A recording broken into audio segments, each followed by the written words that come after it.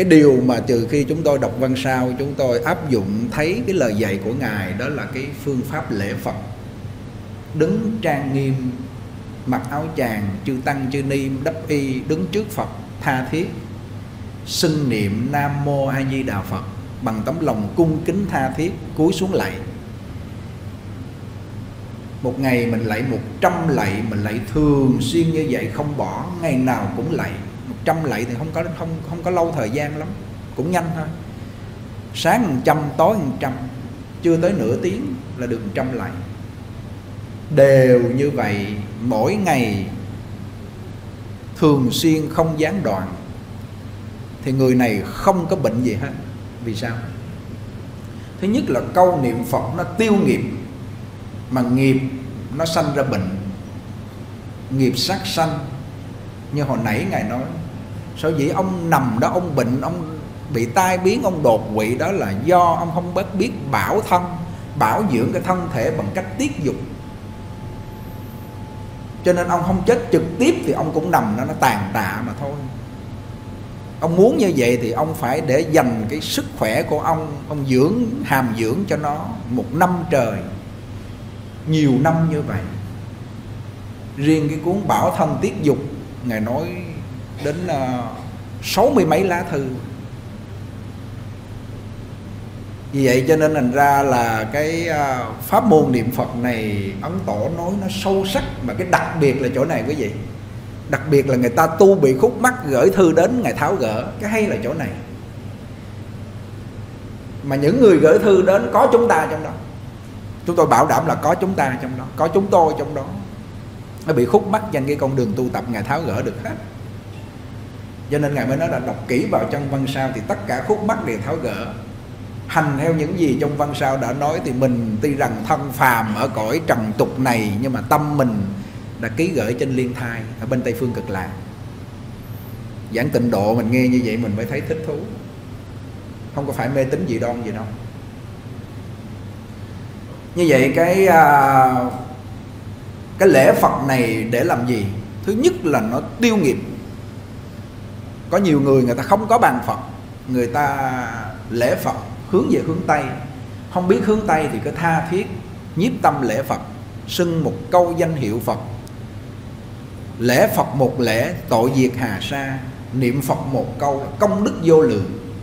Khi họ tin được điều này, nghĩa là họ làm, thời gian cái là bắt đầu nó thay đổi thay đổi cái thân tâm họ, mà khi họ thay đổi được thì cuộc sống bắt đầu của họ thay đổi và ảnh hưởng người khác, gia đình của họ thay đổi theo. Như vậy cho nên cái pháp môn tịnh độ là chúng ta lấy lễ Phật, tha thiết chí thành cung kính. Hồi nãy ngài nói có một cái việc bảo ban cho nhau dùng hai chữ thành kính. Thành kính đến cung cực. Không những thành kính mình đang lễ Phật, mình tha thiết mình thành kính mà ra mình gặp ông chồng mình hoặc đứa con ngỗ nghịch mình cũng thành kính. Có nhiều người người ta nói là gì quý vị biết không? Tao lạy mày rồi, thôi tao thấy mày quá ngỗ nghịch rồi, mày đừng có phá phách nữa mình đừng có ăn chơi, tao lạy mày. Mình nói vậy chứ mình không lạy nó. Lạy thử coi. Lạy thử là sao? Và thượng tinh không nói, lạy phật lấy cái tên nó để cho nó. Ông chồng mà ông lụ đạn, lấy cái tên để cho nó bỏ với cái đích lư hương chứ để mà ông nhìn ông thấy để trên bàn thờ ông tưởng mình chùa ẻo ông chết ông quýnh cho phù mỏ. Để cho đó. Có cái ông đó ông nói đứa con con đó, nó ngỗ nghịch quá con lạy một năm mấy đây mà nó chưa chuyển. Họ thượng tịnh không nói lại tiếp. Cha lạy con có việc gì không? Không lạy đây là mình lạy để mà mình cầu phật gia trì để mình với nó để giải được oan gia trái chủ giải được oán nghiệp chứ không có tội lỗi vậy hết trơn. Cha lạy con tốt, lạy đi. Ở ờ, cái này chúng tôi nói là quý vị về áp dụng nó có kết quả. Cho nên chúng tôi cũng đang tính rồi lỡ mà chú nào mà ở trên chùa, thầy nào mà ông không nghe lời là bắt đầu mình để tên vô lén lén mình lạy mấy ông nữa. Bởi vì mình với ông có nhân viên rồi, nhưng mà ông tới ông không nghe lời mình, ông ngỗ nghịch quá, cho nên lại thì âm thầm ở trong đó nó tiêu nghiệp. Nó tiêu nghiệp cái thời gian mình nói sao nó nghe vậy, họ nghe vậy à thì cuối cùng cũng lại 3 năm, ông lên ông đảnh lễ hòa thượng, ông nói bên này nó chuyển rồi hòa thượng. Hòa thượng nói đó, tôi nói là ông thấy chưa? Cung kịch gọi là cung kính là đến cùng cực thì đá vàng cũng nứt. Con đá vàng là vô tri mà nó còn nứt thì con ông là bảo đảm nó quay đầu là sẽ chắc chắc chắn như vậy. Cái điều này chúng tôi nói là lấy cái lời của hòa thượng mà ngài đã hành trì như thế. À thành ra cái mà để cho khởi được cái lòng thành kính là cái lễ phật là đệ nhất. Nhưng mà khi mình đang thành kính với phật, mình lễ nhưng mình ra bên ngoài mình bất kính thì cái công đức lễ phật nó mất. Hiểu chỗ này không? Tự nhiên mình ra mình gặp ông chồng, cái bà mà lạy phật cái gì, bà giữ như bà chằn á mà.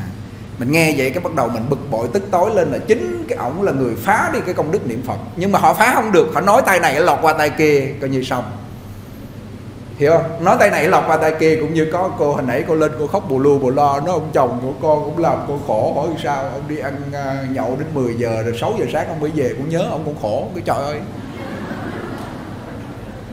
Còn cái chịu gì cất cớ vậy, nghe đĩa thầy rồi bây giờ ông đi kệ ổng, mình cứ nhớ phật, niệm phật đi cho nhớ ông chi cho khổ.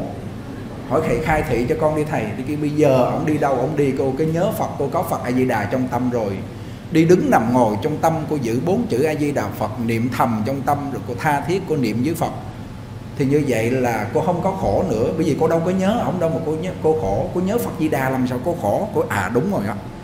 Lúc đó nước mắt nó ngưng liền. Ghê thiệt. Coi như không khóc nữa.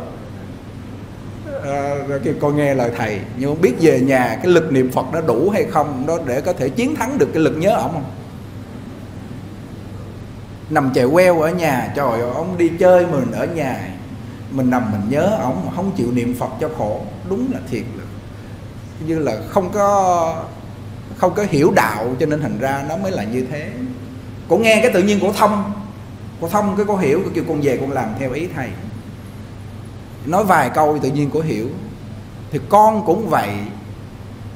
Nếu mà con mình nó mất mà mình niệm phật, mình hồi hướng cho nó thì lợi lạc đôi bên có một đứa nhỏ ở bên mỹ. Ông chồng thì à, theo vợ bé rồi, mà đứa nhỏ này nó học giỏi. Bà vợ có một đứa nhỏ. Bà vợ này à, có một đứa con ở bên Florida. Cái nó đi ra nó chơi sao không biết. Bên Florida có biển á, nó rớt xuống à, biển cái nó chết mất. Người ta vớt nó lên đường, mang về cái người nó tím liệm mà. Bà này bà lại có cái hay, bà niệm phật được. Bà không khóc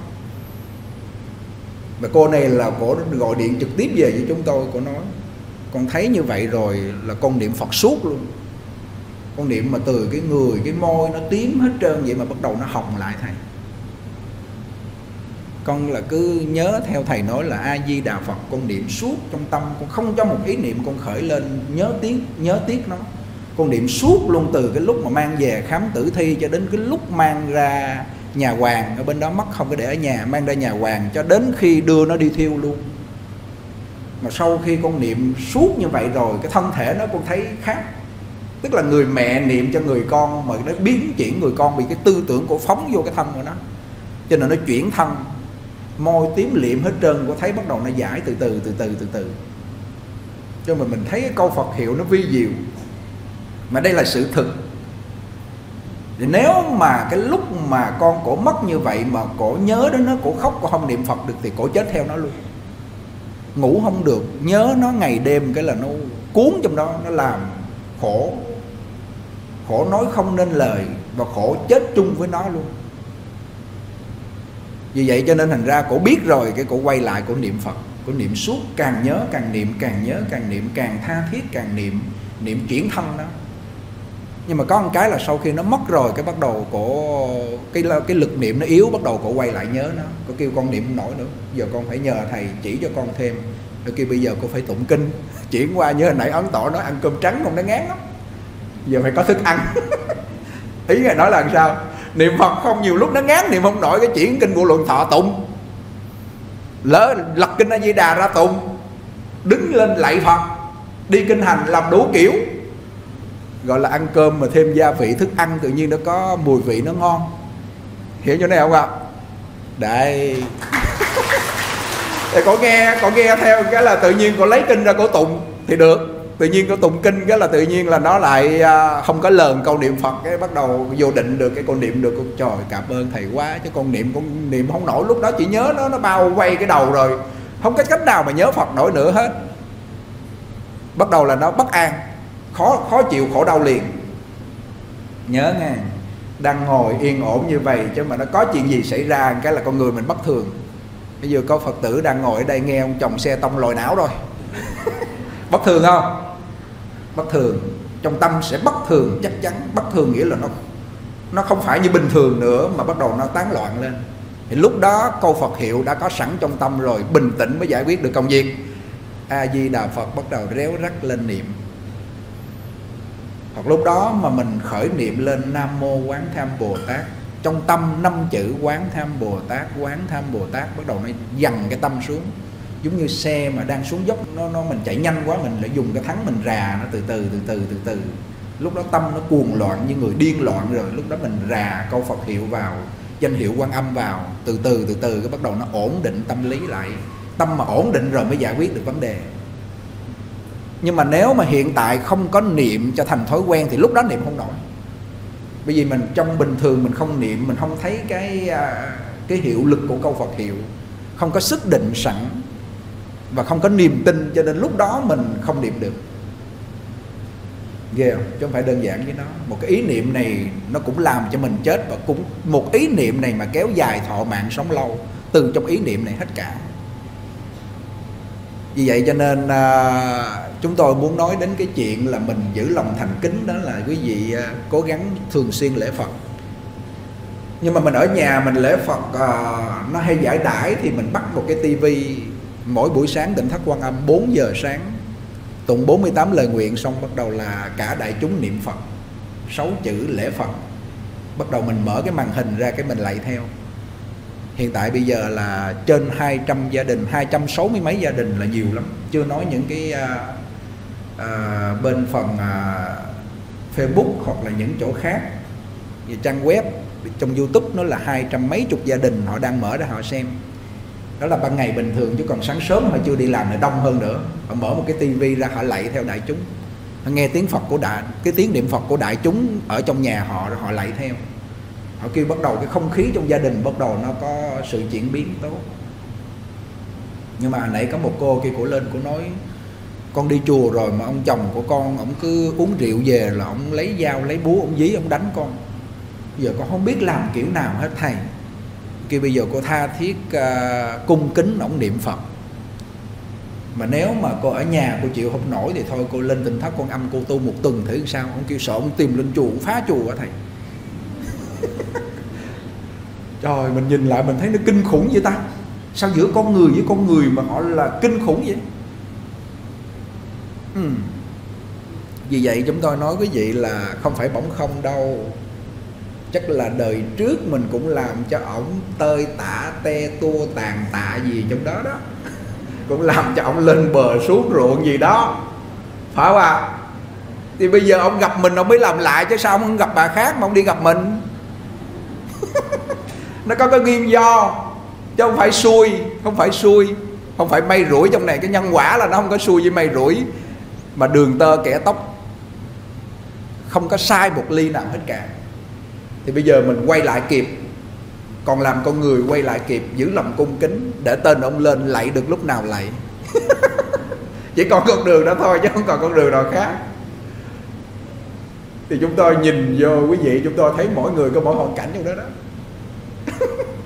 Có cô thì à, nghèo khổ túng thiếu chạy từng bữa ăn không có thời gian tu. Có cô thì quá giàu có nhưng mà gia đình lại bất an chuyện này chuyện nọ. Ở trong cái cõi này nó là như thế chứ tìm một người mà gọi là đầy đủ trọn vẹn. Chồng tốt con tốt có tiền cái tự nhiên nó bệnh hoạn.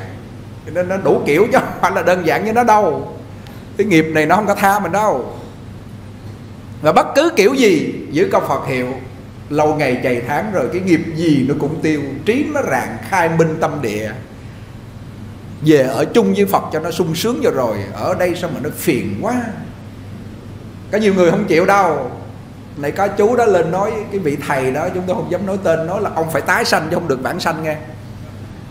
Làm gì mà đủ khả năng mà tái sanh, nó đọa lạc như không ông tổ nói mà không về cực lạc là cơ mây đọa lạc xuống tam đồ nguy hại. Ra đi nó tiếc cái thân mạng nó tiếc của nó tiếc đủ thứ chứ không cho con mà tìm cái người mà họ mà đi vào đắc được thiền định để họ tự tại thâu thần tịch diệt. Họ muốn đi lúc nào họ đi thì cái trường hợp này tìm nó khó vô cùng khó lắm. Mà tìm con người mà để mà họ niệm Phật vãng sanh thì coi lại trong mấy điệu sen thanh với ở lại những uh, những cái ờ, cuốn sách như là tịnh độ thánh hiền lục, không biết bao nhiêu con người vãng sanh. Két mà nó vãng sanh được luôn. Con két giống như con nhầm á, người chủ nhà dạy nó a di đà phật, nó cũng niệm a di đà phật. Cái lúc nó mất ở trong mấy điệu sen thanh đó là cái miệng nó mọc lên cái hoa sen. Ngay cái miệng nó mọc lên hoa sen mà trong người, cho cái thân thể của nó mềm mại, nó ra đi tốt. Súc sanh mà nó niệm phật còn còn giảng sanh được. Huống chi là mình mà mình lại không chỉ người ta niệm phật vãng sanh, bắt người ta là đi tái sanh. Tái sanh chỉ có những vị lạc ma.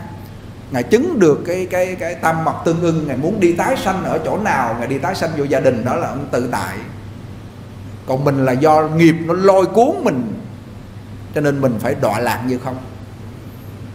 Mà nếu con người này phát nguyện giảng sanh, họ có cái công đức này, nếu mà lỡ mà họ không đủ thiện căn phước đức nhân duyên để họ vãng sanh á thì họ vẫn sanh vào trong gia đình, sanh phùng Trung Quốc, gặp nơi trung tâm Phật pháp. Trong gia đình có Phật pháp. Rồi tiếp tục họ niệm Phật, họ tu tập. Nó đầy đủ cái thiện căn phước đức nhân duyên rồi bắt đầu họ vãng sanh. Cho nên cái nguyện vãng sanh một cái nguyện mà mười phương chư Phật tướng lưỡi rộng dài, thiết thành Phật ngôn. Tán thán chúng sanh nên nguyện, nương theo cái nguyện lực là 48 lời nguyện của Đức Phật A Di Đà.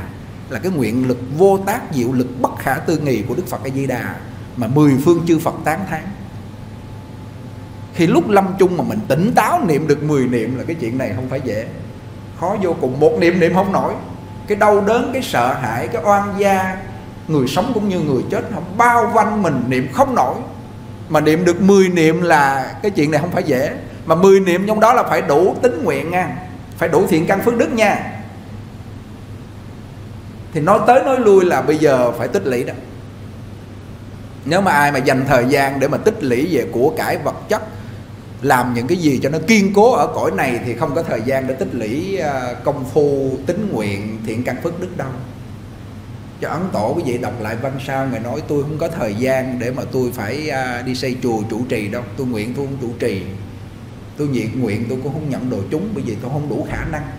Họ để cho họ ở tại nơi tu chân ngay cõi tục, ở gia đình của họ họ phát tâm họ làm trọn bổn phận gia đình, họ niệm phật để họ vãng sanh. Thế mà cái số lượng theo ngài cho đến bao nhiêu? 990 gia đình. Mà 990 gia đình này gọi là đắc pháp với ngài đó nghe. Đắc pháp tức là giữ được lá thư này và tu hành nó có kết quả. Và về sau này 990 lá thư này độ không biết bao nhiêu là chúng sanh. Vì do Ngài đã có chứng đắc trong đó rồi. Ngài có công phu, Nó có nội hàm, Ngài hàm dưỡng trở thành pháp khí rồi. Cho nên cái lời nói Ngài ra Có cái trọng lượng để chuyển nghiệp của chúng sanh.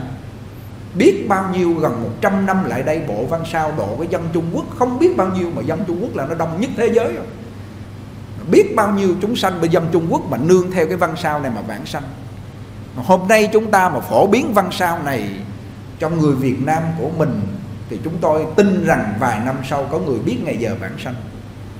Cái bà hệ tỉnh đó mà đến ngay tại à, cái chùa mà ngài giảng ở thượng hải gặp, ông tổ nói tôi không có thời gian nói chuyện với ờ, vợ chồng của ờ, các ông bà nhiều. Hôm nay tôi đặt pháp danh cho ông bà rồi, về trước phật. Đối trước Phật, chân thật, phát nguyện giữ năm giới. Đọc bộ văn sao này đi. Tôi nói cái gì cũng không có thời gian bằng cái bộ văn sao này. Tôi tích lũy biết bao nhiêu lá thư. Bà hệ tỉnh bà về có phát tâm, bà đọc. Mà năm sau cái nghiệp nó tới, bà bị bệnh. Khi bệnh bà biết rồi xả hết. Vàng dòng đeo trong người bán hết. Phóng sanh in kinh bà niệm phật. Ngày đầu bắt đầu bảo vào công phu bà niệm suốt một thời gian bắt đầu bà thấy được Bồ Tát Quan Âm đến gia trì cho bà. Rưới nước cầm lồ gia trì. Sau đó rồi bắt đầu bà ra đi là gặp ngài đại thế chí Bồ Tát với Đức Phật A Di Đà thì ấn tổ giao cho bổ văn sao, bà y theo đó bà hành trì, có duyên với ấn tổ, tức là ấn tổ là hóa thân của ngài đại thế chí Bồ Tát, cầm đài vàng đến cho bà ngồi lên. Phật A Di Đà phóng hào quang từ nơi bạch hào này nhiếp thọ bà ngồi trong hoa sen về cực lạc. Bà huệ tỉnh này con đồng. Sao bà tu cái bộ văn sao này bà nương theo mà có một năm bà vãng sanh, còn mình bao nhiêu năm mà còn ngồi đây? Kỳ vậy ta? Tự nhiên mà mình suy nghĩ lại cho nên chúng tôi đọc vào trong bộ văn sao chúng tôi cứ càng đọc là chúng tôi càng thấy à, cái lời của ông tổ. Và có nhiều người người ta vâng theo lời ông tổ mà người ta làm nó có kết quả tốt. Vì vậy cho nên thành ra hôm nay chúng tôi à, phổ biến cái bộ văn sao mới nói giờ cái à, gần bốn rưỡi à gần hết giờ. Cố gắng bữa nay xin nửa tiếng nữa 5 giờ đi ha. Lâu lâu mình mới gặp nhận lần đó mà ha. Cả tháng gặp lần.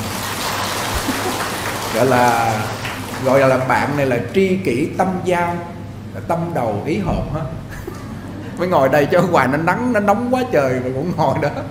Rồi mấy người trong này có phước ngồi mấy lạnh rồi ha. Thì cố gắng lắng nghe ha.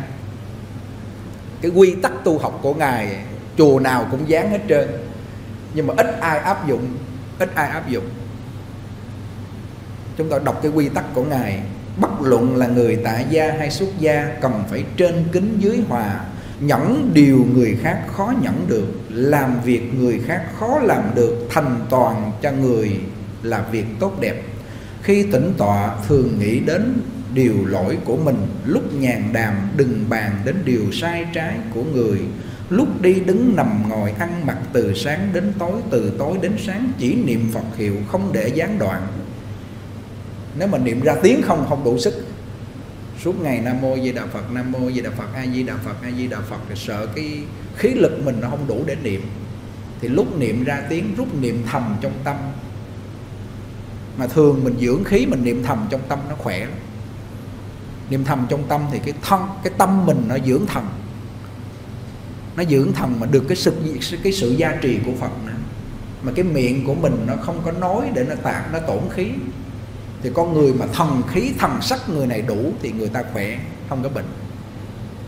Một là người ta bị à, cái tinh thần của họ quá bấn loạn họ kìm không được.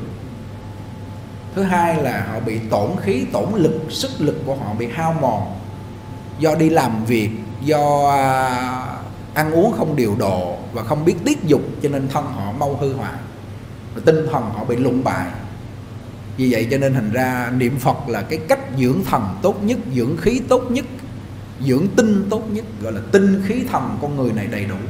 Chỉ niệm phật, không để gián đoạn, hoặc niệm nho nhỏ, hoặc niệm thầm. Ngoài niệm phật, đừng giấy khởi một niệm nào khác. Nếu khởi vọng niệm phải tức thì bỏ ngay. Thường có lòng hổ thẹn và tâm sám hối. Nếu đã tu trì, phải tự hiểu là công phu của ta hãy còn nông cạn chẳng nên tự kiêu căng khoe khoang. Chỉ nên chăm sóc việc nhà mình đừng dính vào việc nhà người. Chút nữa chúng tôi sẽ nói nhưng mà cái chỗ mà nó quan trọng là chúng tôi hay nhắc một chút xíu cho đỡ quên. Thường mình hay để tâm đến việc nhà người đi chợ về cái, cái trò hồi nãy tôi thấy cái hai cái bà bà cãi lộn. Mà nói thôi đủ chuyện hết bà cãi như vậy nè mày.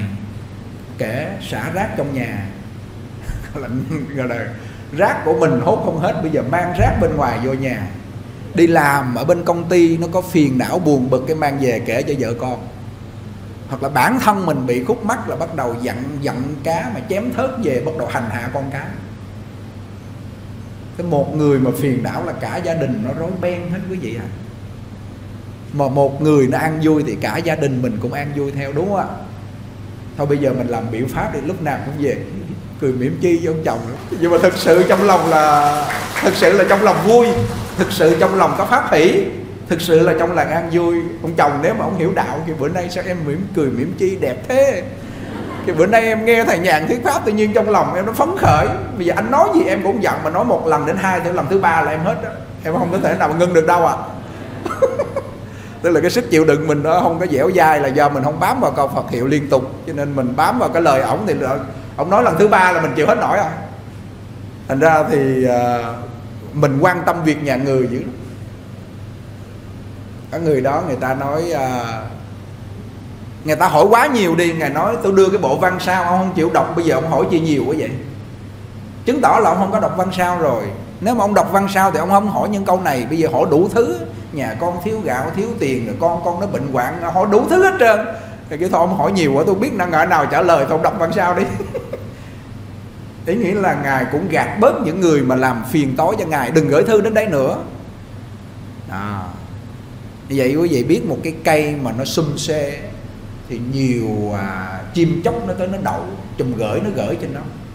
nếu mà cái cây không sum xê cây chọc lóc không cả lá chim nó không có tới cũng vậy một người mà họ có cái phẩm hạnh người ta có cái sức ảnh hưởng đến con người thì nhiều người đến mà nhiều người đến mà họ không có công phu, họ cứ để tâm vào những người khác, để vào cái nghiệp xấu của người khác, để họ chuyển cái lâu ngày họ mất công phu cái họ cũng bị ờ, dính mắc theo luôn, họ khổ đau luôn. Mình trong gia đình cũng vậy. Chồng con, cháu chắc, bạn bè, nó làm cho mình rối lên chịu không nổi. Mình cứ để tâm vào những cái chuyện bại hoại, dính mắc chuyện nhà người mà riêng cái nhà mình, tức là ở trong tâm mình là nhà mình, ý ngài nói, ở trong tâm của mình chưa ổn định. Thì nên tránh duyên đi vào cái chỗ nào đó mình công phu. Có vị hòa, có vị thầy đó kêu bây giờ tâm con bất an. Lúc trì chú tự nhiên đang ngồi cái nó chuyển niệm phật. Lúc niệm phật cái nó chuyển trì chú, kêu cái sức định ông kém quá. Phải bây giờ ông buông xuống mọi duyên, ông đừng có lo chuyện gì nữa cả. Chùa truyền ông giao hết đi, bổn đạo ông giao hết. Ông bế quan, ông tịnh tu, thời gian ông có sức định, ông hàm dưỡng trở thành pháp khí rồi. Lúc đó ông mới giúp cho ông được rồi, ông mới giúp cho người khác được. Bây giờ bản thân ông không giúp được thì ông giúp cho người khác, thì làm sao mà được? Quý vị đó nghe xong cái là ông buông xuống vô công phu. Đó là lo việc nhà mình. Lo việc nhà mình, tức là lo an định cái tâm của mình. Nói như vậy không phải là mình không có trách nhiệm với người khác. Có trách nhiệm với chồng, với con, hết bổn phận. Nhưng mà họ làm phiền quá thì mình phải có một cái nơi, giống như hồi nãy cô đó bây giờ chiều về cô có sách, ông sách dao, sách bố ông dí cô miết thì cô lên tỉnh thất cô tu một tuần thử coi. Coi thử coi nó cái an cô nhờ cái công đức hồi hướng mà cái nghiệp của nặng quá, ông kêu con cũng sợ, ông lên ông phá chùa, ông tìm con cho nó, con cũng sợ quá. Cho nên nghiệp nó buộc cô này quá nặng. Mà họ khổ đến cùng cực, nhìn mặt mày cái tội nghiệp. Quý vị mà để đến cái lúc đó rồi mà quý vị tu tập nó hơi khó. Bây giờ nó đang ổn định, rộng đường, yên ổn này nè, lo tu chứ chứ khi ông già cháy chủ mà người, người sống nó tới đó báo quý vị lúc quý vị ngáp ngáp mà người chết nữa thì thôi quý vị thua thua chắc. Hãy coi mọi người là bồ tát mà ta chỉ là kẻ phàm phu. Nếu quả thực tu hành được như những điều kể trên thì nhất định được vãng sanh về thế giới tây phương cực lạc. Bây giờ chúng tôi nói đến cái uh, cái quy tắc tu học của ngài. Tức là cái người muốn vãng sanh mà gói gọn trong cái quy tắc này hành theo thì yên tâm. Ngắn gọn vậy thôi. Nhưng mà đôi khi chúng ta đọc vào quy tắc này, chúng ta tu tập và chúng ta không có đọc thêm những lời khai thị của ngài, có những cái chuyện chúng ta gỡ không nổi vì vậy chúng ta phải cần đọc thêm văn sao. Bất luận là người tại gia hay xuất gia, cần phải trên kính, dưới hòa gặp người trên mình mình phải cung kính, chân thật cung kính. Cái công đức cung kính này nó lớn vô cùng. Không những là cung kính phật, pháp tăng, mà cung kính với những người cha mẹ, chồng của mình cung kính. Và dưới mình sẽ hòa thuận. Cái chữ hòa này tức là hòa khí sanh tài. Trong nhà nếu mà hòa thuận được với nhau ông chồng ông có ông có ba gai, ông có chửi gì đi nữa, trong tâm mình cứ có phật hiệu đề khởi mà niệm lên. Rồi ông chửi riết một thời gian, ông mỏi mệt, rồi ông khô nước miếng rồi. Mình xách một ly nước, anh anh uống một ly cho mát mẻ, rồi anh nói tiếp anh à. Nói vui vui vậy. Mình nói mình nói vui vui như vậy, tự nhiên ông cười phì lên cái hết à.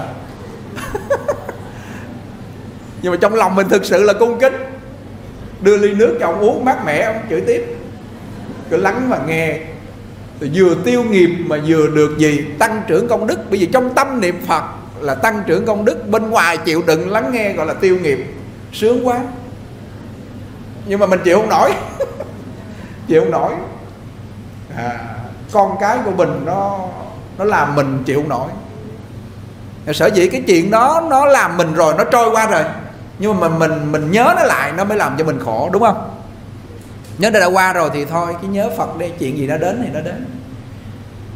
Thì như vậy là trên kính dưới hòa cái chữ nhẫn nha nhẫn những điều mà người khác khó nhẫn. Ngài nói cái chữ nhẫn này quan trọng cái chữ nhẫn thì ở trên nó có cái uh, bộ đao tức là con dao chữ đao là con dao. Ở dưới là cái chữ tâm.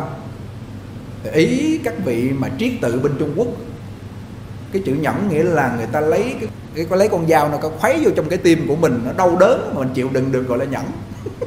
Cái ý nó vậy đó. Cái nghĩa bóng của nó là người ta nhục mạ mình người ta uh, chửi cha chửi mẹ mình người ta nói mình đồ chó người ta kêu mình là súc sanh người ta nói gì nói mà mình chịu đựng được thì người này gọi là nhẫn. Mà người nhẫn được thì gọi là thánh nhân. Còn nhẫn không được thì gọi là phàm phu bây giờ muốn làm phàm phu, muốn làm thánh nhân.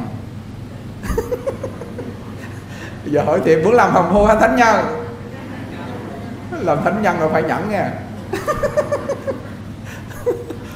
Phải nhẫn. Cho nên ngài nói là nhẫn những điều người khác khó nhẫn. Nhà. Làm việc người khác khó làm được. Cái việc mà người ta không làm, mình làm.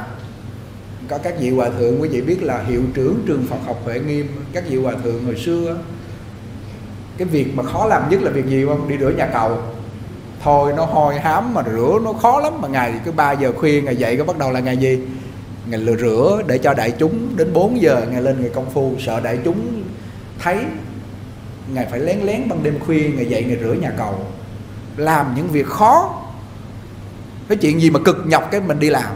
Cho nên trong cái uh, cái lời dạy của thánh hiền nói cái việc đó mình không làm được thì mình đừng có kêu người khác làm. Mình phải làm cho bằng được mình làm được rồi mình bận thì mình nhờ người khác chứ mình làm không được thì mình đừng có nhờ người khác. Tức là mình phải thay người làm việc khó nhọc mà người khác khó làm cho nên trên tình thất quan âm chúng tôi chia ra mỗi người một việc. Thấy người đó người ta làm cái việc đó được, mình chia cho họ làm.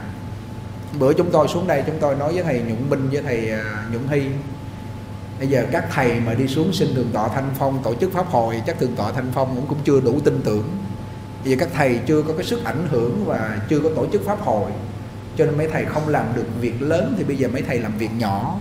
Sắp xếp pháp hội là thầy nhuận minh, rồi ở trên đó thầy à, nhuận hy thì lại dẫn chúng tu tu chủ nhật chia ra anh em một người một chút. Chứ bây giờ cái công việc của giác nhàn là tổ chức pháp hội xuống giảng bây giờ tự nhiên đi xuống nấu ăn. Thì cái chuyện mà mình nấu ăn là nó không đúng với cái bổn phận và cái à, cái việc mình đang làm. Thì cái việc khó là người ta về đây mà người ta nghe được Phật pháp người ta thông hiểu người ta ngồi đây suốt ngày với mình. Thì cái chuyện này nó khó mình phải thay người mình làm mà khi việc khó mình làm được thì tất cả việc dễ gì mình làm được hết. Về nhà, ông chồng ông nói, em, đi lâu nhà. Dạ anh à. Lâu em đi chiều nhà cầu. Dạ vâng à. Lâu em đi nấu ăn. Dạ vâng à. Nấu. Được không? Cái sai gì mình làm cái đó. Làm riết lâu ngày ông thương cái thôi để anh làm cho em. chứ khi sai đó bà kêu là tôi cứ làm hoài, ông ngồi không, ông coi đá banh với ông. Thì không có thay người làm khó, làm những việc khó, làm như con ở luôn. Bởi vì mình nợ ổng cho nên ông mới sai chứ. Mà quý vị để ý gia đình coi, có nhiều ông chồng ông đa lưng cấm cổ, đi làm đuôi vợ vợ ở nhà phè phè chơi. Có nhiều người là nợ, vợ nợ chồng làm công lưng luôn, chồng coi đá banh chơi nó nợ thôi chứ không có gì hết trơn á. Gặp cõi đời này là đòi nợ, trả nợ, báo ân, báo oán, nhiều đó. Không gì hơn hết trơn. Nhưng mà người khéo xử trí, người ta biết cái người ta vượt qua được. Không ạ à? nói thì nghe có lý, ngồi trong này thì nghe có lý, êm tai lắm. Mà về nhà đụng chuyện nó khi làm không nổi. Thì cái sức nhẫn của mình nó kém. Cái sức chịu đựng mình nó kém. Nhưng mà niệm câu Phật hiệu, bắt đầu tự nhiên mình thấy ông khởi niệm ác lên. Tự nhiên mình thương ổng, sợ ổng đọa lạc. Thương ổng cùng cực thương nổi không? Bây giờ mình mà nếu mà khởi niệm ác lên với ổng nữa rồi ổng khởi niệm ác lên nữa là ổng đọa lạc nhanh. Cho nên thôi không dám khởi niệm ác. Cứ khởi niệm phật lên hồi hướng cho thì con người này gọi là thiện nhân. Quý vị nhớ ở trong cái phim mà cái ông đó ông thấy bà này ăn chay ông cứ gấp thịt ông bỏ vô ở trong uh, chén xong bắt đầu ông thấy bà niệm phật chuẩn bị giảng sanh bỏ ông quản hồn ông bắt heo về cho bà giữ giữ chân để ông giết. Quý vị nhớ cái phim không ạ? Giữ chân ông giết cái bà cứ cầm cái chân bà quay mặt qua, cái nam mô di đà phật. Ông vừa giết, bà vừa niệm phật cho con heo. Thế mà cuối cùng bà vãng sanh quý vị. Coi như là ông chồng, coi như là ông ờ, ngăn cản bà niệm phật, nhưng mà ngăn cản không được. Ngăn cản ờ, bên ngoài thôi, chứ trong tâm bà ông ngăn cản không được, đúng không? Trong tâm ai mà, trong tâm mình ai mà ngăn cản? Chỉ có mình ngăn cản mình thôi, chứ ai mà ngăn cản bên trong tâm mình được. Đúng không? Nghe cả lý ông làm sao mà ông chui vô tâm mình ông ngăn cản mình được? Mình niệm phật làm sao mà ông ngăn cản mình được? Ông bắt mình giữ chân heo vẫn cầm giữ chân heo như thường. Nhưng mà trong tâm cái niệm phật cái tay thì cầm chân heo để cho ông giết. Ông kêu bà phải cầm heo cho tôi giết mới được. Ông cho cắt cớ ông giết được mà ông kêu bà, bà phải cầm. Ông vừa cầm ông vừa niệm phật bà cầm bà niệm phật. Niệm phật cho con heo nó nghe. Vậy ở trong tâm mình không ai ngăn cản mình được mà chỉ có duy nhất là nghiệp mình nó ngăn cản. Nghiệp tức là hành động theo thói quen nó lười biếng niệm phật nó ngăn cản mình niệm phật chứ không có ai mà ngăn cản mình được. Nó lười biếng tụng kinh nó ngăn cản mình tụng kinh chứ không ai mà ngăn cản mình được. Đúng không quý vị đó. Thì bây giờ nếu mà mình muốn để cho màu chuyển được cái nghiệp này á, thì mình cũng phải nhờ đại chúng gọi là cái tiếp dẫn lực của đại chúng. Rồi mình phải nhờ vào cái pháp lực là cái câu Phật hiệu. Tự lực mình làm không được rồi mình nhờ vào cái Phật lực bất khả tư nghị để gia trì cho mình. Thì có khả dĩ, cho nên cái người vãng sanh mà cái lúc họ ra đi, tự thân họ niệm Phật được nhưng mà nó yếu ớt quá, cho nên phải cần có đại chúng. Hồi sáng chúng tôi mà nói à, mời mấy cô bên úc lên, chúng tôi nói không biết ở bên úc như thế nào cho tỉnh thất quan âm. Suốt 24 trên 24 phòng hộ niệm không ngơi nghỉ một giây phút. Chúng tôi một câu, a di đà phật đại chúng cứ là hai chục người chia ban, hai tiếng đồng hồ, a di đà phật không ngơi nghỉ. Cái câu phật hiệu này nó phát lên một cái tần số, nó làm cái không khí ở trong xung quanh đó nó thanh tịnh, không gián đoạn một giây phút nào hết. Cho nên cái lúc mà mình ra đi mà nhờ được cái lực của đại chúng hộ niệm và nhờ được cái môi trường nó thanh tịnh sẵn rồi đó, thì cái sức gia trì đó chuyển nghiệm cho mình, giúp cho mình gọi là trợ lực, trợ niệm nhưng mà có nhiều người người ta tự niệm thật không được, chỉ nhờ trợ lực thôi. Thì cái này không thành tựu được chánh niệm. Muốn thành tựu được chánh niệm thì chánh trợ phải song vận với nhau. Chánh niệm của họ họ phải đề khởi được câu Phật hiệu. Rồi trợ niệm, tức là cái người khác trợ lực cho họ. Thì giữa cái trợ và cái chánh này nó mà khế hợp với nhau, cái câu Phật hiệu ở bên ngoài và trong tâm họ liên tục không gián đoạn từ từ cái bắt đầu cái tâm họ nó cảm đến cái pháp lực, là cảm đến cái câu Phật hiệu và cảm đến Phật lực bất khả tư nghì thì nó chuyển được nghiệp lực. Và khi chuyển được nghiệp lực rồi thì tịnh nghiệp Tây phương nó thành tựu được là Phật cầm đài vàng đến tiếp dẫn chúng ta bản sanh. Thông hiểu chỗ này không ạ? Có nhiều người nói bình thường mình không có niệm phật gì hết, cái lúc lâm chung mình cần ban trợ niệm mà mình không niệm phật có bản sanh không? Không vãng sanh được. Mà nếu mà mình đầy đủ chánh niệm rồi biết ngày giờ vãng sanh thì người này không có cần trợ niệm nhưng mà ấn quan đại sư biết ngày giờ vãng sanh là đại thế chí bồ tát. Thế mà cũng nói ta chuẩn bị đây đây mọi người niệm phật cho ta nha. À quý vị coi lại coi ngài là thành tựu được cái cái cái cái uh, tâm niệm là ngài nguyện vãng sanh và ngài biết ngày giờ. Các vị uh, hòa thượng chân đạt mới nói giờ của ngài là bây giờ cái ngày đó để mà lo cái việc mà bổ nhiệm chủ trì, lo việc này, việc nọ. Ngài kêu trễ rồi, không kịp đâu. Đổi lại cái ngày kế tiếp, ngài cũng trễ rồi. Nói lại cái ngày mà ngài gần giảng sanh, ngài nói cái ngày đã giờ được à. Vừa rồi chứ không không đợi lâu được đâu. Thế mà ngài ra đi, ngài nói cái pháp môn niệm phật không có gì cao cả. Giữ hai chữ thành kính này đến cùng cực thì cảm đến phật vãng sanh thôi. Mọi người niệm phật cho ta, ngài lớn tiếng người niệm phật vậy mà có nhiều người nói là gì? Không cần trợ niệm. Cái trợ niệm đó để cho những người ngồi xung quanh của mình, người ta thấy mình biểu diễn ra đi để họ khởi được tính tâm, đó là lợi tha, đúng không ạ? Dầu cho mình biết ngay giờ giảng sanh. Nhưng mà mình cũng cần cho người ta trợ niệm như ấn tổ để những người đó có tính tâm. Thấy mùi, nghe mùi thơm, thấy ánh sáng và tuy rằng mình không thấy được Phật Di Đà, Đại Thế Chí Bồ Tát cầm đài vàng, Nhưng bản thân của Ấn Tổ thấy và Ngài nói, ta đi đây, Phật đã đến rồi. Thì cái người mà ngồi bên cạnh của Ấn Tổ Thì cái tính tâm của họ kiên cố, quý vị biết cỡ nào? Đúng không ạ? Cái là điểm biểu pháp của ngài. Thế mà tổ cần phải có người niệm phật. Có nhiều người nói, thôi, không cần niệm phật. Tôi tự tại rồi. Mà đó là đem phàm làm thánh. Mình chưa là bồ tát, mà mình nói mình là bồ tát thì cái này là chết. Ở trong này lá thư ngài nói tôi đã nói với ông rồi. Ông không phải là bồ tát thì ông đừng có xưng coi mình là bồ tát ông ở đây ông độ sanh. Ông không có đủ cái sức huân tu hàm dưỡng trở thành pháp khí để ông biết ngày giờ giảng sanh thì coi chừng ông bị lôi cuốn. Tổ coi như là khai thị tưởng ông là quay đầu rồi cuối cùng ông chưa quay đầu nổi.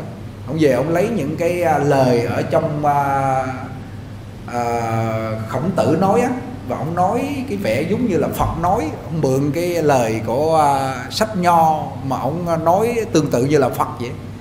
Cái này ông gọi rằng là cống cao ngã mạng. Cuối cùng ông này ông nằm ba ngày ba đêm ông chết không được vãng sanh. Gặp trực tiếp ấn tổ khai thị rồi mà vẫn không chuyển nghiệp được. Thì ấn tổ có nói cái lá thư này. Cho nên có nhiều người người ta không chịu vãng sanh quý vị. Mà cái lúc họ đi họ cũng không chịu hộ niệm nữa cho nên chúng tôi đọc vào văn sau là thấy ấn tổ ra đi, ngài là quá thân của đại thế chí bồ tát, mà ngài tập trung mọi người lại niệm phật cho ngài. Cho nên cái thành tựu một tâm niệm để vãng sanh, một chánh niệm để vãng sanh thì bản thân mình phải niệm phật được trong lúc lâm chung. Mà muốn trong lúc lâm chung bản thân mình niệm phật được thì ngay bây giờ mình phải tập cho nó thành thói quen, đúng không ạ? Tập thành thói quen niệm được và ngay bây giờ những công việc của thế sự, công việc này, việc nọ, nó phá cái công đức niệm phật. Thì lúc lâm chung quý vị niệm được là chúng tôi khen quý vị giỏi. Không cách nào niệm được. Ngay bây giờ mà mình không niệm được, thì lúc lâm chung quý vị niệm nổi. Chúng tôi dám chắc. Mà bây giờ thì mình lo những việc trước mắt. Cơm áo, gạo, tiền, cuộc sống, nó bó buộc mình. Rồi thọ mạng hết cái là mình quay lại niệm niệm được nữa. Bởi vì nó không có hung hàm dưỡng, nó không có hung tu thì lúc đó là tay trắng rõn tay trắng, mất hết cả chì lẫn chài. Mất cả chì lẫn chài là của cải vật chất mang đi không được mà tâm lực này không có phật lực gia trì, bởi vì hàng ngày không có niệm phật. Cho nên lúc đó nghiệp lực nó lôi cuốn vào cõi ác mà đã làm chó rồi, làm súc sanh rồi, coi chịu thua. Nghe đến đây tự nhiên hơi giật mình phải không? Làm súc sanh rồi là khó cứu. Mà để súc sanh này nó có phước làm người nữa thì không biết khi nào cho nên đức phật nói mà con người để làm người lại nó khó vô cùng. Đức phật cầm một nắm đất nói, này tất cả các vị tỳ kheo, đất trong tay ta nhiều hay đất trong đại địa nhiều. Các vị tỳ kheo nói, đất trong nắm tay ngài so với đất đại địa quá ít. Đức phật nói cũng thế, cái người chết mà được làm người nó ít như trong đất trong nắm tay ta. Mà cái người chết mà đọa lạc vào tam đồ, nó giống như đất trong đại địa cái này chúng tôi nói là đúng có sử liệu Phật dạy như thế. Ngay thời Đức Phật còn tại thế mà ngài nói như thế đấy. Ngài cầm nắm cát lên, ngài kêu, cát trong sa mạc nhiều hay là cát trong nắm tay ta nhiều? Các vị đệ tử ngài nói, cát trong sa mạc quá nhiều, cát trong nắm tay ngài quá ít so với cát trong sa mạc. Ngài nói là người mà chết mà làm người nó hiếm lắm, giống như là cát trong nắm tay của ta. Ý ngài nói vậy là sao? Quý vị nhìn lại coi, nhìn lại coi ngài nói đúng không nè? Lúc lâm chung nó không tham đắm cái thân này thì nó cũng tham đắm của cải. Không không tham đắm của cải thì cũng tham đắm chồng con. Mà không tham đắm chồng con thì nó cũng là gì? Nó bị cái nghiệp chướng nó lôi cuốn mình, chịu không nổi. Mà tham là nó xuống ngạ quỷ rồi đó. Sân nó vô địa ngục mà nó si mê mà không biết đường nào đi là nó vô loài súc sanh rồi. Cho nên ngay lúc bây giờ chúng ta biết để chuyển nghiệp bằng một câu Phật hiệu đơn giản, dễ dàng lấy cái thức mình nương vào câu Phật hiệu, lâu ngày nó chuyển thức thành trí. Chỉ có cách này là nhanh nhất, cách này là hay nhất, đơn giản nhất, màu nhiệm nhất, thành tựu dễ dàng nhất, không tốn sức, không tốn công nhiều. Nghe có lý không? Nhưng mà chưa làm cho nên thấy nó nó bình thường. Nghe thầy nhà nói vậy thôi chứ mà mình chưa làm cho nên thấy nó bình thường, nhưng mà làm vô thấy nó phi thường á các cụ già bây giờ không phải làm gì hết như bà cụ mẹ của cô à, Hà Ngọc cứ a di đà Phật suốt ngày. Nhưng mà bà cụ này hỏi này kỹ lại một chút là sáng bà cũng ham vui và đi tập thể dục rồi này nọ. Nhưng cô Hương nói sáng mà bà ở nhà bà lạy Phật luôn. Nó có sức khỏe vừa là thể dục luôn khỏi phải đi ra bên ngoài. Gặp cái chuyện người ta nói năm trên năm dưới là đem viện chuyện nhà người bỏ vô trong nhà mình đem tâm của người khác bất an bỏ vô tâm mình, gọi là chuyện nhà người nó dính vô trong tâm mình.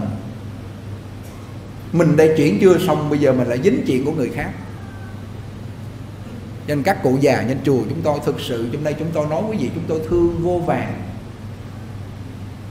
Ăn chay trên đó thì đông quá, một cái suất ăn vậy là sáu bảy trăm người, đâu có ngon lành gì lắm đâu. Mà niệm phật ra xong, các cụ ăn, cụ nào thấy cũng khen ngon, ăn có cụ hai bát sức khỏe ăn ngon lành. Suốt ngày bốn thời một câu phật hiệu niệm. Tụng kinh niệm phật không có phải suy nghĩ lo toan gì hết. Bắt đầu tích lũy. Vì vậy cho nên thành ra chúng tôi à, thành tựu cho một người vãng sanh là thành tựu cho một phàm phu thành phật. Công đức này lớn lắm. Há chi là thành tựu cho gia đình mình? Nay gia đình mình có bốn năm người ông chồng hai ba đứa con bây giờ bằng cách nào để thành tựu cho họ một cái ý niệm giảng sanh là đọc văn sao? Đọc văn sao cho họ nghe hàng ngày. Vậy cho nên hôm nay à, chúng tôi không có cái thời gian để nói hết cái quy tắc tu học. Chỉ nói đến cái vấn đề là làm việc người khác khó làm thành toàn cho người việc tốt đẹp. Luôn luôn muốn cho người ta tốt đẹp, cho người ta tốt, người ta giỏi lên. Thấy người ta hơn mình mình càng tán thán. Giúp cho người ta tốt tìm cái người mà thấy người khác giỏi hơn mình, mà họ càng tán thán giúp đỡ cho mình. Cái điều mà trừ khi chúng tôi đọc văn sao, chúng tôi áp dụng thấy cái lời dạy của ngài, đó là cái phương pháp lễ phật. Đứng trang nghiêm, mặc áo chàng, chư tăng, chư ni, đắp y, đứng trước phật, tha thiết. Xưng niệm nam mô a di đà phật, bằng tấm lòng cung kính tha thiết, cúi xuống lạy một ngày mình lạy một trăm lạy, mình lạy thường xuyên như vậy, không bỏ. Ngày nào cũng lạy một trăm lạy thì không có, không không có lâu thời gian lắm. Cũng nhanh thôi. Sáng một trăm, tối một trăm. Chưa tới nửa tiếng là được một trăm lạy. Đều như vậy, mỗi ngày thường xuyên không gián đoạn, thì người này không có bệnh gì hết. Vì sao? Thứ nhất là câu niệm phật nó tiêu nghiệp mà nghiệp nó sanh ra bệnh, nghiệp sát sanh. Như hồi nãy ngài nói, sở dĩ ông nằm đó, ông bệnh, ông bị tai biến, ông đột quỵ đó là do ông không biết biết bảo thân, bảo dưỡng cái thân thể bằng cách tiết dục. Cho nên ông không chết trực tiếp thì ông cũng nằm đó, nó tàn tạ mà thôi. Ông muốn như vậy thì ông phải để dành cái sức khỏe của ông ông dưỡng, hàm dưỡng cho nó một năm trời nhiều năm như vậy. Riêng cái cuốn bảo thân tiết dục ngài nói đến sáu sáu mươi mấy lá thư. Vì vậy cho nên thành ra là cái uh, pháp môn niệm phật này ấn tổ nói nó sâu sắc mà cái đặc biệt là chỗ này quý vị.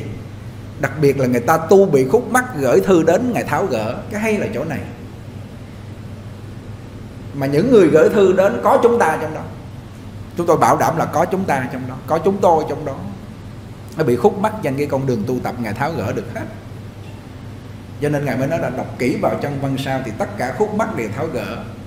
Hành theo những gì trong văn sao đã nói thì mình tuy rằng thân phàm ở cõi trần tục này, nhưng mà tâm mình đã ký gửi trên liên thai ở bên tây phương cực lạc. Giảng tịnh độ mình nghe như vậy mình mới thấy thích thú. Không có phải mê tín dị đoan gì đâu như vậy cái à, cái lễ phật này để làm gì? Thứ nhất là nó tiêu nghiệp. Có nhiều người người ta không có bàn phật người ta lễ phật hướng về hướng tây. Không biết hướng tây thì cứ tha thiết nhiếp tâm lễ phật xưng một câu danh hiệu phật. Lễ phật một lễ tội diệt hà sa niệm phật một câu công đức vô lượng. Khi họ tin được điều này nghĩa là họ làm thời gian cái là bắt đầu nó thay đổi. Thay đổi cái thân tâm họ, mà khi họ thay đổi được thì cuộc sống bắt đầu của họ thay đổi và ảnh hưởng người khác, gia đình của họ thay đổi theo. Như vậy cho nên cái pháp môn tịnh độ là chúng ta lấy lễ phật, tha thiết chí thành cung kính. Hồi nãy ngài nói, có một cái việc bảo ban cho nhau dùng hai chữ thành kính. Thành kính đến cung cực. Không những thành kính mình đang lễ phật mình tha thiết, mình thành kính. Mà ra mình gặp ông chồng mình hoặc đứa con ngỗ nghịch, mình cũng thành kính. Có nhiều người người ta nói là gì quý vị biết không? Tao lạy mày rồi, thôi tao thấy mày quá ngỗ nghịch rồi, mày đừng có phá phách nữa mình đừng có ăn chơi tao lạy mày. Mình nói vậy chứ mình không lạy nó. Lạy thử coi. Lại thử làm sao? Và thượng tinh không nói, lạy phật lấy cái tên nó để trên đó. Ông chồng mà ông lụ đạn, lấy cái tên để cho nó bỏ với cái đích lư hương chứ để mà ông nhìn ông thấy để trên bàn thờ ông tưởng mình chùa ẻo ông chết ông quýnh cho phù mỏ. Để cho đó. Có cái ông đó ông nói đứa con con đó, nó ngỗ nghịch quá con lại một năm mấy đây mà nó chưa chuyển. Hòa thượng tịnh không nói lại tiếp. Cha lạy con có việc gì không? Không lại đây là mình lạy để mà mình cầu phật gia trì để mình với nó để giải được oan gia trái chủ giải được oán nghiệp chứ không có tội lỗi vậy hết trơn. Cha lạy con tốt lạy đi. Ở ờ, cái này chúng tôi nói là quý vị về áp dụng nó có kết quả. Cho nên chúng tôi cũng đang tính rồi lỡ mà chú nào mà ở trên chùa thầy nào mà ông không nghe lời là bắt đầu mình để tên vô lén lén mình lạy mấy ông nữa. Bởi vì mình với ông có nhân viên rồi nhưng mà ông tới ông không nghe lời mình ông ngỗ nghịch quá cho nên lại thì âm thầm ở trong đó nó tiêu nghiệp. Nó tiêu nghiệp cái thời gian mình nói sao nó nghe vậy họ nghe vậy à thì cuối cùng cũng lại 3 năm. Ông lên ông đảnh lễ hòa thượng. Ông nói bên này nó chuyển rồi, hòa thượng. Hòa thượng nói đó, tôi nói ông thấy chưa? Cùng kịch gọi là cung kính là đến cùng cực thì đá vàng cũng nứt. Con đá vàng là vô tri mà nó còn nứt thì con ông là bảo đảm nó quay đầu là sẽ chắc chắc chắn như vậy. Cái điều này chúng tôi nói là lấy cái lời của hòa thượng mà ngài đã hành trì như thế. À thành ra cái mà để cho khởi được cái lòng thành kính là cái lễ phật là đệ nhất. Nhưng mà khi mình đang thành kính với phật, mình lễ nhưng mình ra bên ngoài mình bất kính thì cái công đức lễ phật nó mất. Hiểu chỗ này không? Tự nhiên mình ra mình gặp ông chồng cái bà mà lạy phật cái gì? Bà giữ như bà chằn á mà? Mình nghe vậy cái bắt đầu mình bực bội tức tối lên là chính cái ổng là người phá đi cái công đức niệm phật. Nhưng mà họ phá không được, họ nói tay này lọt qua tay kia, coi như xong hiểu không? Nói tay này lọc qua tay kia cũng như có cô hồi nãy cô lên cô khóc bù lu bù lo nó ông chồng của con cũng làm cô khổ, hỏi sao, ông đi ăn à, nhậu đến 10 giờ rồi 6 giờ sáng ông mới về cũng nhớ ông cũng khổ, cái trời ơi. Còn cái chịu gì cắt cớ vậy, nghe đĩa thầy rồi bây giờ ông đi kệ ổng, mình cứ nhớ phật niệm phật đi chứ nhớ ông chi cho khổ. Hỏi thầy khai thị cho con đi thầy, thì kia bây giờ ổng đi đâu ổng đi, cô cái nhớ phật, cô có phật a di đà trong tâm rồi đi đứng nằm ngồi trong tâm cô giữ bốn chữ a di đà phật niệm thầm trong tâm rồi cô tha thiết cô niệm với phật. Thì như vậy là cô không có khổ nữa bởi vì cô đâu có nhớ ông đâu mà cô nhớ cô khổ. Cô nhớ phật di đà làm sao cô khổ cô à đúng rồi á. Thì lúc đó nước mắt nó ngưng liền ghê thiệt. Coi như không khóc nữa. À, kêu con nghe lời thầy nhưng không biết về nhà cái lực niệm phật nó đủ hay không đó để có thể chiến thắng được cái lực nhớ ổng không? Nằm chèo queo ở nhà, trời ơi, ông đi chơi mình ở nhà. Mình nằm mình nhớ ông mà không chịu niệm phật cho khổ. Đúng là thiệt là như là không có không có hiểu đạo cho nên thành ra nó mới là như thế. Cô nghe cái tự nhiên của thông. Của thông cái cô hiểu, cái kêu con về con làm theo ý thầy. Nói vài câu tự nhiên cô hiểu. Thì con cũng vậy. Nếu mà con mình nó mất mà mình niệm phật, mình hồi hướng cho nó thì lợi lạc đôi bên có một đứa nhỏ ở bên mỹ. Ông chồng thì à, theo vợ bé rồi, mà đứa nhỏ này nó học giỏi. Bà vợ có một đứa nhỏ. Bà vợ này à, có một đứa con ở bên Florida. Cái nó đi ra nó chơi sao không biết. Bên Florida có biển á, nó rớt xuống à, biển cái nó chết mất. Người ta vớt nó lên đường, mang về cái người nó tím liệm mà. Bà này bà là có cái hay, bà niệm phật được mà không khóc và cô này là cô gọi điện trực tiếp về với chúng tôi cô nói, con thấy như vậy rồi là con niệm phật suốt luôn. Con niệm mà từ cái người, cái môi nó tím hết trơn vậy mà bắt đầu nó hồng lại thầy. Con là cứ nhớ theo thầy nói là a di đà phật, con niệm suốt trong tâm, con không cho một ý niệm con khởi lên, nhớ tiếng, nhớ tiếc nó. Con niệm suốt luôn từ cái lúc mà mang về khám tử thi cho đến cái lúc mang ra nhà hoàng ở bên đó mất không có để ở nhà, mang ra nhà hoàng cho đến khi đưa nó đi thiêu luôn. Mà sau khi con niệm suốt như vậy rồi, cái thân thể nó con thấy khác. Tức là người mẹ niệm cho người con mà nó biến chuyển người con bị cái tư tưởng của phóng vô cái thân của nó. Cho nên nó chuyển thân, môi tím liệm hết trơn, có thấy bắt đầu nó giải từ từ từ từ từ từ. Cho mà mình thấy cái câu Phật hiệu nó vi diệu. Mà đây là sự thực thì nếu mà cái lúc mà con cổ mất như vậy mà cổ nhớ đến nó, cổ khóc, cổ không niệm phật được thì cổ chết theo nó luôn. Ngủ không được, nhớ nó ngày đêm cái là nó cuốn trong đó, nó làm khổ. Khổ nói không nên lời và khổ chết chung với nó luôn. Vì vậy cho nên thành ra cổ biết rồi, cái cổ quay lại cổ niệm phật. Cổ niệm suốt, càng nhớ càng niệm, càng nhớ càng niệm, càng tha thiết, càng niệm niệm chuyển thân đó nhưng mà có một cái là sau khi nó mất rồi, cái bắt đầu cổ, cái cái lực niệm nó yếu, bắt đầu cổ quay lại nhớ nó. Cổ kêu con niệm không nổi nữa. Giờ con phải nhờ thầy chỉ cho con thêm. Rồi kêu bây giờ cô phải tụng kinh. Chuyển qua như hồi nãy ấn tỏ nó ăn cơm trắng không, nó ngán lắm. Giờ phải có thức ăn. Ý ngài nói là làm sao? Niệm phật không nhiều lúc nó ngán, niệm không nổi, cái chuyển kinh của luận thọ tụng. Lỡ lật kinh a di đà ra tụng. Đứng lên lạy phật. Đi kinh hành làm đủ kiểu gọi là ăn cơm mà thêm gia vị thức ăn tự nhiên nó có mùi vị nó ngon. Hiểu chỗ này không ạ? Đây. Thì có nghe có nghe theo cái là tự nhiên có lấy kinh ra cổ tụng thì được. Tự nhiên có tụng kinh cái là tự nhiên là nó lại à, không có lờn câu niệm phật cái bắt đầu vô định được cái con niệm được. Con trời cảm ơn thầy quá chứ con niệm con niệm không nổi. Lúc đó chỉ nhớ nó nó bao quay cái đầu rồi. Không có cách nào mà nhớ phật nổi nữa hết. Bắt đầu là nó bất an khó khó chịu, khổ đau liền. Nhớ nghe, đang ngồi yên ổn như vậy chứ mà nó có chuyện gì xảy ra cái là con người mình bất thường. Bây giờ có phật tử đang ngồi ở đây nghe ông chồng xe tông lồi não rồi bất thường không? Bất thường. Trong tâm sẽ bất thường chắc chắn. Bất thường nghĩa là nó nó không phải như bình thường nữa mà bắt đầu nó tán loạn lên. Thì lúc đó câu Phật hiệu đã có sẵn trong tâm rồi, bình tĩnh mới giải quyết được công việc. A di đà phật bắt đầu réo rắt lên niệm hoặc lúc đó mà mình khởi niệm lên nam mô quán tham bồ tát, trong tâm năm chữ quán tham bồ tát, quán tham bồ tát bắt đầu nó dằn cái tâm xuống. Giống như xe mà đang xuống dốc, nó nó mình chạy nhanh quá, mình lại dùng cái thắng mình rà nó từ từ từ từ từ từ. Lúc đó tâm nó cuồng loạn như người điên loạn rồi, lúc đó mình rà câu phật hiệu vào, danh hiệu quan âm vào, từ từ từ từ, cái bắt đầu nó ổn định tâm lý lại. Tâm mà ổn định rồi mới giải quyết được vấn đề nhưng mà nếu mà hiện tại không có niệm cho thành thói quen thì lúc đó niệm không nổi. Bởi vì mình trong bình thường mình không niệm, mình không thấy cái à, cái hiệu lực của câu Phật hiệu. Không có sức định sẵn và không có niềm tin cho nên lúc đó mình không niệm được.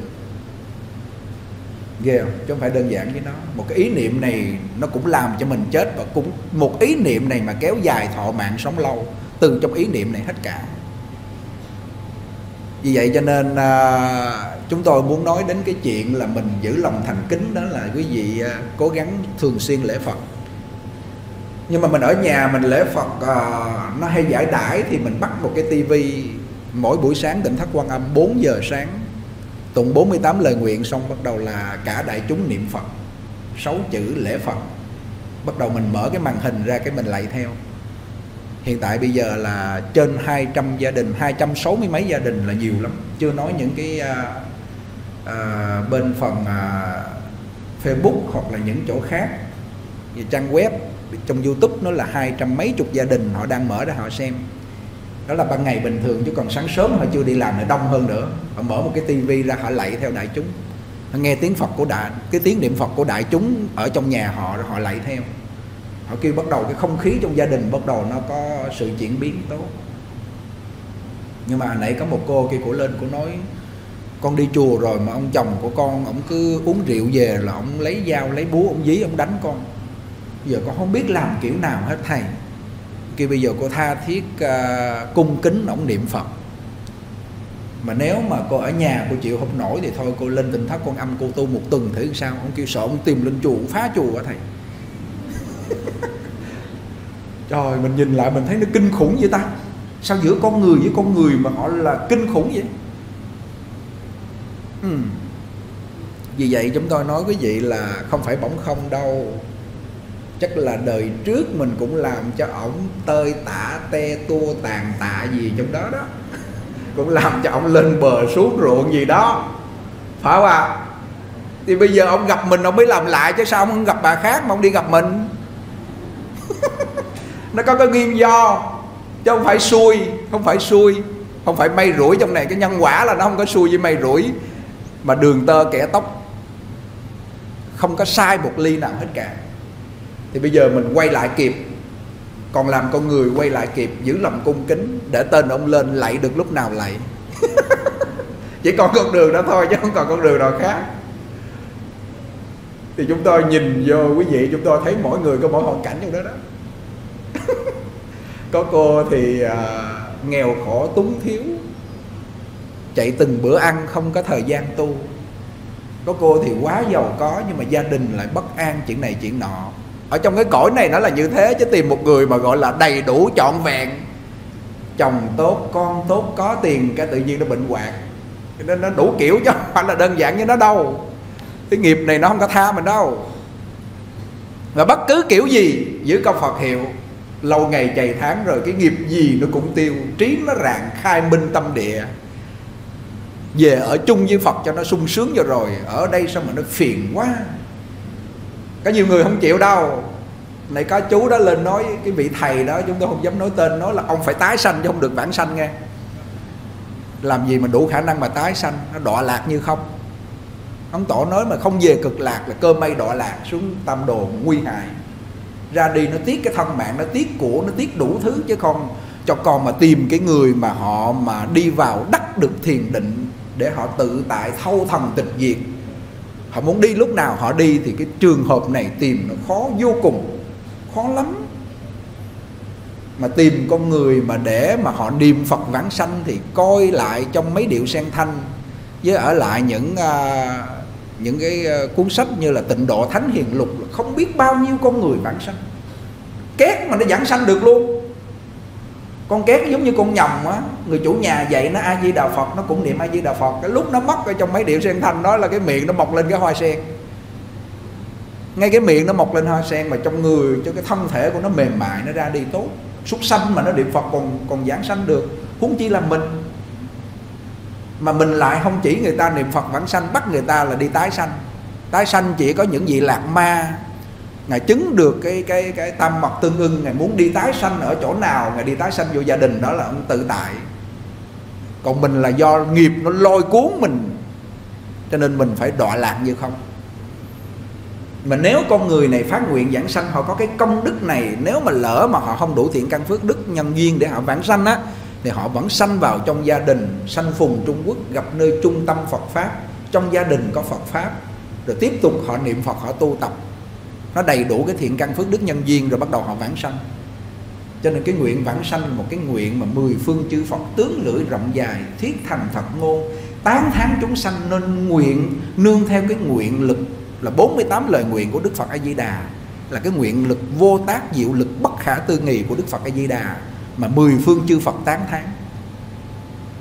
Khi lúc lâm chung mà mình tỉnh táo niệm được 10 niệm là cái chuyện này không phải dễ. Khó vô cùng. Một niệm niệm không nổi. Cái đau đớn, cái sợ hãi, cái oan gia, người sống cũng như người chết không bao quanh mình niệm không nổi. Mà niệm được 10 niệm là cái chuyện này không phải dễ. Mà 10 niệm trong đó là phải đủ tính nguyện nha. Phải đủ thiện căn phước đức nha. Thì nói tới nói lui là bây giờ phải tích lũy đó nếu mà ai mà dành thời gian để mà tích lũy về của cải vật chất, làm những cái gì cho nó kiên cố ở cõi này thì không có thời gian để tích lũy ờ, công phu tính nguyện, thiện căn phước đức đâu. Cho ấn tổ quý vị đọc lại văn sao ngài nói, tôi không có thời gian để mà tôi phải ờ, đi xây chùa chủ trì đâu. Tôi nguyện tôi không chủ trì. Tôi nhiệt nguyện tôi cũng không nhận đồ chúng, bởi vì tôi không đủ khả năng. Họ để cho họ ở tại nơi tu chân ngay cõi tục, ở gia đình của họ họ phát tâm họ làm trọn bổn phận gia đình, họ niệm phật để họ vãng sanh. Thế mà cái số lượng theo ngài cho đến bao nhiêu? 990 gia đình. Và 990 gia đình này gọi là đắc pháp với ngài đó nghe. Đắc pháp tức là giữ được lá thư này và tu hành nó có kết quả. Và về sau này 990 lá thư này độ không biết bao nhiêu là chúng sanh. Vì do Ngài đã có chứng đắc trong đó rồi. Ngài có công phu, nó có nội hàm, Ngài hàm dưỡng trở thành pháp khí rồi. Cho nên cái lời nói Ngài ra có cái trọng lượng để chuyển nghiệp của chúng sanh. Biết bao nhiêu gần 100 năm lại đây bộ văn sao độ với dân Trung Quốc Không biết bao nhiêu mà dân Trung Quốc là nó đông nhất thế giới rồi. Biết bao nhiêu chúng sanh bên dân Trung Quốc mà nương theo cái văn sao này mà vãng sanh. Hôm nay chúng ta mà phổ biến văn sao này cho người Việt Nam của mình thì chúng tôi tin rằng vài năm sau có người biết ngày giờ vãng sanh. Cái bà hệ tỉnh đó mà đến ngay tại à, cái chùa mà ngài giảng ở thượng hải gặp. Ông tổ nói tôi không có thời gian nói chuyện với uh, vợ chồng của uh, các ông bà nhiều. Hôm nay tôi đặt pháp danh cho ông bà rồi về trước phật. Đối trước phật chân thật phát nguyện giữ năm giới. Đọc bộ văn sao này đi. Tôi nói cái gì cũng không có thời gian bằng cái bộ văn sao này. Tôi tích lũy biết bao nhiêu lá thư. Bà hệ tỉnh bà về có phát tâm bà đọc. Một năm sau cái nghiệp nó tới bà bị bệnh. Khi bệnh bà biết rồi xả hết vàng dòng đeo trong người bán hết, phóng sanh in kinh bản niệm phật. Ngày đầu bắt đầu bà vào công phu bản niệm suốt một thời gian, bắt đầu bà thấy được bồ tát quan âm đến gia trì cho bà, rưới nước cầm lồ gia trì. Sau đó rồi bắt đầu bà ra đi là gặp ngài đại thế chí bồ tát với đức phật a di đà. Thì ấn tổ giao cho bộ văn sao, bà y theo đó bà hành trì, có duyên với ấn tổ tức là ấn tổ là hóa thân của ngài đại thế chí bồ tát cầm đài vàng đến cho bà ngồi lên. Phật A Di Đà phóng hào quang từ nơi bạch hào này nhiếp thọ bà ngồi trong hoa sen về cực lạc. Bà huệ tỉnh này con đồng. Sao bà tu cái bộ văn sao này bà nương theo mà có một năm bà vãng sanh? Còn mình bao nhiêu năm mà còn ngồi đây? Kỳ vậy ta. Tự nhiên mà mình suy nghĩ lại cho nên chúng tôi đọc vào trong bộ văn sao chúng tôi cứ càng đọc là chúng tôi càng thấy uh, cái lời của ống tổ. Và có nhiều người người ta vâng theo lời ống tổ mà người ta làm nó có kết quả tốt. Vì vậy cho nên thành ra hôm nay chúng tôi uh, phổ biến cái bộ văn sao mới nói giờ cái uh, gần bốn rưỡi à gần hết giờ. Mà cố gắng bữa nay xin nửa tiếng nữa 5 giờ đi ha. Lâu lâu mình mới gặp nhận lần đó mà ha. Cả tháng gặp lần. Gọi là gọi là bạn này là tri kỷ tâm giao, là tâm đầu ý hợp ha. Mới ngồi đây cho hoài, nó nắng, nó nóng quá trời mà cũng ngồi đó. Còn mấy người dùng này có phước ngồi mấy lạnh rồi ha. Thì cố gắng lắng nghe ha. Cái quy tắc tu học của ngài, chùa nào cũng dán hết trơn. Nhưng mà ít ai áp dụng, ít ai áp dụng. Chúng ta đọc cái quy tắc của ngài, bất luận là người tại gia hay xuất gia, cần phải trên kính dưới hòa nhẫn điều người khác khó nhẫn được, làm việc người khác khó làm được, thành toàn cho người là việc tốt đẹp. Khi tỉnh tọa, thường nghĩ đến điều lỗi của mình. Lúc nhàn đàm, đừng bàn đến điều sai trái của người. Lúc đi đứng nằm ngồi, ăn mặc từ sáng đến tối, từ tối đến sáng, chỉ niệm phật hiệu, không để gián đoạn.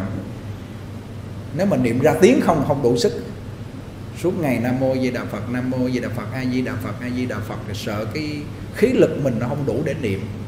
Thì lúc niệm ra tiếng, rút niệm thầm trong tâm. Mà thường mình dưỡng khí mình niệm thầm trong tâm nó khỏe niệm thầm trong tâm thì cái thân, cái tâm mình nó dưỡng thầm. Nó dưỡng thầm mà được cái sự cái sự gia trì của Phật nữa.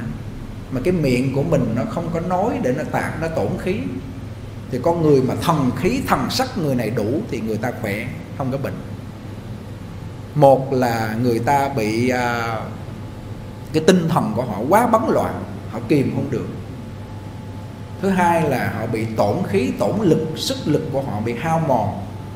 Do đi làm việc do à, ăn uống không điều độ và không biết tiết dục cho nên thân họ mau hư hoại tinh thần họ bị lụng bại vì vậy cho nên thành ra niệm phật là cái cách dưỡng thần tốt nhất, dưỡng khí tốt nhất, dưỡng tinh tốt nhất, gọi là tinh khí thần con người này đầy đủ. Chỉ niệm phật, không để gián đoạn, hoặc niệm nho nhỏ, hoặc niệm thầm. Ngoài niệm phật, đừng giấy khởi một niệm nào khác. Nếu khởi vọng niệm, phải tức thì bỏ ngay. Thường có lòng hổ thẹn và tâm sám hối. Nếu đã tu trì, phải tự hiểu là công phu của ta hãy còn nông cạn chẳng nên tự kiêu căng khoe khoang. Chỉ nên chăm sóc việc nhà mình đừng dính vào việc nhà người. Chúng nữa chúng tôi sẽ nói nhưng mà cái chỗ mà nó quan trọng là chúng tôi hay nhắc một chút xíu cho đỡ quên. Thường mình hay để tâm đến việc nhà người đi chợ về cái, cái trò hồi nãy tôi thấy cái hai cái bà bác cãi lộn. Mà nói thôi đủ chuyện hết bà cãi như vậy nè mày. Kể xả rác trong nhà. là, gọi là rác của mình hốt không hết. Bây giờ mang rác bên ngoài vô nhà. Đi làm ở bên công ty nó có phiền não buồn bực cái mang về kể cho vợ con. Hoặc là bản thân mình bị khúc mắc là bắt đầu giận giận cá mà chém thớt về bắt đầu hành hạ con cá. Cái một người mà phiền não là cả gia đình nó rối beng hết quý vị à mà một người nó ăn vui thì cả gia đình mình cũng ăn vui theo đúng không ạ? Thôi bây giờ mình làm biểu pháp đi lúc nào cũng về cười mỉm chi với ông chồng nhưng mà thực sự trong lòng là, thực sự là trong lòng vui, thực sự trong lòng có pháp hỷ, thực sự là trong làng an vui. Ông chồng nếu mà ông hiểu đạo thì bữa nay sao em mỉm cười mỉm chi đẹp thế? Thì bữa nay em nghe thầy nhàn thuyết pháp tự nhiên trong lòng em nó phấn khởi. Bây giờ anh nói gì em cũng giận, mà nói một lần đến hai thì lần thứ ba là em hết đó. Em không có thể nào mà ngưng được đâu à tức là cái sức chịu đựng mình nó không có dẻo dai là do mình không bám vào câu Phật hiệu liên tục. Cho nên mình bám vào cái lời ổng thì ông nói lần thứ ba là mình chịu hết nổi rồi. Thành ra thì uh, mình quan tâm việc nhà người dữ có người đó người ta nói uh, người ta hỏi quá nhiều đi ngài nói tôi đưa cái bộ văn sao ông không chịu đọc bây giờ ông hỏi chi nhiều quá vậy. Chứng tỏ là ông không có đọc văn sao rồi.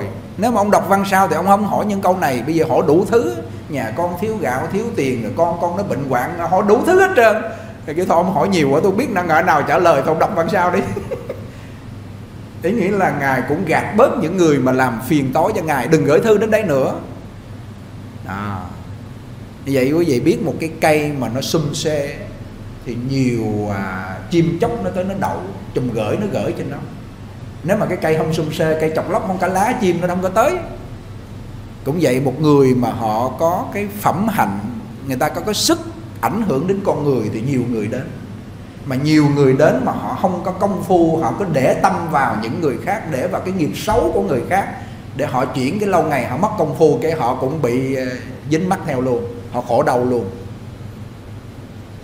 Mình trong gia đình cũng vậy.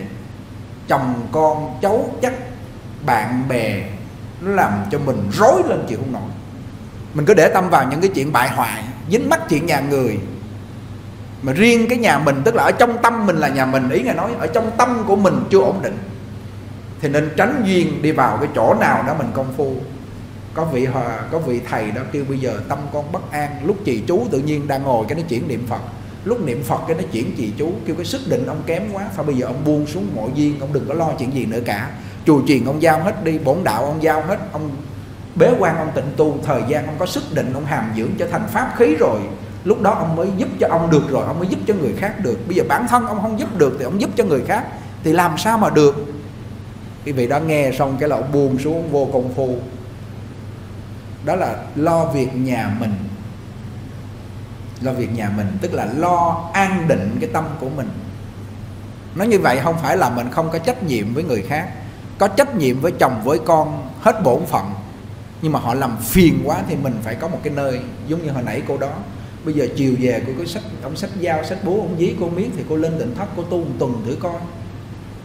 Coi thử coi nó cái an cô nhờ cái công đức hồi hướng mà cái nghiệp của nặng quá, ông kêu con cũng sợ, ông lên ông phá chùa, ông tìm con cho nó, con cũng sợ quá. Cho nên nghiệp nó buộc cô này quá nặng. Mà họ khổ đến cùng cực, nhìn mặt mày cái tội nghiệp. Quý vị mà để đến cái lúc đó rồi mà quý vị tu tập nó hơi khó. Bây giờ nó đang ổn định, rộng đường, yên ổn này nè, lo tu chứ chứ khi ông già cháy chủ mà người, người sống nó tới đó báo quý vị lúc quý vị ngáp ngáp mà người chết nữa thì thôi quý vị thua thua chắc. Hãy coi mọi người là bồ tát mà ta chỉ là kẻ phàm phu. Nếu quả thực tu hành được như những điều kể trên thì nhất định được vãng sanh về thế giới tây phương cực lạc.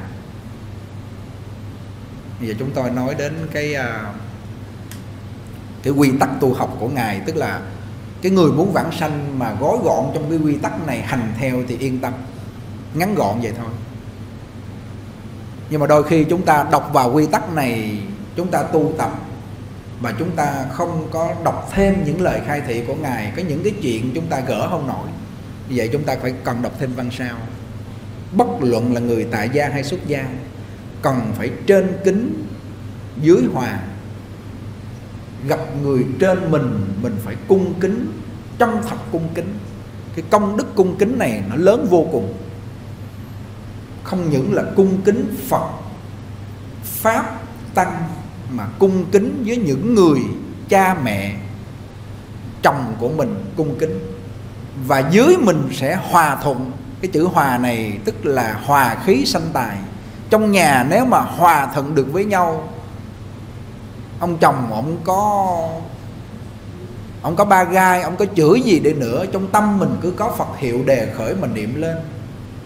Rồi ông chửi riết một thời gian, ông mỏi mệt, rồi ông khô nước miếng rồi. Mình xách một ly nước anh anh uống một ly cho mát mẻ, rồi anh nói tiếp anh à.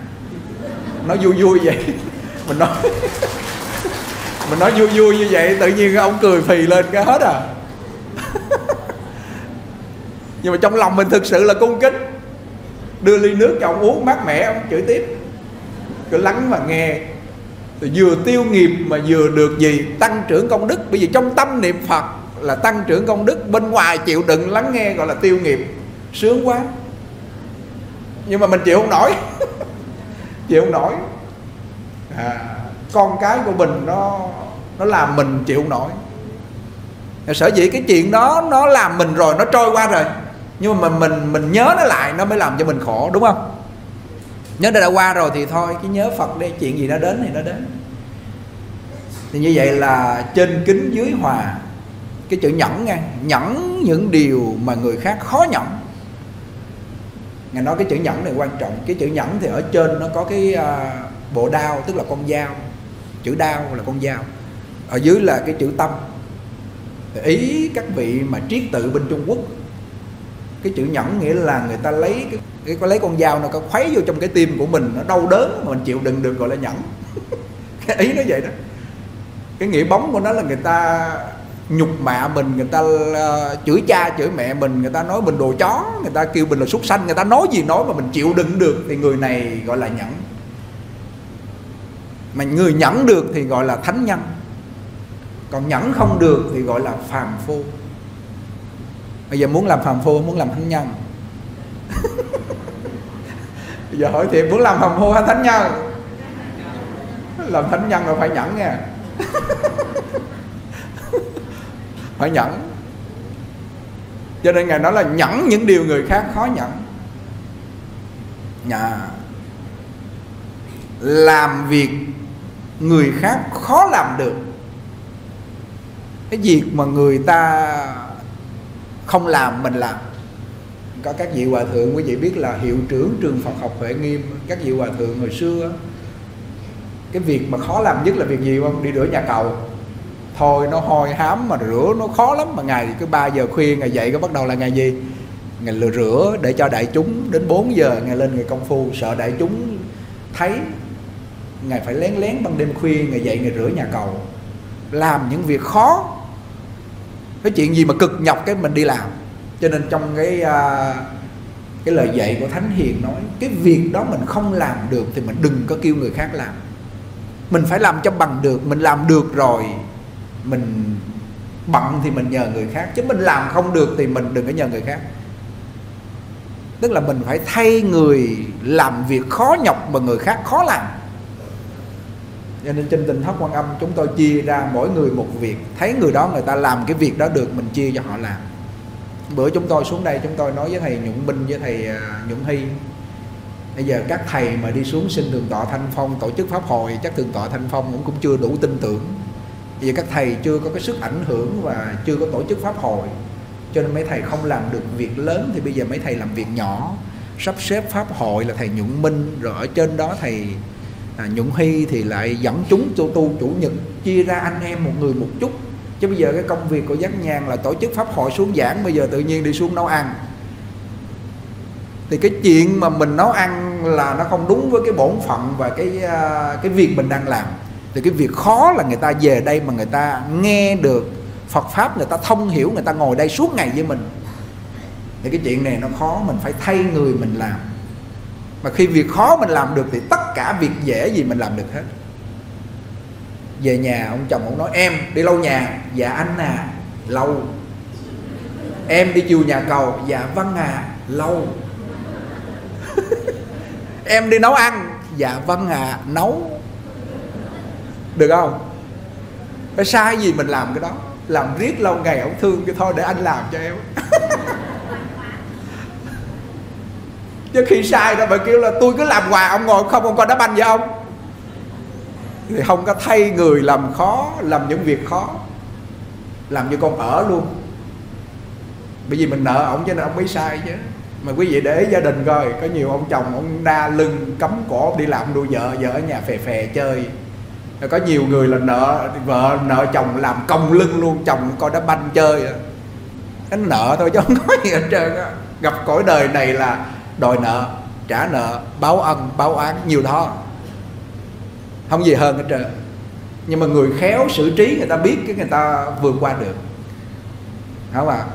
nói thì nghe có lý, ngồi trong này thì nghe có lý êm tai lắm mà về nhà đụng chuyện nó khi làm không nổi. Thì cái sức nhẫn của mình nó kém, cái sức chịu đựng mình nó kém.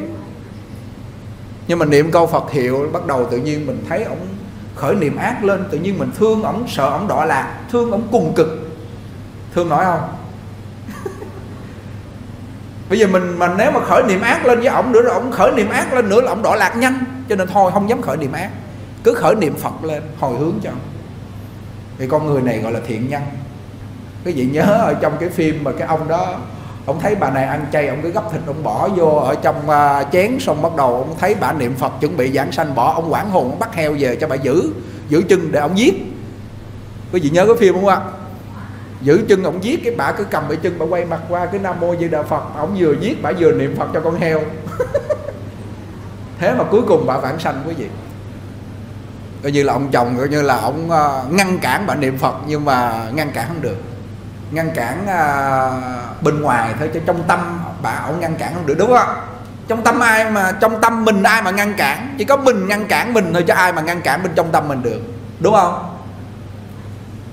Nghe cả lý ông làm sao mà ông chui vô tâm mình ông ngăn cản mình được? Mình niệm phật làm sao mà ông ngăn cản mình được? Ông bắt mình giữ chân heo vẫn cầm giữ chân heo như thường. Nhưng mà trong tâm cái niệm phật cái tay thì cầm chân heo để cho ông giết. Ông kêu bà phải cầm heo cho tôi giết mới được. Ông cho các cớ ông giết được mà ông kêu bà, bà phải cầm. Ông vừa cầm ông vừa niệm phật bà cầm bà niệm phật. Niệm phật cho con heo nó nghe.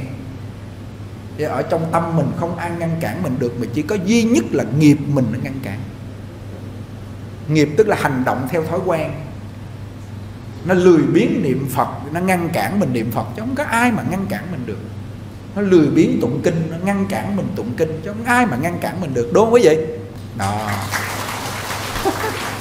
Thì bây giờ nếu mà mình muốn để cho màu chuyển được cái nghiệp này á, thì mình cũng phải nhờ đại chúng gọi là cái tiếp dẫn lực của đại chúng. Rồi mình phải nhờ vào cái pháp lực là cái câu Phật hiệu. Tự lực mình làm không được rồi mình nhờ vào cái Phật lực bất khả tư nghị để gia trì cho mình. Thì có khả dĩ cho nên cái người vãng sanh mà cái lúc họ ra đi tự thân họ niệm Phật được nhưng mà nó yếu ớt quá cho nên phải cần có đại chúng. Hồi sáng chúng tôi mà nói à, mời mấy cô bên úc lên chúng tôi nói không biết ở bên úc như thế nào cho tỉnh thất quan âm. Suốt 24 trên 24 phòng hộ niệm không ngơi nghỉ một giây phút. Chúng tôi một câu a di đà phật đại chúng cứ là hai chục người chia ban, hai tiếng đồng hồ a di đà phật, không ngơi nghỉ. Cái câu phật hiệu này nó phát lên một cái tần số, nó làm cái không khí ở trong xung quanh đó nó thanh tịnh. Không gián đoạn một giây phút nào hết. Cho nên cái lúc mà mình ra đi mà nhờ được cái lực của đại chúng hộ niệm và nhờ được cái môi trường nó thanh tịnh sẵn rồi đó, thì cái sức gia trì đó chuyển nghiệp cho mình, giúp cho mình gọi là trợ lực, trợ niệm nhưng mà có nhiều người người ta tự niệm thật không được, chỉ nhờ trợ lực thôi. Thì cái này không thành tựu được chánh niệm. Muốn thành tựu được chánh niệm thì chánh trợ phải song vận với nhau. Chánh niệm của họ họ phải đề khởi được câu Phật hiệu. Rồi trợ niệm, tức là cái người khác trợ giúp cho họ. Thì giữa cái trợ và cái chánh này nó mà khế hợp với nhau, cái câu Phật hiệu ở bên ngoài và trong tâm họ liên tục không gián đoạn từ từ cái bắt đầu cái tâm họ nó cảm đến cái pháp lực, là cảm đến cái câu Phật hiệu và cảm đến Phật lực bất khả tư nghị thì nó chuyển được nghiệp lực. Và khi chuyển được nghiệp lực rồi thì tịnh nghiệp Tây phương nó thành tựu được là Phật cầm đài vàng đến tiếp dẫn chúng ta bản sanh. Thông hiểu chỗ này không ạ? Có nhiều người nói bình thường mình không có niệm phật gì hết, cái lúc lâm chung mình cần ban trợ niệm mà mình không niệm phật có vãng sanh không? Không vãng sanh được. Mà nếu mà mình đầy đủ chánh niệm rồi biết ngày giờ vãng sanh thì người này không có cần trợ niệm nhưng mà ấn quan đại sư biết ngày giờ vãng sanh là đại thế chí bồ tát. Thế mà cũng nói ta chuẩn bị đây đây mọi người niệm phật cho ta nha. À quý vị coi lại coi ngài là thành tựu được cái cái cái cái uh, tâm niệm là ngài nguyện vãng sanh và ngài biết ngày giờ. Các vị uh, hòa thượng chân đạt mới nói giờ của ngài là bây giờ cái ngày đó để mà lo cái việc mà bổ nhiệm chủ trì, lo việc này việc nọ. Ngày kêu trễ rồi, không kịp đâu. Đổi lại cái ngày kế tiếp ngày cũng trễ rồi. Nói lại cái ngày mà ngài gần giảng sanh, ngài nói cái ngày đã giờ được à. vừa rồi chứ không không đợi lâu được đâu. Thế mà ngài ra đi, ngài nói cái pháp môn niệm phật không có gì cao cả. Giữ hai chữ thành kính này đến cùng cực thì cảm đến phật vãng sanh thôi. Mọi người niệm phật cha ta, ngài lớn tiếng người niệm phật vậy mà có nhiều người nói là gì? Không cần trợ niệm. Cái trợ niệm đó để cho những người ngồi xung quanh của mình, người ta thấy mình biểu diễn ra đi để họ khởi được tính tâm, đó là lợi tha, đúng không ạ? Dầu cho mình biết ngay giờ giảng sanh. Nhưng mà mình cũng cần cho người ta trợ niệm như ấn tổ để những người đó có tính tâm.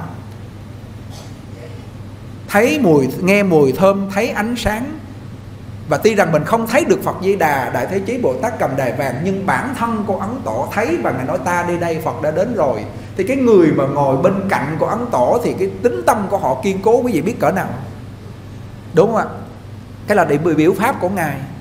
Thế mà Tổ cần phải có người niệm Phật. Có nhiều người nói, thôi, không cần niệm Phật. Tôi tự tại rồi. Mà đó là đem phàm lậm thánh. Mình chưa là Bồ Tát, Mà mình nói mình là Bồ Tát Thì cái này là chết. Ở trong này lá thư Ngài nói tôi đã nói với ông rồi.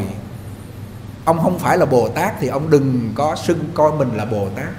Ông ở đây ông độ sanh. Ông không có đủ cái sức huân tu hàm dưỡng trở thành pháp khí để ông biết ngày giờ giảng sanh thì coi chừng ông bị lôi cuốn. Tổ coi như là khai thị tưởng ông là quay đầu rồi cuối cùng ông chưa quay đầu nổi. Ông về ông lấy những cái à, lời ở trong uh, uh, khổng tử nói á và ông nói cái vẻ giống như là Phật nói ông mượn cái lời của uh, sách nho mà ông à, nói tương tự như là Phật vậy. Cái này ông gọi rằng là cống cao ngã mạng. Cuối cùng ông này ông nằm ba ngày ba đêm ông chết không được vãng sanh. Gặp trực tiếp ấn tổ khai thị rồi mà vẫn không chuyển nghiệp được. Thì ấn tổ có nói cái lá thư này. Cho nên có nhiều người người ta không chịu vãng sanh quý vị. Mà cái lúc họ đi họ cũng không chịu hộ niệm nữa cho nên chúng tôi đọc vào văn sau là thấy ấn tỏ ra đi, ngài là quá thân của đại thế chí bồ tát, mà ngài tập trung mọi người lại niệm phật cho ngài. Cho nên cái thành tựu một tâm niệm để vãng sanh, một chánh niệm để vãng sanh, thì bản thân mình phải niệm phật được trong lúc lâm chung. Mà muốn trong lúc lâm chung bản thân mình niệm phật được, thì ngay bây giờ mình phải tập cho nó thành thói quen, đúng không ạ? Tập thành thói quen niệm được và ngay bây giờ những công việc của thế sự, công việc này, việc nọ, nó phá cái công đức niệm phật. Thì lúc lâm chung quý vị niệm được là chúng tôi khen quý vị giỏi. Không cách nào niệm được. Ngay bây giờ mà mình không niệm được, thì lúc lâm chung quý vị niệm không nổi. Chúng tôi dám chắc. Mà bây giờ thì mình lo những việc trước mắt. Cơm áo, gạo tiền, cuộc sống, nó bó buộc mình. Rồi thọ mạng hết cái là mình quay lại niệm niệm được nữa. Bởi vì nó không có hung hàm dưỡng, nó không có hung tu thì lúc đó là tay trắng rõn tay trắng, mất hết cả chì lẫn chài. Mất cả chì lẫn chài là của cải vật chất mang đi không được mà tâm lực này không có phật lực gia trì, bởi vì hàng ngày không có niệm phật. Cho nên lúc đó nghiệp lực nó lôi cuối vào cõi ác mà đã làm chó rồi, làm súc sanh rồi, coi chịu thua. Nghe đến đây tự nhiên hơi giật mình, phải không? Làm súc sanh rồi là khó cứu. Mà để súc sanh này nó có phước làm người nữa thì không biết khi nào cho nên đức phật nói mà con người để làm người lại nó khó vô cùng.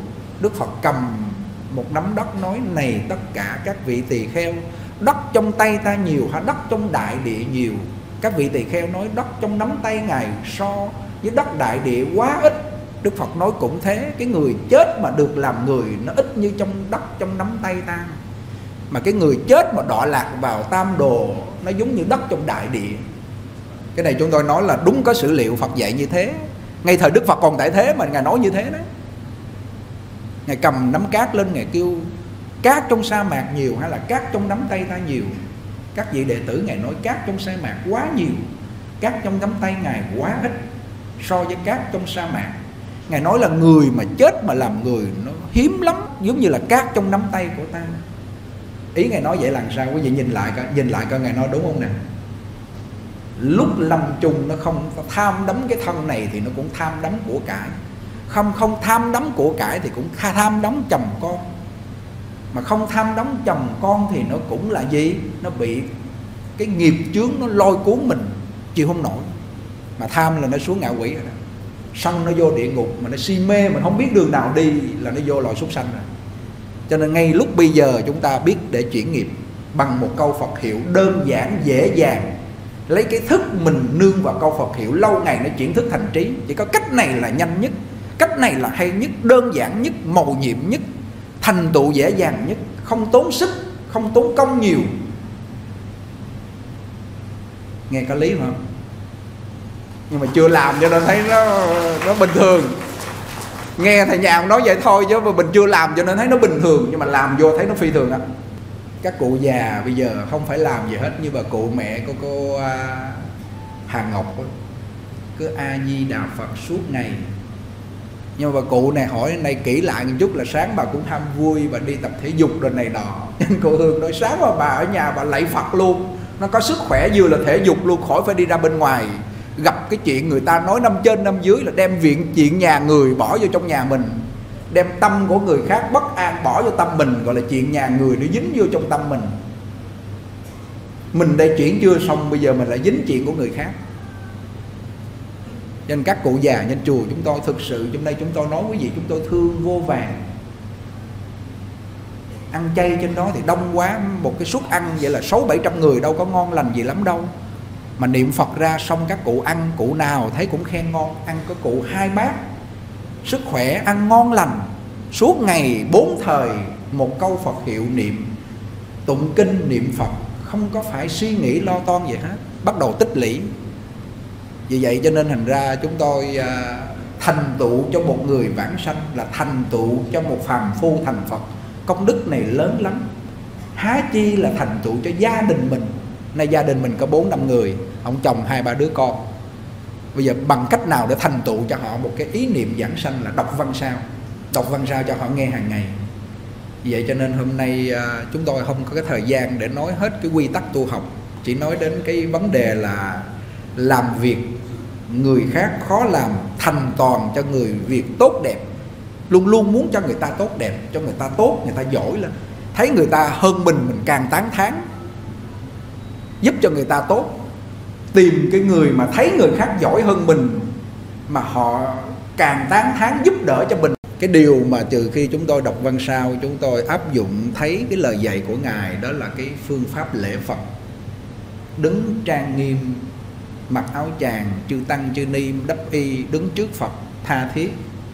Xưng niệm nam mô a di đà phật bằng tấm lòng cung kính tha thiết, cúi xuống lạy một ngày mình lạy một trăm lạy, mình lạy thường xuyên như vậy, không bỏ. Ngày nào cũng lạy một trăm lạy thì không có, không không có lâu thời gian lắm. Cũng nhanh thôi. Sáng một trăm, tối một trăm.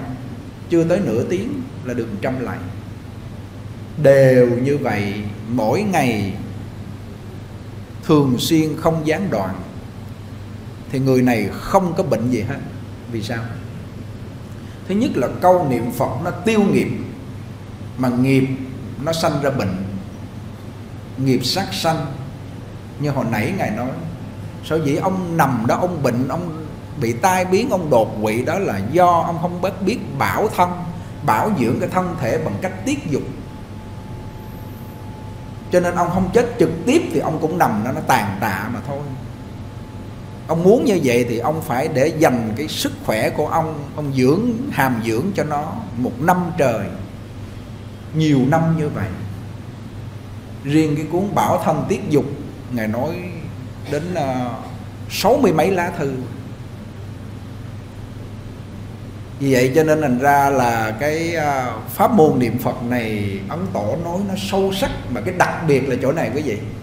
Đặc biệt là người ta tu bị khúc mắc gửi thư đến ngài tháo gỡ cái hay là chỗ này.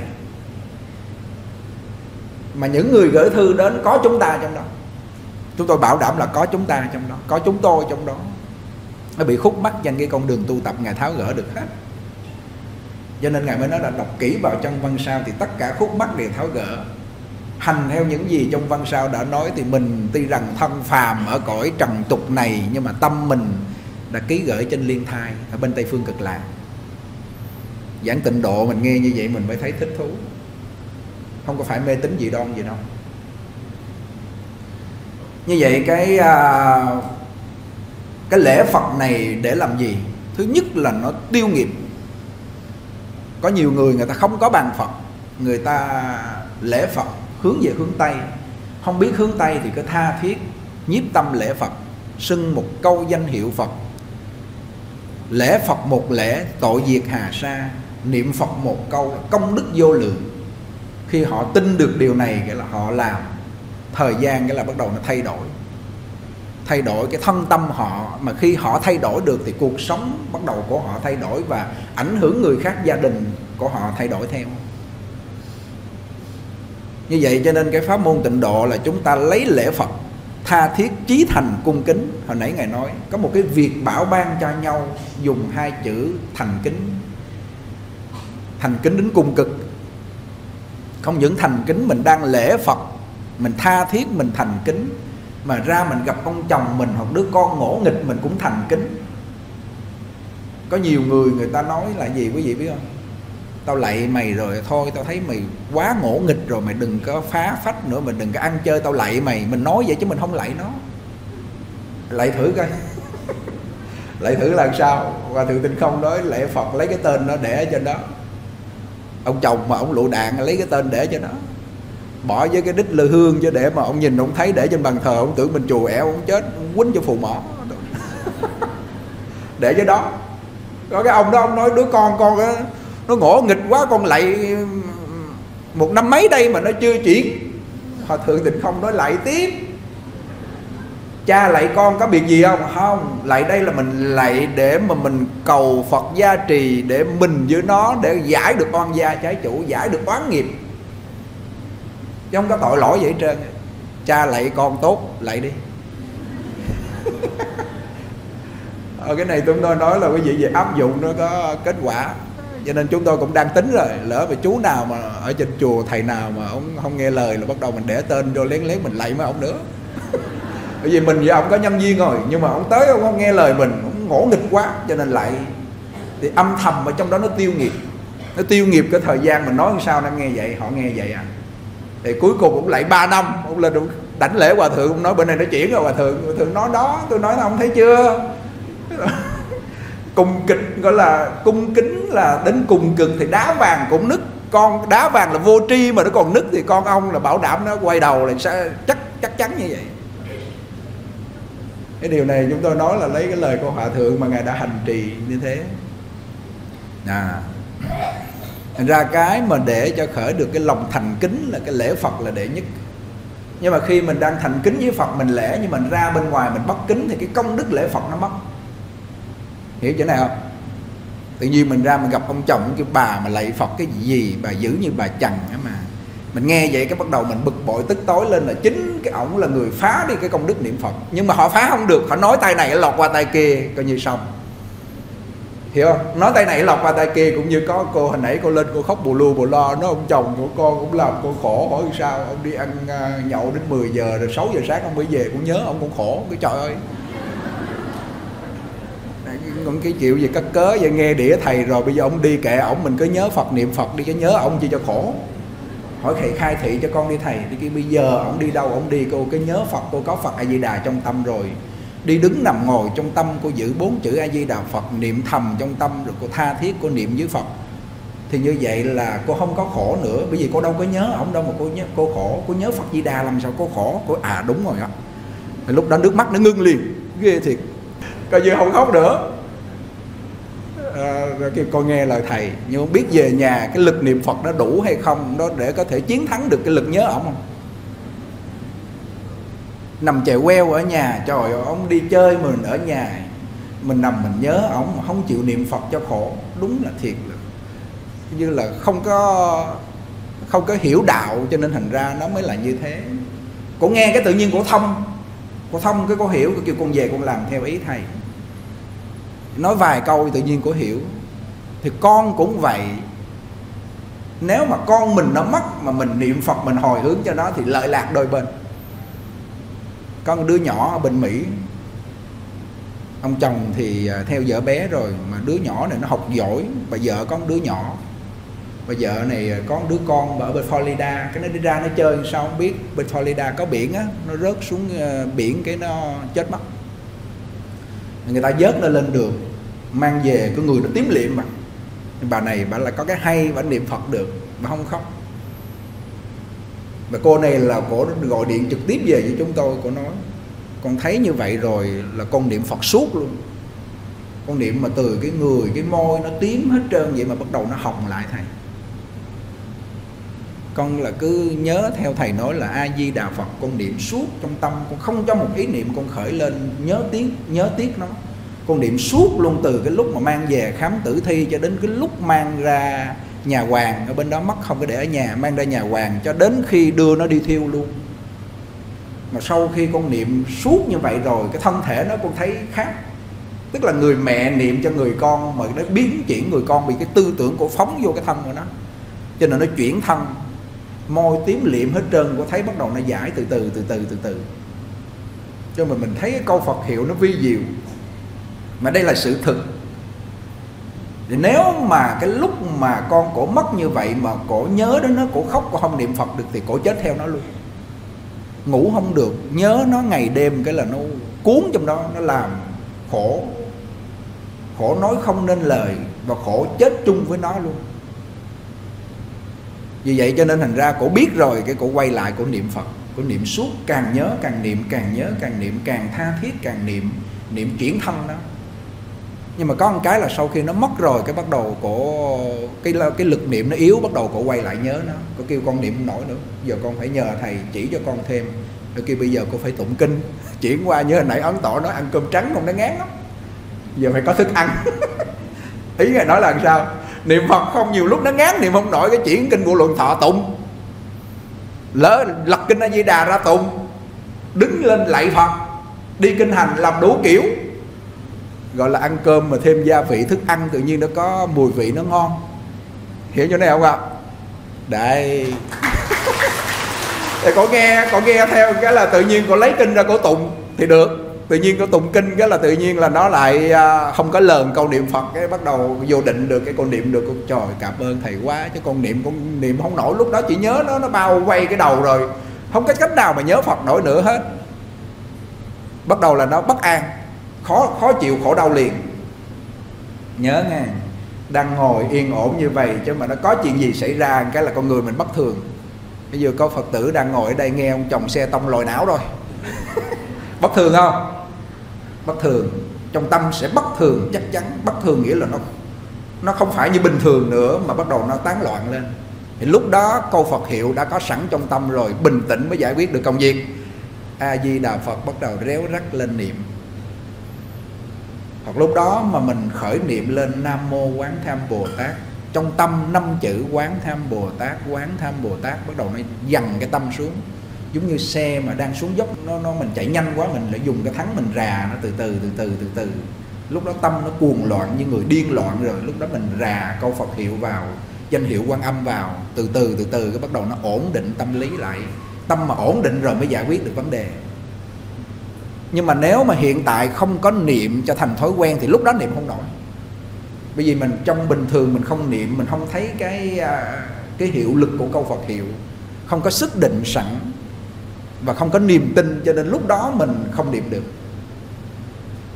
Ghê không? Chứ không phải đơn giản với nó một cái ý niệm này nó cũng làm cho mình chết và cũng một ý niệm này mà kéo dài thọ mạng sống lâu.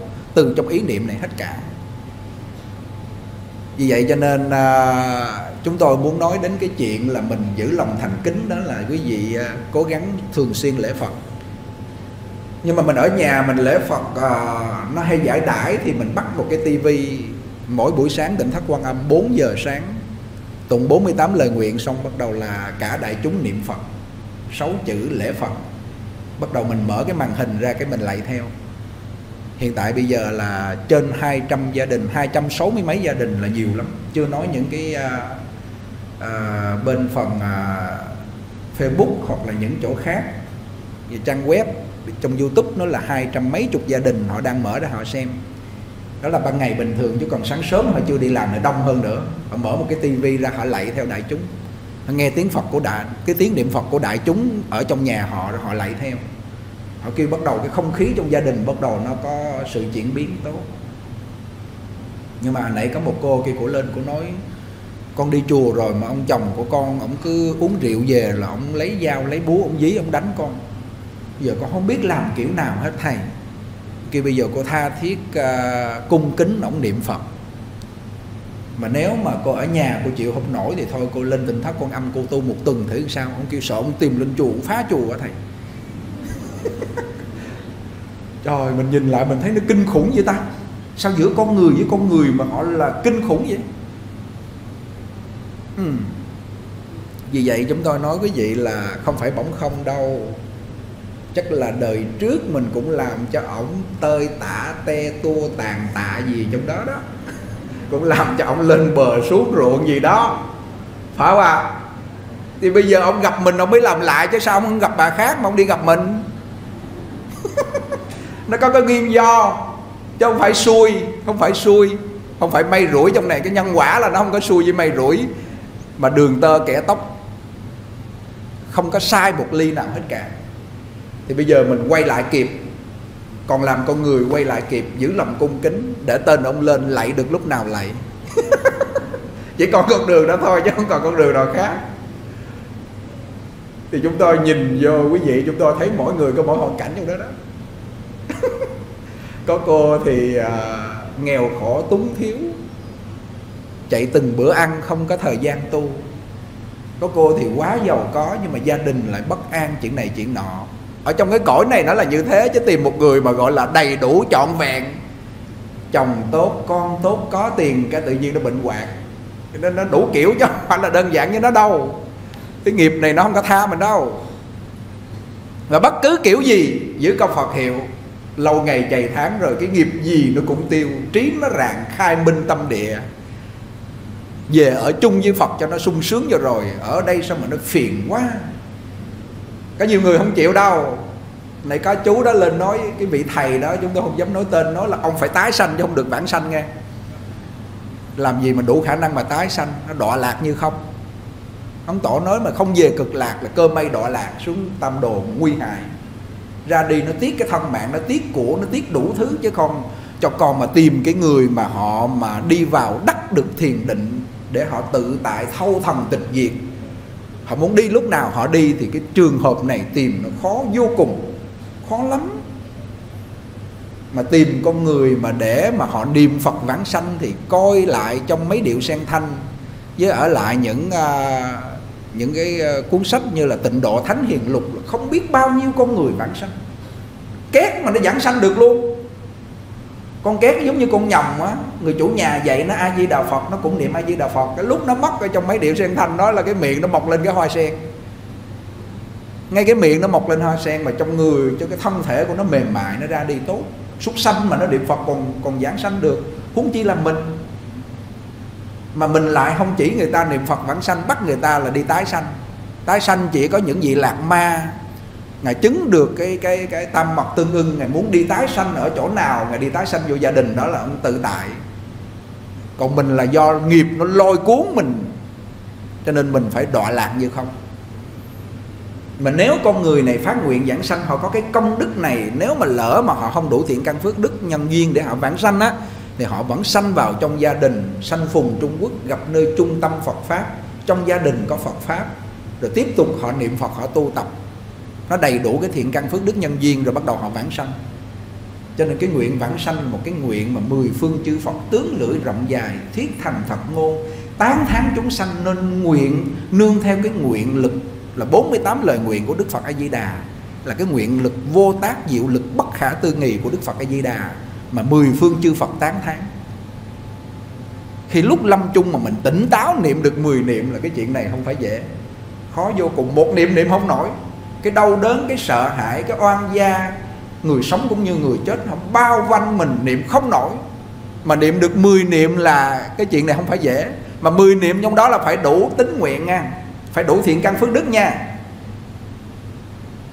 Thì nói tới nói lui là bây giờ phải tích lũy đó nếu mà ai mà dành thời gian để mà tích lũy về của cải vật chất, làm những cái gì cho nó kiên cố ở cõi này thì không có thời gian để tích lũy ờ, công phu tính nguyện, thiện căn phước đức đâu. Cho ấn tổ quý vị đọc lại văn sao ngài nói tôi không có thời gian để mà tôi phải ờ, đi xây chùa chủ trì đâu. Tôi nguyện tôi không chủ trì. Tôi nhiệt nguyện tôi cũng không nhận đồ chúng, bởi vì tôi không đủ khả năng. Họ để cho họ ở tại nơi tu chân ngay cõi tục, ở gia đình của họ họ phát tâm họ làm trọn bổn phận gia đình, họ niệm phật để họ vãng sanh.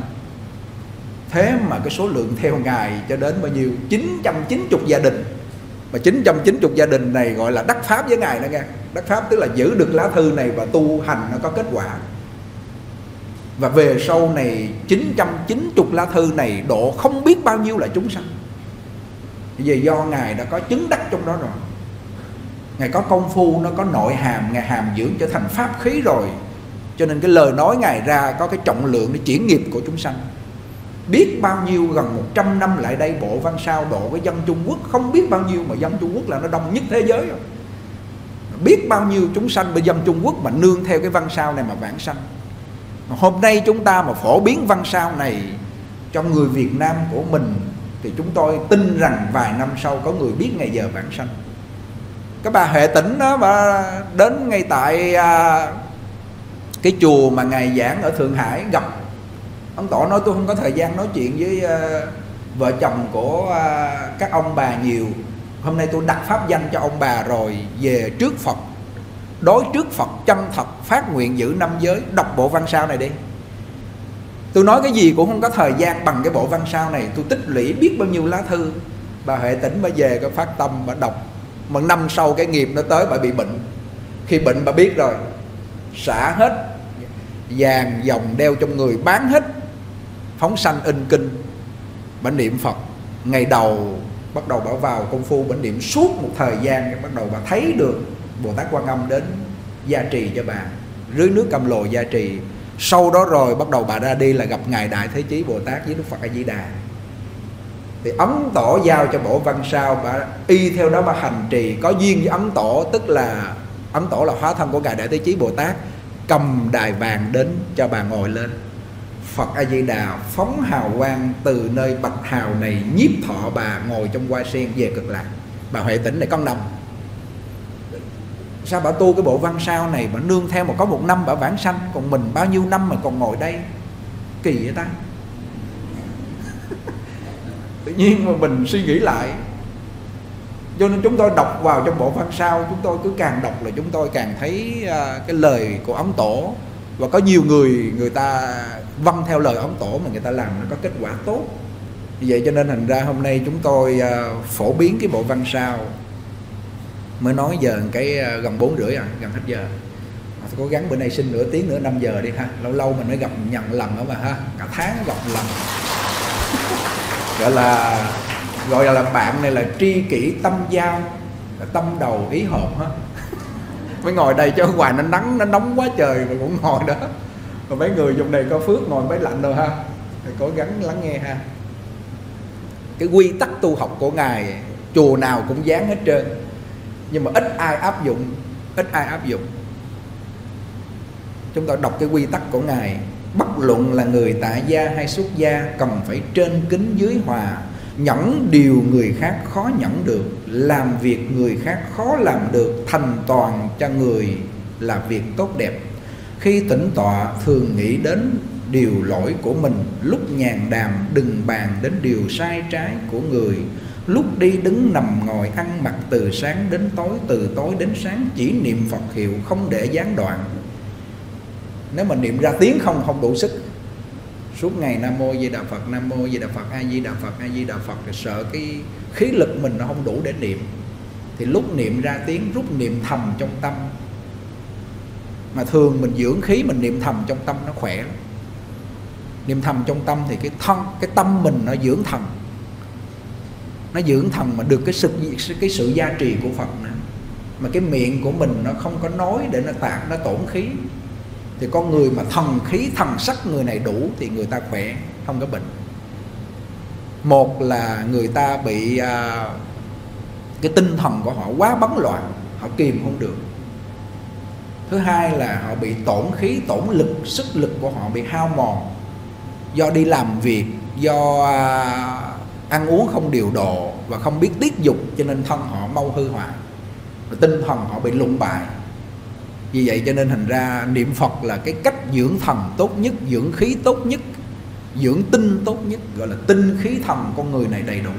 Chỉ niệm phật không để gián đoạn, hoặc niệm nho nhỏ, hoặc niệm thầm. Ngoài niệm phật, đừng giấy khởi một niệm nào khác. Nếu khởi vọng niệm phải tức thì bỏ ngay. Thường có lòng hổ thẹn và tâm sám hối. Nếu đã tu trì, phải tự hiểu là công phu của ta hãy còn nông cạn chẳng nên tự kiêu căng khoe khoang chỉ nên chăm sóc việc nhà mình đừng dính vào việc nhà người. Chúng nữa chúng tôi sẽ nói nhưng mà cái chỗ mà nó quan trọng là chúng tôi hay nhắc một chút xíu cho đỡ quên. Thường mình hay để tâm đến việc nhà người đi chợ về cái, cái trò hồi nãy tôi thấy cái hai cái bà ba cãi lộn. Mà nói thôi đủ chuyện hết bà cãi như vậy nè mày. Kể xả rác trong nhà. là, gọi là rác của mình hốt không hết. Bây giờ mang rác bên ngoài vô nhà. Đi làm ở bên công ty nó có phiền não buồn bực cái mang về kể cho vợ con. Hoặc là bản thân mình bị khúc mắc là bắt đầu giận giận cá mà chém thớt về, bắt đầu hành hạ con cá.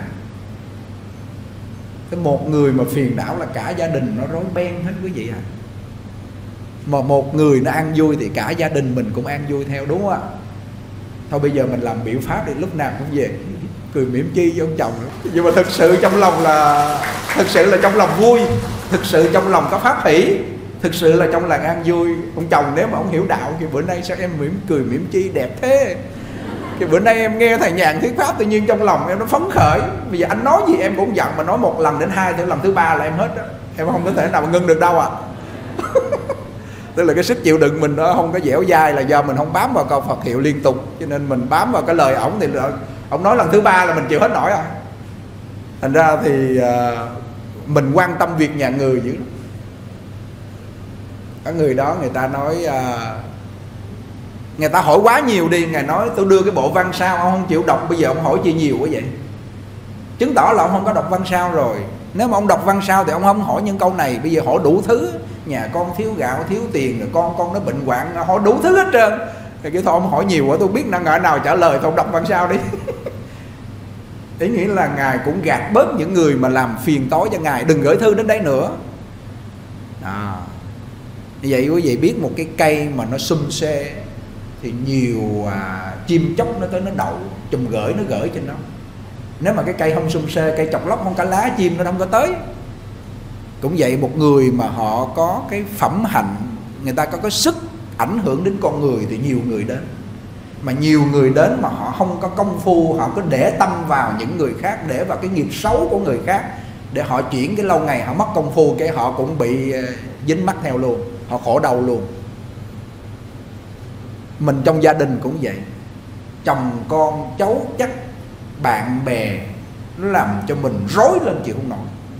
Mình cứ để tâm vào những cái chuyện bại hoại, dính mắc chuyện nhà người mà riêng cái nhà mình, tức là ở trong tâm mình là nhà mình, ý ngài nói, ở trong tâm của mình chưa ổn định. Thì nên tránh duyên đi vào cái chỗ nào đó mình công phu. Có vị hòa, có vị thầy đó kêu bây giờ tâm con bất an, lúc trì chú tự nhiên đang ngồi cái nó chuyển niệm phật. Lúc niệm phật cái nó chuyển trì chú, kêu cái sức định ông kém quá phải bây giờ ông buông xuống mọi duyên, ông đừng có lo chuyện gì nữa cả. Chùa truyền ông giao hết đi, bổn đạo ông giao hết, ông bế quan, ông tịnh tu, thời gian ông có sức định, ông hàm dưỡng trở thành pháp khí rồi lúc đó ông mới giúp cho ông được rồi, ông mới giúp cho người khác được. Bây giờ bản thân ông không giúp được thì ông giúp cho người khác. Thì làm sao mà được? Quý vị đó nghe xong cái là ông buông xuống vô công phu. Đó là lo việc nhà mình. Lo việc nhà mình, tức là lo an định cái tâm của mình. Nói như vậy không phải là mình không có trách nhiệm với người khác. Có trách nhiệm với chồng, với con, hết bổn phận. Nhưng mà họ làm phiền quá thì mình phải có một cái nơi, giống như hồi nãy cô đó bây giờ chiều về cô có sách, ông sách dao, sách búa, ông dí cô miết thì cô lên tỉnh thất cô tu một tuần thử coi. Coi thử coi nó cái an cô nhờ cái công đức hồi hướng mà cái nghiệp của nặng quá, ông kêu con cũng sợ, ông lên ông phá chùa, ông tìm con cho nó, con cũng sợ quá. Cho nên nghiệp nó buộc cô này quá nặng. Mà họ khổ đến cùng cực, nhìn mặt mày cái tội nghiệp. Quý vị mà để đến cái lúc đó rồi mà quý vị tu tập nó hơi khó. Bây giờ nó đang ổn định, rộng đường, yên ổn này nè, lo tu chứ chứ khi ông già cháy chủ mà người, người sống nó tới đó báo quý vị lúc quý vị ngáp ngáp mà người chết nữa thì thôi quý vị thua thua chắc. Hãy coi mọi người là bồ tát mà ta chỉ là kẻ phàm phu. Nếu quả thực tu hành được như những điều kể trên thì nhất định được vãng sanh về thế giới tây phương cực lạc. Bây giờ chúng tôi nói đến cái uh, cái quy tắc tu học của ngài, tức là cái người muốn vãng sanh mà gói gọn trong cái quy tắc này hành theo thì yên tâm. Ngắn gọn vậy thôi. Nhưng mà đôi khi chúng ta đọc vào quy tắc này, chúng ta tu tập mà chúng ta không có đọc thêm những lời khai thị của ngài, có những cái chuyện chúng ta gỡ không nổi vì vậy chúng ta phải cần đọc thêm văn sao. Bất luận là người tại gia hay xuất gia, cần phải trên kính, dưới hòa gặp người trên mình mình phải cung kính chân thật cung kính. Cái công đức cung kính này nó lớn vô cùng. Không những là cung kính phật, pháp tăng, mà cung kính với những người cha mẹ, chồng của mình cung kính. Và dưới mình sẽ hòa thuận. Cái chữ hòa này tức là hòa khí sanh tài. Trong nhà nếu mà hòa thuận được với nhau ông chồng ông có ông có ba gai, ông có chửi gì đi nữa, trong tâm mình cứ có phật hiệu đề khởi mà niệm lên. Rồi ông chửi riết một thời gian, ông mỏi mệt, rồi ông khô nước miếng rồi. Mình xách một ly nước, anh anh uống một ly cho mát mẻ, rồi anh nói tiếp anh à. Nói vui vui vậy. Mình nói mình nói vui vui như vậy, tự nhiên ông cười phì lên cái hết à. nhưng mà trong lòng mình thực sự là cung kính.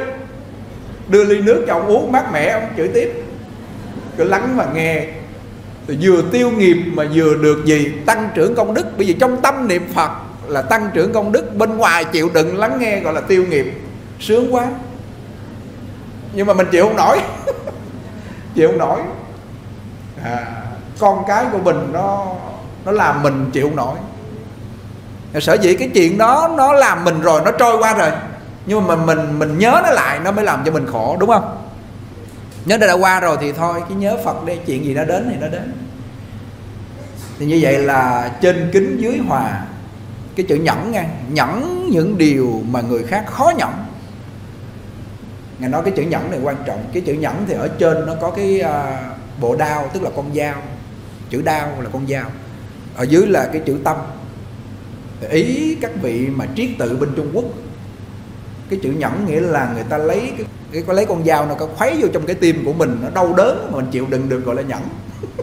Cái ý nó vậy đó. Cái nghĩa bóng của nó là người ta nhục mạ mình người ta uh, chửi cha chửi mẹ mình người ta nói mình đồ chó người ta kêu mình là súc sanh người ta nói gì nói mà mình chịu đựng được thì người này gọi là nhẫn. Mà người nhẫn được thì gọi là thánh nhân. Còn nhẫn không được thì gọi là phàm phu bây giờ muốn làm phàm phu muốn làm thánh nhân. Bây giờ hỏi thiệt, muốn làm phàm phu hay thánh nhân? Làm thánh nhân là phải nhẫn nha. Phải nhẫn. Cho nên ngài nói là nhẫn những điều người khác khó nhẫn.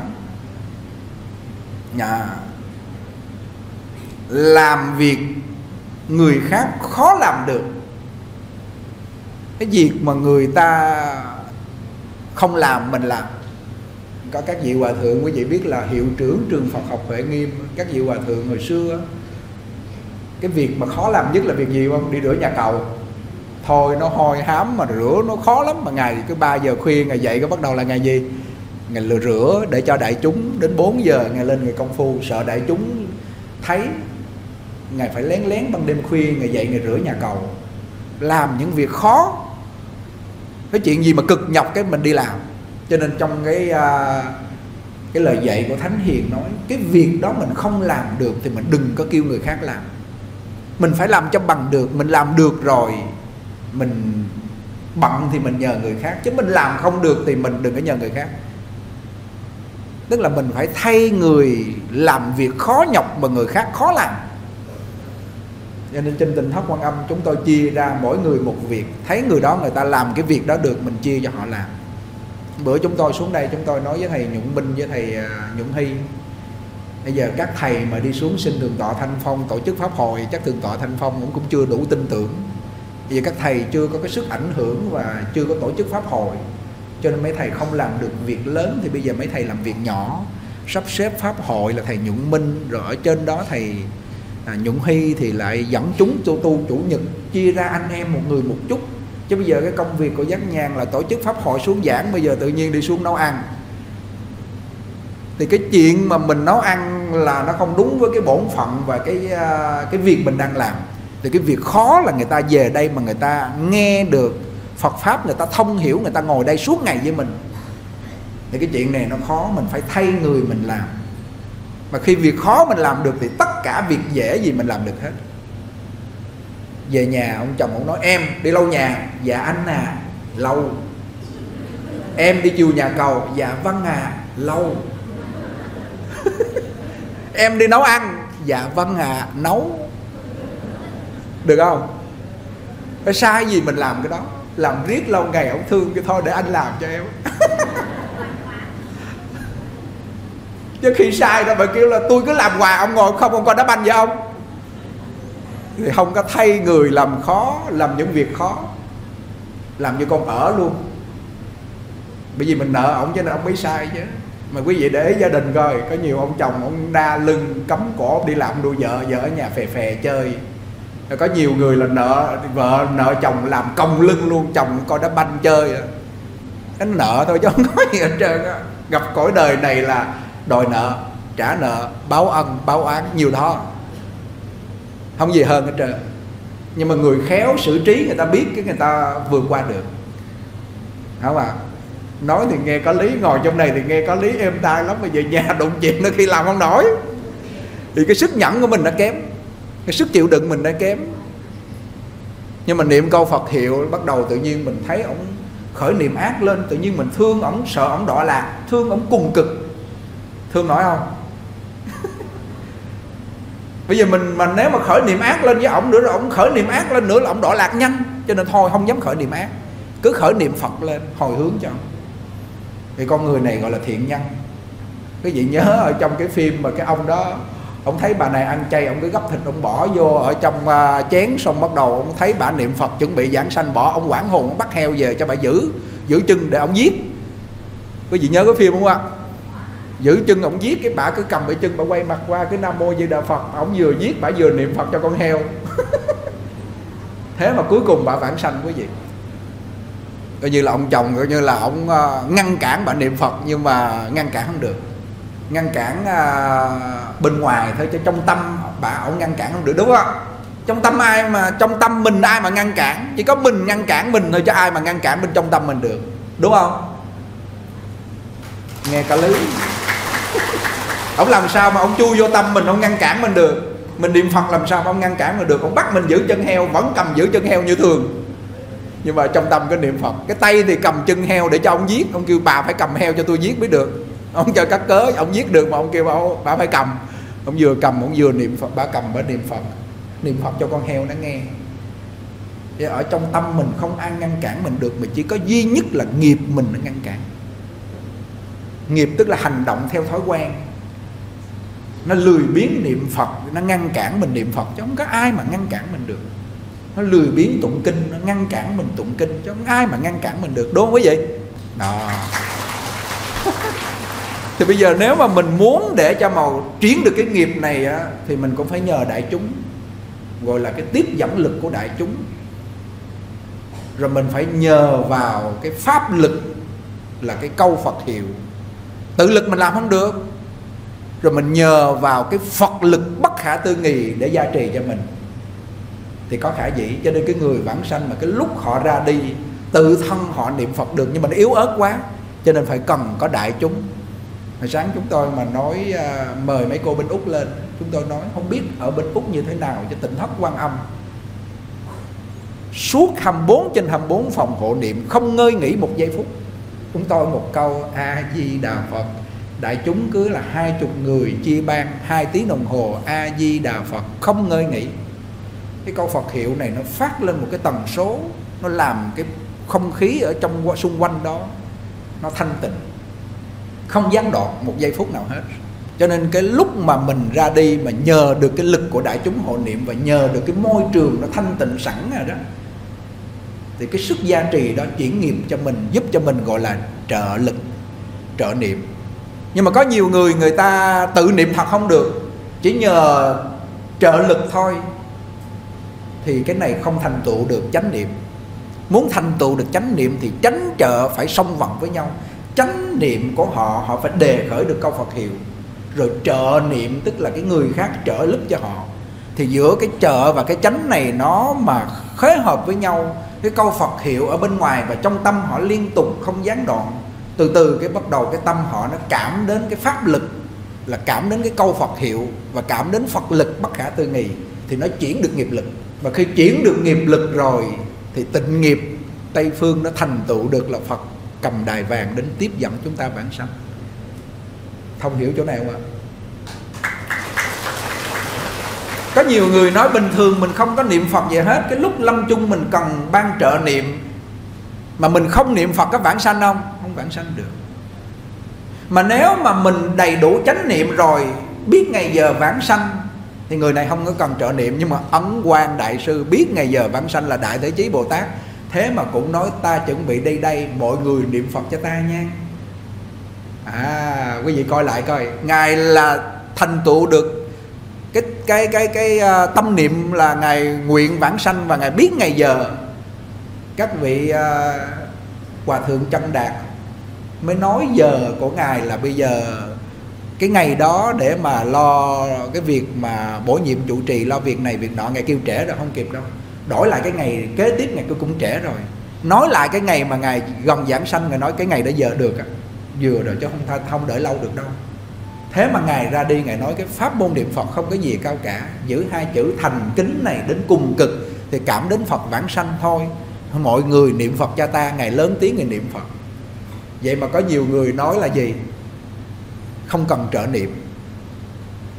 Cái trợ niệm đó để cho những người ngồi xung quanh của mình, người ta thấy mình biểu diễn ra đi để họ khởi được tính tâm, đó là lợi tha, đúng không dầu cho mình biết ngay giờ giảng sanh. Nhưng mà mình cũng cần cho người ta trợ niệm như ấn tổ để những người đó có tính tâm. Thấy mùi, nghe mùi thơm, thấy ánh sáng và tuy rằng mình không thấy được Phật Di Đà, Đại Thế Chí Bồ Tát cầm đài vàng, nhưng bản thân của Ấn Tổ thấy và ngài nói, ta đi đây, Phật đã đến rồi. Thì cái người mà ngồi bên cạnh của Ấn Tổ thì cái tính tâm của họ kiên cố, quý vị biết cỡ nào? Đúng không ạ? Cái là điểm biểu pháp của ngài. Thế mà tổ cần phải có người niệm Phật. Có nhiều người nói, thôi, không cần niệm Phật. Tôi tự tại rồi. Mà đó là đem phàm làm thánh. Mình chưa là Bồ Tát, mà mình nói mình là Bồ Tát thì cái này là chết. Ở trong này lá thư ngài nói tôi đã nói với ông rồi. Ông không phải là bồ tát thì ông đừng có xưng coi mình là bồ tát. Ông ở đây ông độ sanh. Ông không có đủ cái sức huân tu hàm dưỡng trở thành pháp khí để ông biết ngày giờ giảng sanh thì coi chừng ông bị lôi cuốn. Tổ coi như là khai thị tưởng ông là quay đầu rồi cuối cùng ông chưa quay đầu nổi. Ông về ông lấy những cái à, lời ở trong uh, uh, khổng tử nói á và ông nói cái vẻ giống như là Phật nói ông mượn cái lời của uh, sách nho mà ông à, nói tương tự như là Phật vậy. Cái này ông gọi rằng là cống cao ngã mạng. Cuối cùng ông này ông nằm ba ngày ba đêm ông chết không được vãng sanh. Gặp trực tiếp ấn tổ khai thị rồi mà vẫn không chuyển nghiệp được. Thì ấn tổ có nói cái lá thư này. Cho nên có nhiều người người ta không chịu vãng sanh quý vị. Mà cái lúc họ đi họ cũng không chịu hộ niệm nữa cho nên chúng tôi đọc vào văn sao là thấy ấn tổ ra đi, ngài là quá thân của đại thế chí bồ tát mà ngài tập trung mọi người lại niệm phật cho ngài. Cho nên cái thành tựu một tâm niệm để vãng sanh, một chánh niệm để vãng sanh thì bản thân mình phải niệm phật được trong lúc lâm chung. Mà muốn trong lúc lâm chung bản thân mình niệm phật được thì ngay bây giờ mình phải tập cho nó thành thói quen, đúng không ạ? Tập thành thói quen niệm được và ngay bây giờ những công việc của thế sự, công việc này, việc nọ, nó phá cái công đức niệm phật. Thì lúc lâm chung quý vị niệm được là chúng tôi khen quý vị giỏi. Không cách nào niệm được. Ngay bây giờ mà mình không niệm được, thì lúc lâm chung quý vị niệm nổi. Chúng tôi dám chắc. Mà bây giờ thì mình lo những việc trước mắt. Cơm áo, gạo, tiền, cuộc sống, nó bó buộc mình. Rồi thọ mạng hết cái là mình quay lại niệm niệm được nữa. Bởi vì nó không có hung hàm dưỡng, nó không có hung tu thì lúc đó là tay trắng rõn tay trắng, mất hết cả chì lẫn chài. Mất cả chì lẫn chài là của cải vật chất mang đi không được mà tâm lực này không có phật lực gia trì, bởi vì hàng ngày không có niệm phật. Cho nên lúc đó nghiệp lực nó lôi cuốn vào cõi ác mà đã làm chó rồi, làm súc sanh rồi, coi chịu thua. Nghe đến đây tự nhiên hơi giật mình phải không? Làm súc sanh rồi là khó cứu. Mà để súc sanh này nó có phước làm người nữa thì không biết khi nào cho nên đức phật nói mà con người để làm người lại nó khó vô cùng. Đức phật cầm một nắm đất nói, này tất cả các vị tỳ kheo, đất trong tay ta nhiều hay đất trong đại địa nhiều. Các vị tỳ kheo nói, đất trong nắm tay ngài so với đất đại địa quá ít. Đức phật nói cũng thế, cái người chết mà được làm người nó ít như trong đất trong nắm tay ta. Mà cái người chết mà đọa lạc vào tam đồ, nó giống như đất trong đại địa cái này chúng tôi nói là đúng có sử liệu phật dạy như thế. Ngay thời đức phật còn tại thế mà ngài nói như thế đấy. Ngài cầm nắm cát lên, ngài kêu, cát trong sa mạc nhiều hay là cát trong nắm tay ta nhiều? Các vị đệ tử ngài nói, cát trong sa mạc quá nhiều, cát trong nắm tay ngài quá ít so với cát trong sa mạc. Ngài nói là người mà chết mà làm người nó hiếm lắm, giống như là cát trong nắm tay của ta. Ý ngài nói vậy là sao? Quý vị nhìn lại coi, nhìn lại coi ngài nói đúng không nè? Lúc lâm chung nó không tham đắm cái thân này thì nó cũng tham đắm của cải. Không không tham đắm của cải thì cũng tham đắm chồng con. Mà không tham đắm chồng con thì nó cũng là gì? Nó bị cái nghiệp chướng nó lôi cuốn mình, chịu không nổi. Mà tham là nó xuống ngạ quỷ rồi đó. Sân nó vô địa ngục mà nó si mê, mình không biết đường nào đi là nó vô loài súc sanh rồi. Cho nên ngay lúc bây giờ chúng ta biết để chuyển nghiệp bằng một câu Phật hiệu đơn giản, dễ dàng lấy cái thức mình nương vào câu Phật hiệu, lâu ngày nó chuyển thức thành trí. Chỉ có cách này là nhanh nhất, cách này là hay nhất, đơn giản nhất, màu nhiệm nhất, thành tựu dễ dàng nhất, không tốn sức, không tốn công nhiều. Nghe có lý không? Nhưng mà chưa làm cho nên thấy nó nó bình thường. Nghe thầy nhàn nói vậy thôi chứ mà mình chưa làm cho nên thấy nó bình thường, nhưng mà làm vô thấy nó phi thường á các cụ già bây giờ không phải làm gì hết như bà cụ mẹ của cô à, Hà Ngọc đó. cứ a di đà Phật suốt ngày. Nhưng mà bà cụ này hỏi này kỹ lại một chút là sáng bà cũng ham vui bà đi tập thể dục rồi này nọ. Nên cô Hương nói sáng mà bà ở nhà bà lạy Phật luôn nó có sức khỏe vừa là thể dục luôn khỏi phải đi ra bên ngoài. Gặp cái chuyện người ta nói năm trên năm dưới là đem viện chuyện nhà người bỏ vô trong nhà mình đem tâm của người khác bất an, bỏ vô tâm mình, gọi là chuyện nhà người nó dính vô trong tâm mình. Mình đây chuyển chưa xong, bây giờ mình lại dính chuyện của người khác. Nên các cụ già nhân chùa chúng tôi thực sự trong đây chúng tôi nói quý vị, chúng tôi thương vô vàng. Ăn chay trên đó thì đông quá, một cái suất ăn vậy là sáu bảy trăm người đâu có ngon lành gì lắm đâu. Mà niệm phật ra xong, các cụ ăn, cụ nào thấy cũng khen ngon, ăn có cụ hai bát sức khỏe ăn ngon lành. Suốt ngày bốn thời một câu phật hiệu niệm. Tụng kinh niệm phật không có phải suy nghĩ lo toan gì hết. Bắt đầu tích lũy. Vì vậy cho nên thành ra chúng tôi à, thành tựu cho một người vãng sanh là thành tựu cho một phàm phu thành phật. Công đức này lớn lắm. Há chi là thành tựu cho gia đình mình? Nay gia đình mình có bốn năm người ông chồng hai ba đứa con bây giờ bằng cách nào để thành tựu cho họ một cái ý niệm giảng sanh là đọc văn sao? Đọc văn sao cho họ nghe hàng ngày. Vậy cho nên hôm nay à, chúng tôi không có cái thời gian để nói hết cái quy tắc tu học. Chỉ nói đến cái vấn đề là làm việc người khác khó làm thành toàn cho người việc tốt đẹp. Luôn luôn muốn cho người ta tốt đẹp, cho người ta tốt, người ta giỏi lên. Thấy người ta hơn mình mình càng tán thán, giúp cho người ta tốt tìm cái người mà thấy người khác giỏi hơn mình, mà họ càng tán thán giúp đỡ cho mình. Cái điều mà từ khi chúng tôi đọc văn sao, chúng tôi áp dụng thấy cái lời dạy của ngài đó là cái phương pháp lễ phật. Đứng trang nghiêm, mặc áo chàng, chư tăng, chư ni, đắp y, đứng trước phật, tha thiết. Xưng niệm nam mô a di đà phật, bằng tấm lòng cung kính tha thiết, cúi xuống lạy một ngày mình lạy một trăm lạy, mình lạy thường xuyên như vậy, không bỏ. Ngày nào cũng lạy một trăm lạy thì không có, không không có lâu thời gian lắm. Cũng nhanh thôi. Sáng một trăm, tối một trăm. Chưa tới nửa tiếng là được một trăm lạy. Đều như vậy, mỗi ngày thường xuyên không gián đoạn. Thì người này không có bệnh gì hết. Vì sao? Thứ nhất là câu niệm phật nó tiêu nghiệp mà nghiệp nó sanh ra bệnh, nghiệp sát sanh. Như hồi nãy ngài nói, sở dĩ ông nằm đó, ông bệnh, ông bị tai biến, ông đột quỵ đó là do ông không biết biết bảo thân, bảo dưỡng cái thân thể bằng cách tiết dục. Cho nên ông không chết trực tiếp thì ông cũng nằm nó nó tàn tạ mà thôi.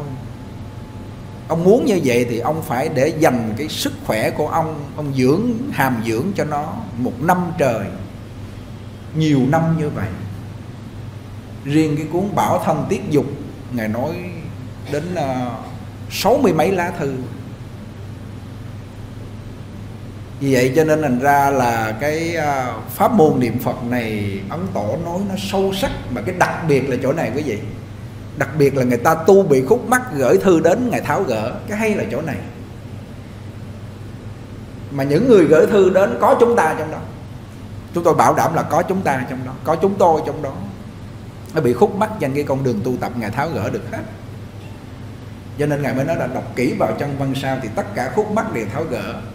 Hành theo những gì trong văn sao đã nói thì mình tuy rằng thân phàm ở cõi trần tục này, nhưng mà tâm mình đã ký gửi trên liên thai ở bên tây phương cực lạc. Giảng tịnh độ mình nghe như vậy mình mới thấy thích thú. Không có phải mê tín gì đoan gì đâu như vậy cái à, cái lễ phật này để làm gì? Thứ nhất là nó tiêu nghiệp. Có nhiều người người ta không có bàn phật người ta lễ phật hướng về hướng tây. Không biết hướng tây thì cứ tha thiết nhiếp tâm lễ phật xưng một câu danh hiệu phật. Lễ phật một lễ tội diệt hà sa niệm phật một câu công đức vô lượng. Khi họ tin được điều này nghĩa là họ làm thời gian cái là bắt đầu nó thay đổi.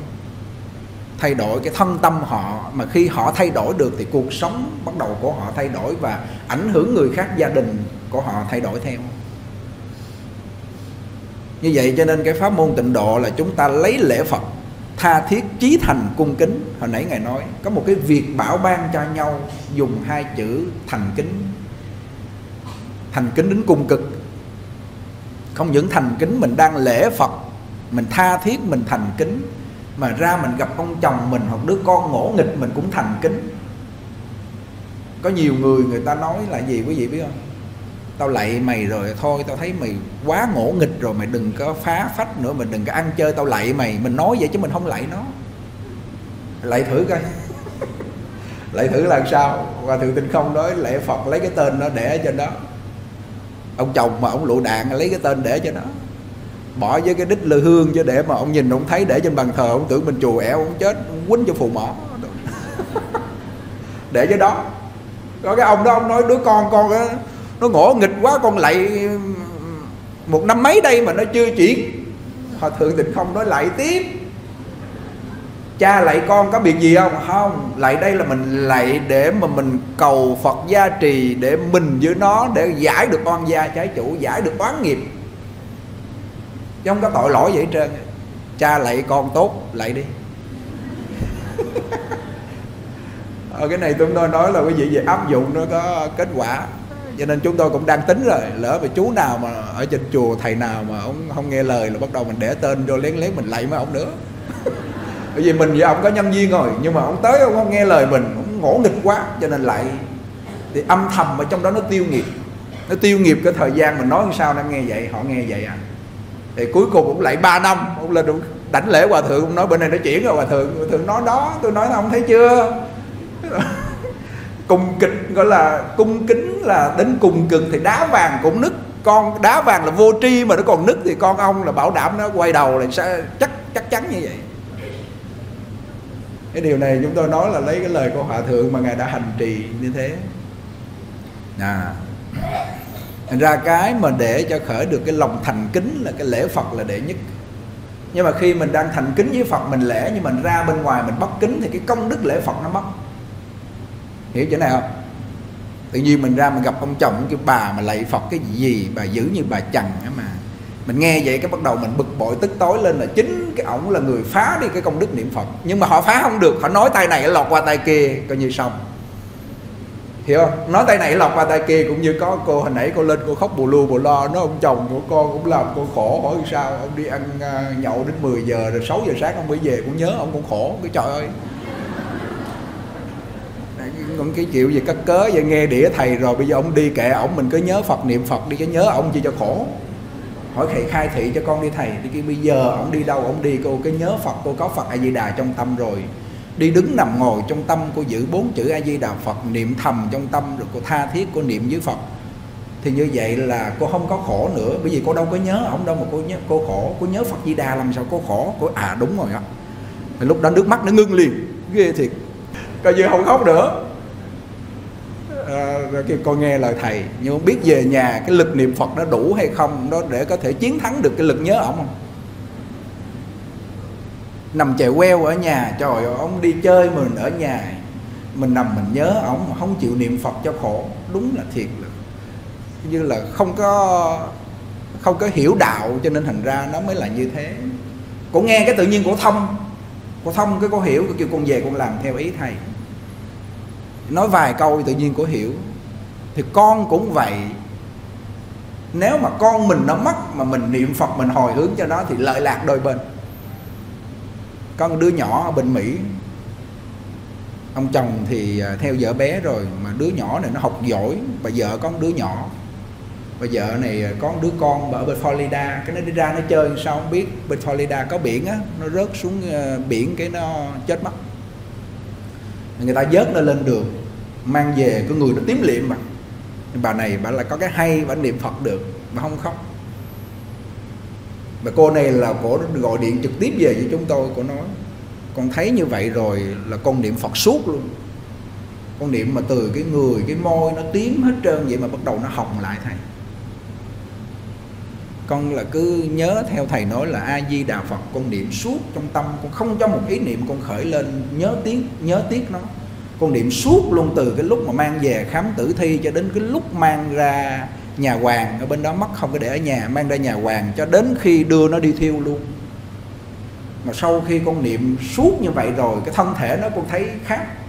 Tức là người mẹ niệm cho người con mà nó biến chuyển người con bị cái tư tưởng của phóng vô cái thân của nó. Cho nên nó chuyển thân, môi tím liệm hết trơn, có thấy bắt đầu nó giải từ từ từ từ từ từ. Cho mình mình thấy cái câu Phật hiệu nó vi diệu. Mà đây là sự thực thì nếu mà cái lúc mà con cổ mất như vậy mà cổ nhớ đến nó, cổ khóc, cổ không niệm phật được thì cổ chết theo nó luôn. Ngủ không được, nhớ nó ngày đêm cái là nó cuốn trong đó, nó làm khổ. Khổ nói không nên lời và khổ chết chung với nó luôn.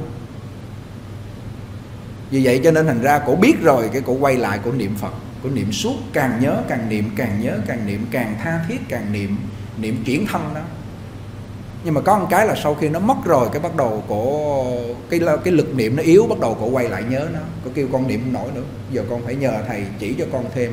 Rồi kêu bây giờ cô phải tụng kinh. Chuyển qua như hồi nãy ấn tỏ nó ăn cơm trắng không nó ngán lắm. Giờ phải có thức ăn. Ý ngài nói là sao? Niệm phật không nhiều lúc nó ngán, niệm không nổi, cái chuyển kinh của luận thọ tụng. Lỡ lật kinh a di đà ra tụng. Đứng lên lạy phật. Đi kinh hành làm đủ kiểu gọi là ăn cơm mà thêm gia vị, thức ăn tự nhiên nó có mùi vị nó ngon. Hiểu chỗ này không ạ? Đây. Thì có nghe có nghe theo cái là tự nhiên có lấy kinh ra cổ tụng thì được.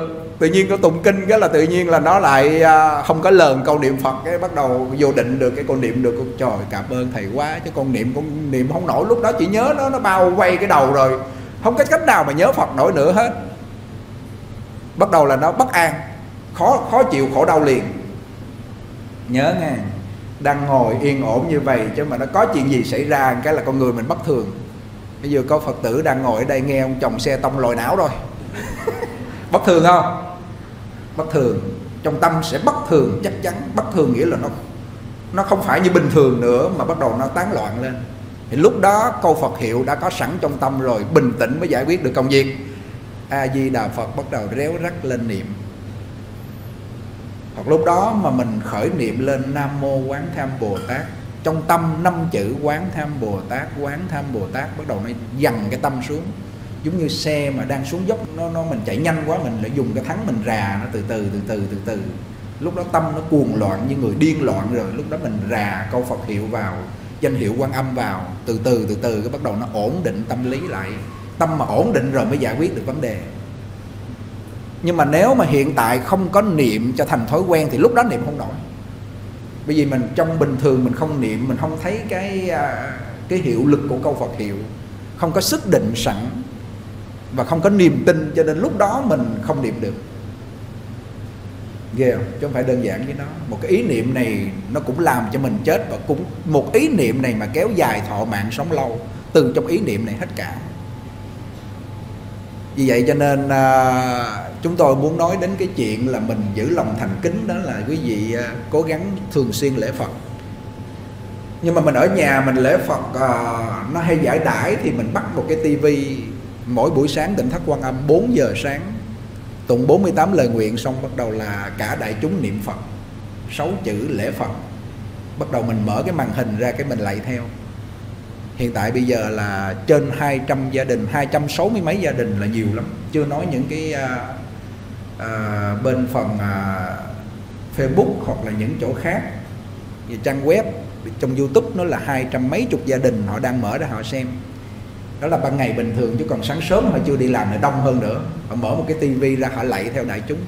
Họ nghe tiếng Phật của đại cái tiếng niệm Phật của đại chúng ở trong nhà họ họ lạy theo họ kêu bắt đầu cái không khí trong gia đình bắt đầu nó có sự chuyển biến tốt. Nhưng mà nãy có một cô kia cổ lên cổ nói con đi chùa rồi mà ông chồng của con ông cứ uống rượu về là ông lấy dao lấy búa ông dí ông đánh con. Giờ con không biết làm kiểu nào hết thầy. Kia bây giờ cô tha thiết uh, cung kính ông niệm phật. Mà nếu mà cô ở nhà cô chịu không nổi thì thôi cô lên tình thất con âm cô tu một tuần thử sao? Ông kêu sợ ông tìm lên chùa phá chùa hả thầy? trời, mình nhìn lại mình thấy nó kinh khủng vậy ta. Sao giữa con người với con người mà họ là kinh khủng vậy? Ừ. vì vậy chúng tôi nói quý vị là không phải bỗng không đâu. Chắc là đời trước mình cũng làm cho ổng tơi tả, te tua, tàn tạ gì trong đó đó. Cũng làm cho ổng lên bờ xuống ruộng gì đó. Phải không ạ? Thì bây giờ ông gặp mình ông mới làm lại chứ sao ông không gặp bà khác mà ông đi gặp mình? Nó có cái nguyên do. Chứ không phải xui, không phải xui, không phải may rủi trong này. Cái nhân quả là nó không có xui với may rủi, mà đường tơ kẻ tóc. Không có sai một ly nào hết cả. Thì bây giờ mình quay lại kịp. Còn làm con người quay lại kịp, giữ lòng cung kính, để tên ông lên lạy được lúc nào lạy. Chỉ còn con đường đó thôi, chứ không còn con đường nào khác. Thì chúng tôi nhìn vô quý vị, chúng tôi thấy mỗi người có mỗi hoàn cảnh trong đó đó có cô thì à, nghèo khổ túng thiếu chạy từng bữa ăn không có thời gian tu. Có cô thì quá giàu có nhưng mà gia đình lại bất an chuyện này chuyện nọ. Ở trong cái cõi này nó là như thế chứ tìm một người mà gọi là đầy đủ trọn vẹn. Chồng tốt con tốt có tiền cái tự nhiên nó bệnh hoạn. Nên nó đủ kiểu chứ không phải là đơn giản như nó đâu. Cái nghiệp này nó không có tha mình đâu. Và bất cứ kiểu gì giữ công Phật hiệu lâu ngày chày tháng rồi, cái nghiệp gì nó cũng tiêu. Trí nó rạng khai minh tâm địa. Về ở chung với Phật cho nó sung sướng cho rồi, ở đây sao mà nó phiền quá? Có nhiều người không chịu đâu. Này, có chú đó lên nói cái vị thầy đó, chúng tôi không dám nói tên, nói là ông phải tái sanh chứ không được bản sanh nghe. Làm gì mà đủ khả năng mà tái sanh? Nó đọa lạc như không. Ông tổ nói mà không về cực lạc là cơ may đọa lạc xuống tam đồ nguy hại ra đi nó tiếc cái thân mạng nó tiếc của nó tiếc đủ thứ chứ không cho con mà tìm cái người mà họ mà đi vào đắc được thiền định để họ tự tại thâu thần tịch diệt. Họ muốn đi lúc nào họ đi thì cái trường hợp này tìm nó khó vô cùng khó lắm. Mà tìm con người mà để mà họ niệm Phật vãng sanh thì coi lại trong mấy điệu sen thanh với ở lại những uh, những cái ờ, cuốn sách như là tịnh độ thánh hiền lục, không biết bao nhiêu con người vãng sanh. Két mà nó vãng sanh được luôn. Con két giống như con nhầm á, người chủ nhà dạy nó a di đà phật, nó cũng niệm a di đà phật. Cái lúc nó mất ở trong mấy điệu sen thanh đó là cái miệng nó mọc lên cái hoa sen. Ngay cái miệng nó mọc lên hoa sen mà trong người, cho cái thân thể của nó mềm mại, nó ra đi tốt. Súc sanh mà nó niệm phật còn còn giảng sanh được. Huống chi là mình mà mình lại không chỉ người ta niệm phật vãng sanh, bắt người ta là đi tái sanh. Tái sanh chỉ có những vị lạc ma. Ngài chứng được cái cái cái tâm mật tương ưng. Ngài muốn đi tái sanh ở chỗ nào, ngài đi tái sanh vô gia đình, đó là ông tự tại. Còn mình là do nghiệp nó lôi cuốn mình, cho nên mình phải đọa lạc như không. Mà nếu con người này phát nguyện giảng sanh, họ có cái công đức này, nếu mà lỡ mà họ không đủ thiện căn phước đức nhân duyên để họ vãng sanh á thì họ vẫn sanh vào trong gia đình, sanh phùng Trung Quốc, gặp nơi trung tâm Phật pháp. Trong gia đình có Phật pháp, rồi tiếp tục họ niệm Phật, họ tu tập. Nó đầy đủ cái thiện căn phước đức nhân duyên rồi bắt đầu họ vãng sanh. Cho nên cái nguyện vãng sanh là một cái nguyện mà mười phương chư Phật tướng lưỡi rộng dài, thiết thành thật ngôn. Tán thán chúng sanh nên nguyện, nương theo cái nguyện lực là 48 lời nguyện của Đức Phật A Di Đà. Là cái nguyện lực vô tác, diệu lực bất khả tư nghị của Đức Phật A Di Đà mà mười phương chư Phật tán thán. Khi lúc lâm chung mà mình tỉnh táo niệm được 10 niệm là cái chuyện này không phải dễ. Khó vô cùng. Một niệm niệm không nổi. Cái đau đớn, cái sợ hãi, cái oan gia, người sống cũng như người chết không bao quanh mình niệm không nổi. Mà niệm được 10 niệm là cái chuyện này không phải dễ. Mà 10 niệm trong đó là phải đủ tính nguyện nha. Phải đủ thiện căn phước đức nha. Thì nói tới nói lui là bây giờ phải tích lũy đó nếu mà ai mà dành thời gian để mà tích lũy về của cải vật chất, làm những cái gì cho nó kiên cố ở cõi này thì không có thời gian để tích lũy ờ, công phu, tính nguyện, thiện căn phước đức đâu. Cho ấn tổ quý vị đọc lại văn sao ngài nói, tôi không có thời gian để mà tôi phải ờ, đi xây chùa chủ trì đâu, tôi nguyện tôi không chủ trì. Tôi nhiệt nguyện tôi cũng không nhận đồ chúng, bởi vì tôi không đủ khả năng. Họ để cho họ ở tại nơi tu chân ngay cõi tục, ở gia đình của họ họ phát tâm họ làm trọn bổn phận gia đình, họ niệm phật để họ vãng sanh. Thế mà cái số lượng theo ngài cho đến bao nhiêu? 990 gia đình. Và 990 gia đình này gọi là đắc pháp với ngài đó nghe. Đắc pháp tức là giữ được lá thư này và tu hành nó có kết quả. Và về sau này 990 lá thư này độ không biết bao nhiêu là chúng sanh. Vì do Ngài đã có chứng đắc trong đó rồi. Ngài có công phu, nó có nội hàm, Ngài hàm dưỡng trở thành pháp khí rồi. Cho nên cái lời nói Ngài ra có cái trọng lượng để chuyển nghiệp của chúng sanh. Biết bao nhiêu gần 100 năm lại đây bộ văn sao độ với dân Trung Quốc Không biết bao nhiêu mà dân Trung Quốc là nó đông nhất thế giới rồi. Biết bao nhiêu chúng sanh bởi dân Trung Quốc mà nương theo cái văn sao này mà vãng sanh. Hôm nay chúng ta mà phổ biến văn sao này cho người Việt Nam của mình thì chúng tôi tin rằng vài năm sau có người biết ngày giờ vãng sanh. Cái bà hệ tỉnh đó bà đến ngay tại à, cái chùa mà ngài giảng ở thượng hải gặp. Ông tổ nói tôi không có thời gian nói chuyện với uh, vợ chồng của uh, các ông bà nhiều. Hôm nay tôi đặt pháp danh cho ông bà rồi về trước phật. Đối trước Phật chân thật phát nguyện giữ năm giới. Đọc bộ văn sao này đi. Tôi nói cái gì cũng không có thời gian bằng cái bộ văn sao này. Tôi tích lũy biết bao nhiêu lá thư. Bà hệ tỉnh bà về có phát tâm bà đọc. Mà năm sau cái nghiệp nó tới bà bị bệnh. Khi bệnh bà biết rồi xả hết vàng dòng đeo trong người bán hết phóng sanh in kinh bà niệm phật. Ngày đầu bắt đầu bà vào công phu bà niệm, suốt một thời gian bắt đầu bà thấy được Bồ Tát Quan Âm đến gia trì cho bà, rưới nước cầm lồ gia trì. Sau đó rồi bắt đầu bà ra đi là gặp ngài đại thế chí Bồ Tát với Đức Phật A Di Đà.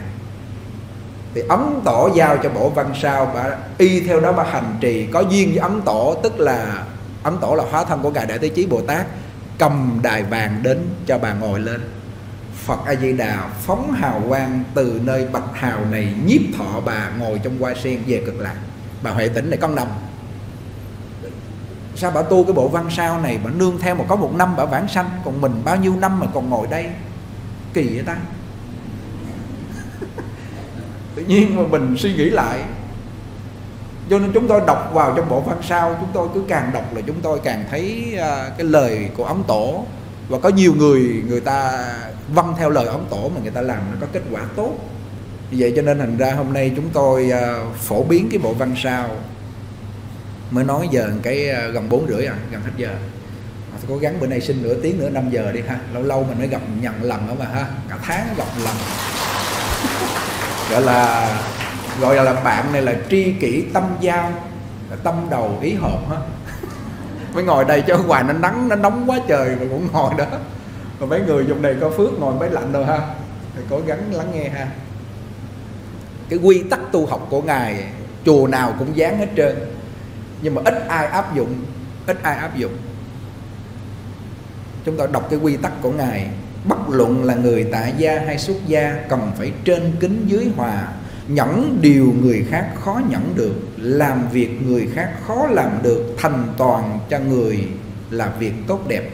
Khi tỉnh tọa, thường nghĩ đến điều lỗi của mình. Lúc nhàn đàm, đừng bàn đến điều sai trái của người.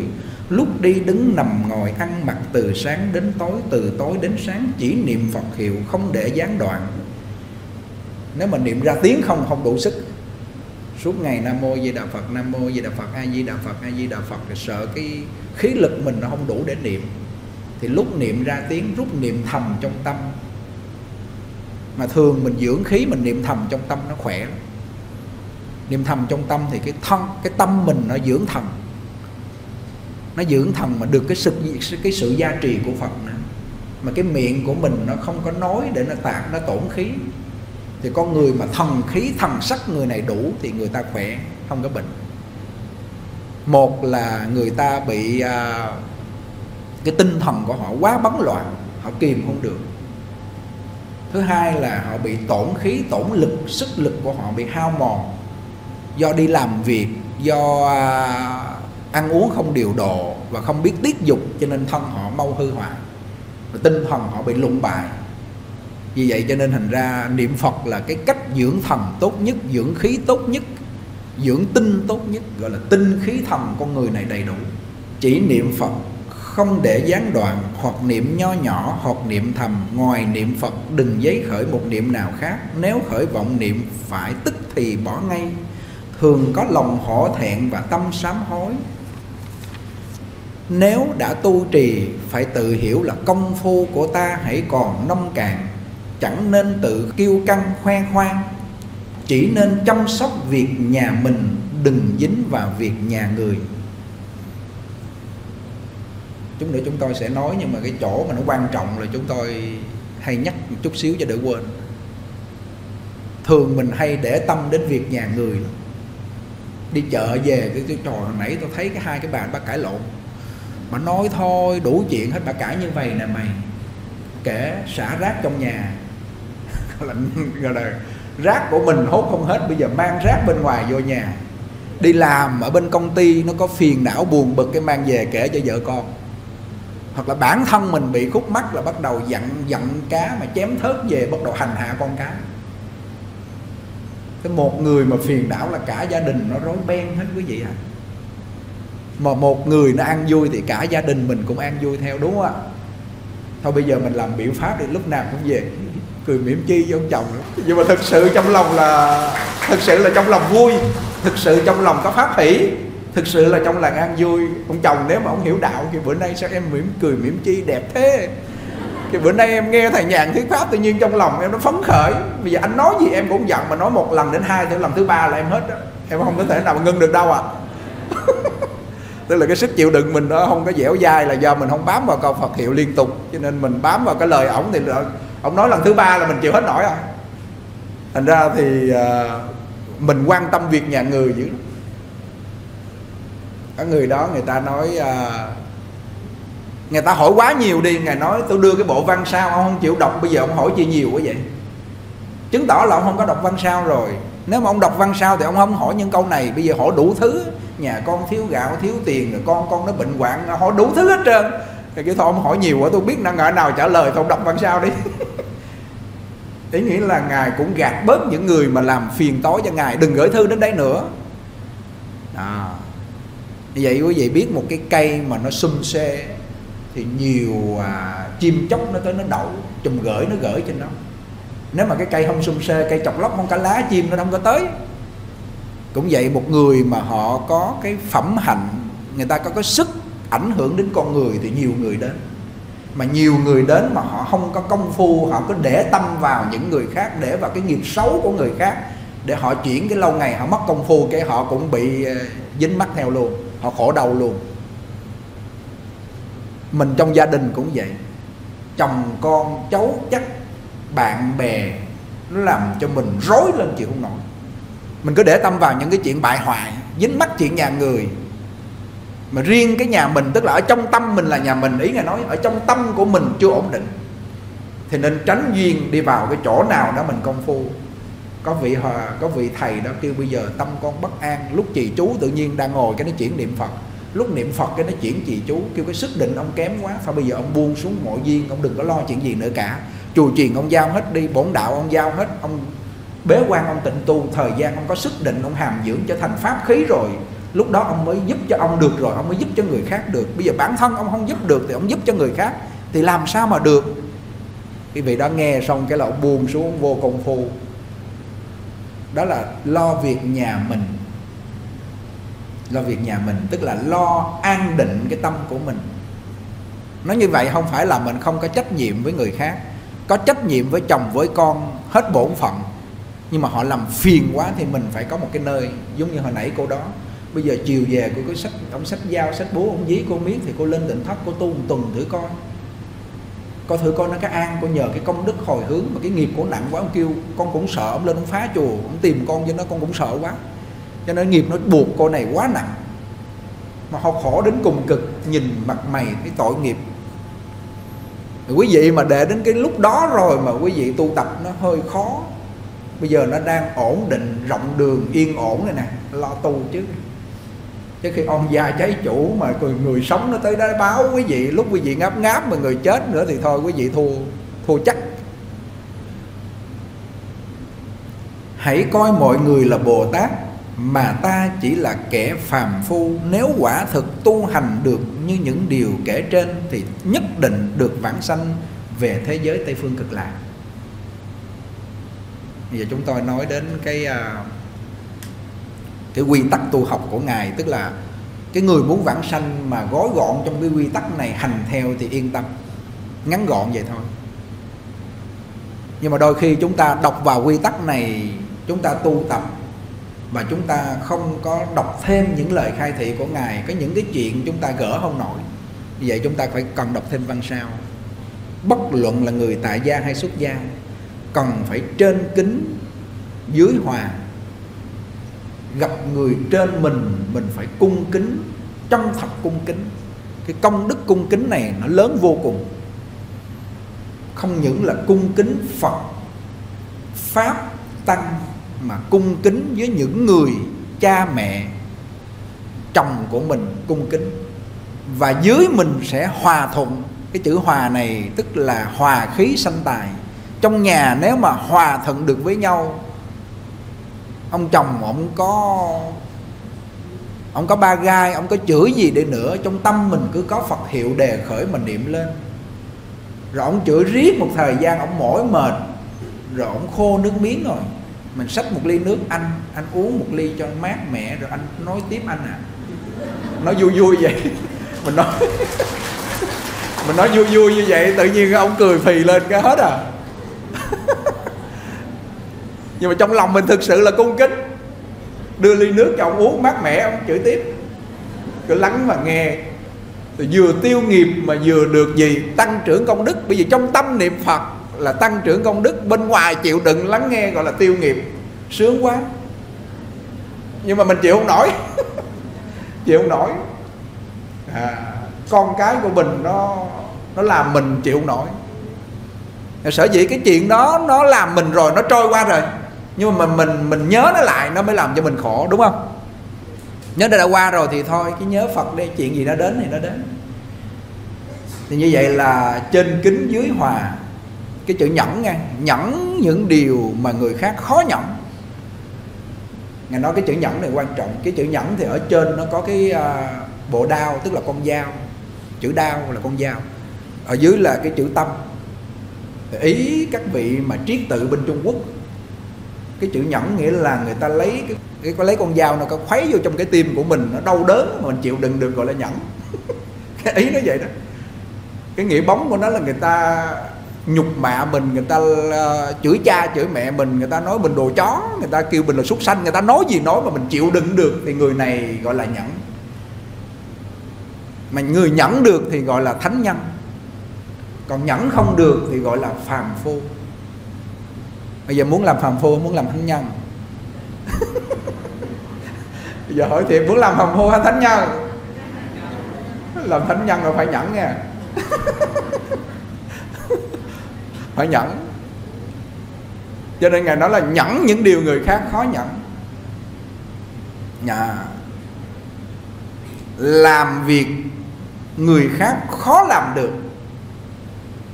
Cái việc mà người ta không làm mình làm. Có các vị hòa thượng quý vị biết là hiệu trưởng trường Phật học Huệ Nghiêm, các vị hòa thượng hồi xưa cái việc mà khó làm nhất là việc gì không? Đi rửa nhà cầu. Thôi nó hôi hám mà rửa nó khó lắm mà ngày cứ 3 giờ khuya ngày dậy có bắt đầu là ngày gì? Ngày lừa rửa để cho đại chúng đến 4 giờ ngày lên ngày công phu, sợ đại chúng thấy ngày phải lén lén ban đêm khuya ngày dậy ngày rửa nhà cầu. Làm những việc khó cái chuyện gì mà cực nhọc cái mình đi làm. Cho nên trong cái uh, cái lời dạy của thánh hiền nói cái việc đó mình không làm được thì mình đừng có kêu người khác làm. Mình phải làm cho bằng được mình làm được rồi mình bận thì mình nhờ người khác. Chứ mình làm không được thì mình đừng có nhờ người khác. Tức là mình phải thay người làm việc khó nhọc mà người khác khó làm cho nên trên tình thất quan âm chúng tôi chia ra mỗi người một việc. Thấy người đó người ta làm cái việc đó được, mình chia cho họ làm. Bữa chúng tôi xuống đây, chúng tôi nói với thầy nhuận minh với thầy à, nhuận hy, bây giờ các thầy mà đi xuống xin thượng tọa thanh phong, tổ chức pháp hội, chắc thượng tọa thanh phong cũng cũng chưa đủ tin tưởng. Bây giờ các thầy chưa có cái sức ảnh hưởng và chưa có tổ chức pháp hội. Cho nên mấy thầy không làm được việc lớn, thì bây giờ mấy thầy làm việc nhỏ. Sắp xếp pháp hội là thầy nhuận minh, rồi ở trên đó thầy à, nhuận hy thì lại dẫn chúng tu tu chủ nhật chia ra anh em một người một chút. Chứ bây giờ cái công việc của giác nhàn là tổ chức pháp hội xuống giảng bây giờ tự nhiên đi xuống nấu ăn. Thì cái chuyện mà mình nấu ăn là nó không đúng với cái bổn phận và cái à, cái việc mình đang làm. Thì cái việc khó là người ta về đây mà người ta nghe được Phật pháp người ta thông hiểu người ta ngồi đây suốt ngày với mình. Thì cái chuyện này nó khó mình phải thay người mình làm mà khi việc khó mình làm được thì tất cả việc dễ gì mình làm được hết. Về nhà, ông chồng ông nói, em, đi lâu nhà. Dạ anh à. Lâu em đi chiều nhà cầu. Dạ vâng à. Lâu em đi nấu ăn. Dạ vâng à. Nấu. Được không? Cái sai gì mình làm cái đó. Làm riết lâu ngày ông thương cái thôi để anh làm cho em. chứ khi sai đó bà kêu là tôi cứ làm hoài, ông ngồi không, ông coi đá banh với ông. Thì không có thay người làm khó, làm những việc khó, làm như con ở luôn. Bởi vì mình nợ ông cho nên ông mới sai chứ. Mà quý vị để ý gia đình coi, có nhiều ông chồng ông đa lưng cấm cổ đi làm nuôi vợ vợ ở nhà phè phè chơi. Rồi có nhiều người là nợ, vợ, nợ chồng làm công lưng luôn, chồng coi đá banh chơi à. anh nợ thôi chứ không có gì hết trơn á. Gặp cõi đời này là đòi nợ, trả nợ, báo ân, báo án, nhiều đó. Không gì hơn hết trơn. Nhưng mà người khéo xử trí, người ta biết cái người ta vượt qua được. Không ạ à? nói thì nghe có lý, ngồi trong này thì nghe có lý, êm tai lắm mà về nhà đụng chuyện nó khi làm không nổi. Thì cái sức nhẫn của mình nó kém, cái sức chịu đựng mình nó kém. Nhưng mà niệm câu Phật hiệu, bắt đầu tự nhiên mình thấy ông khởi niệm ác lên, tự nhiên mình thương ổng, sợ ổng đọa lạc, thương ổng cùng cực thương nổi không?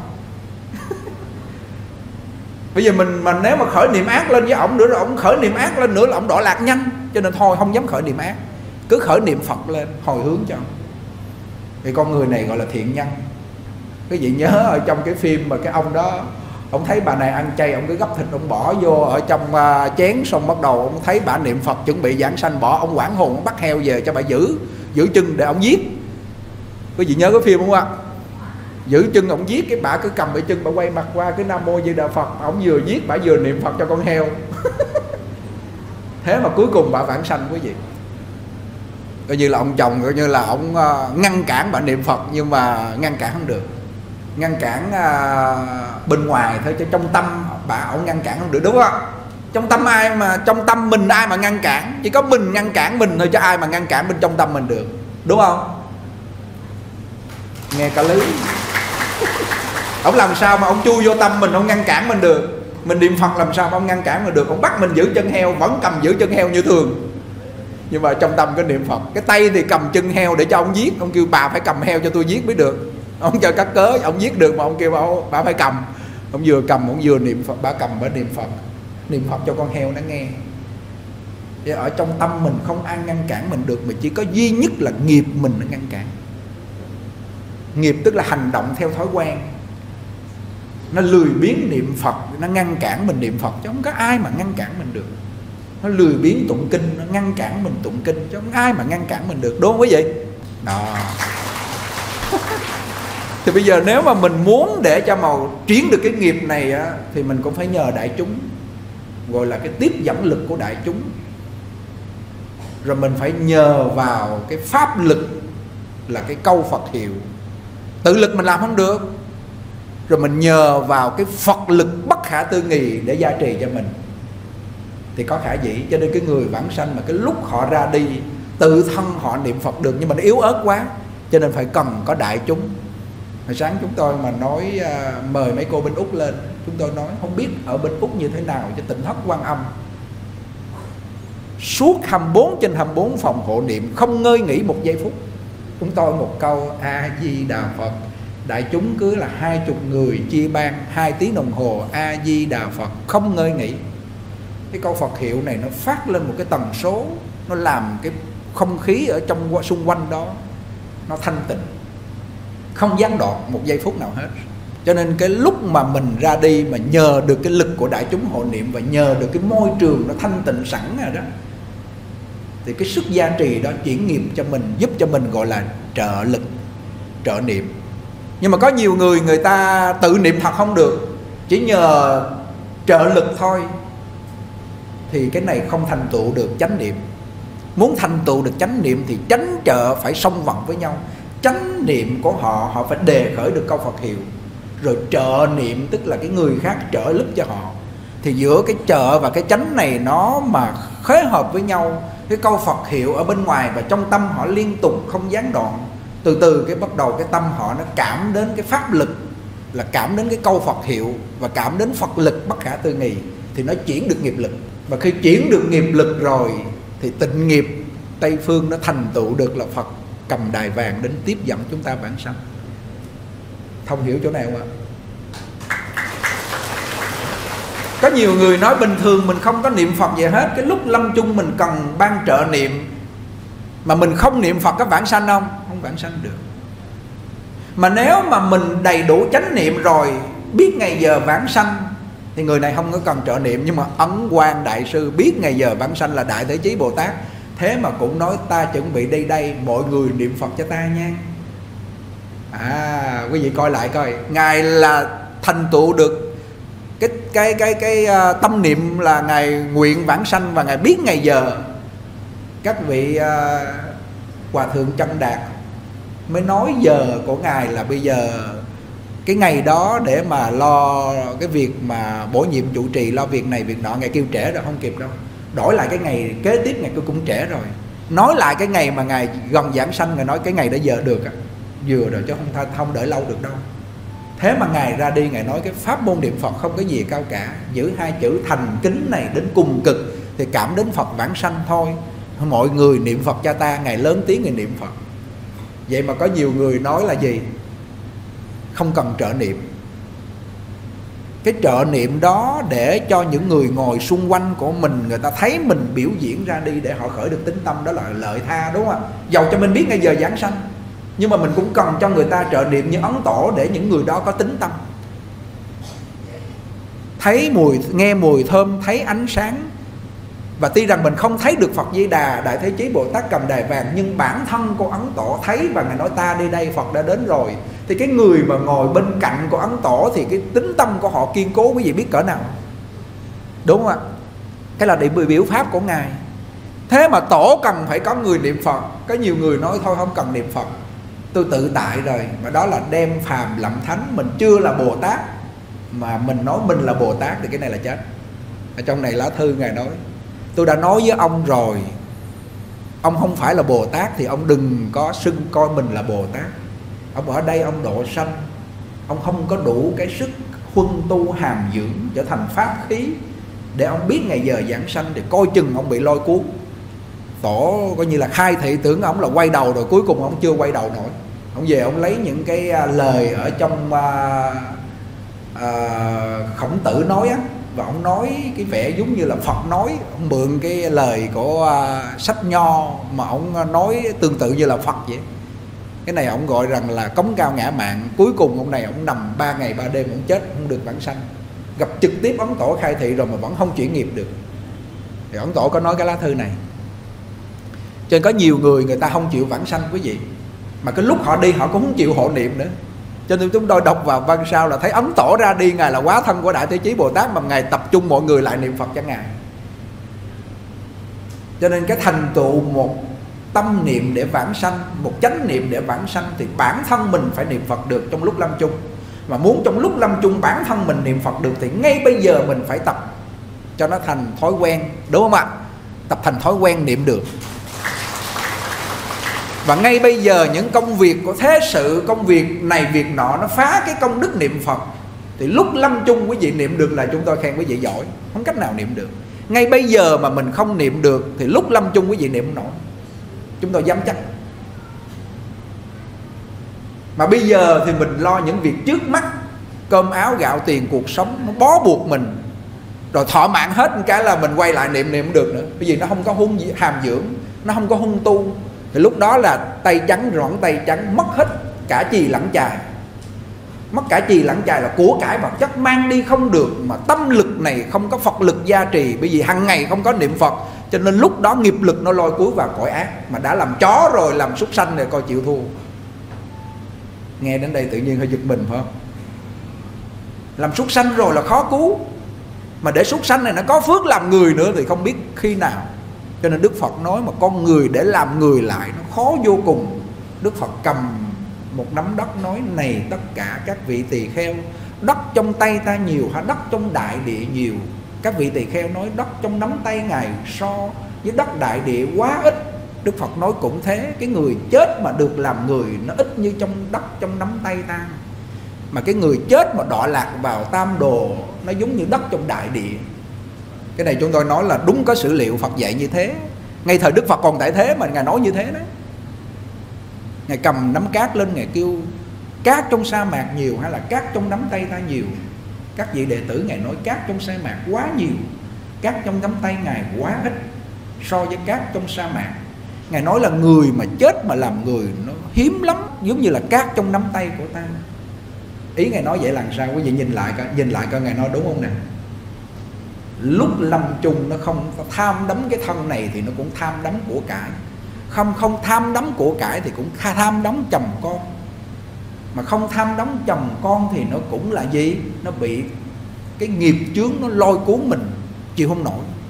Mà tham là nó xuống ngạ quỷ rồi đó. Sân nó vô địa ngục mà nó si mê, mình không biết đường nào đi là nó vô loài súc sanh rồi. Cho nên ngay lúc bây giờ chúng ta biết để chuyển nghiệp bằng một câu Phật hiệu đơn giản, dễ dàng lấy cái thức mình nương vào câu Phật hiệu, lâu ngày nó chuyển thức thành trí. Chỉ có cách này là nhanh nhất, cách này là hay nhất, đơn giản nhất, màu nhiệm nhất, thành tựu dễ dàng nhất, không tốn sức, không tốn công nhiều. Nghe có lý không? Nhưng mà chưa làm cho nên thấy nó nó bình thường.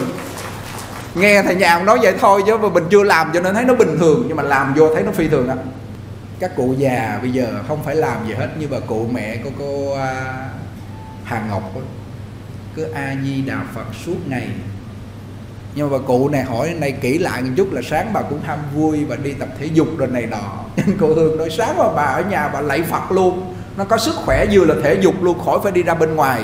Gặp cái chuyện người ta nói năm trên năm dưới là đem viện chuyện nhà người bỏ vô trong nhà mình đem tâm của người khác bất an, bỏ vô tâm mình, gọi là chuyện nhà người nó dính vô trong tâm mình. Mình đây chuyển chưa xong, bây giờ mình lại dính chuyện của người khác.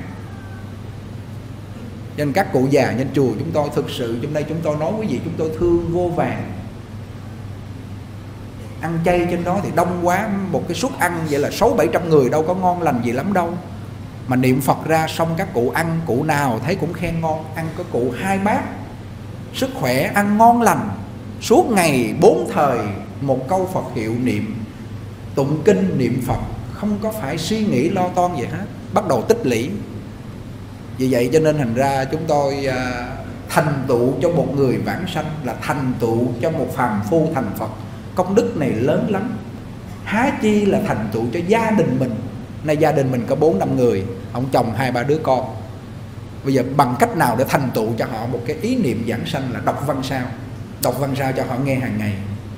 Vậy cho nên hôm nay à, chúng tôi không có cái thời gian để nói hết cái quy tắc tu học. Chỉ nói đến cái vấn đề là làm việc người khác khó làm thành toàn cho người việc tốt đẹp.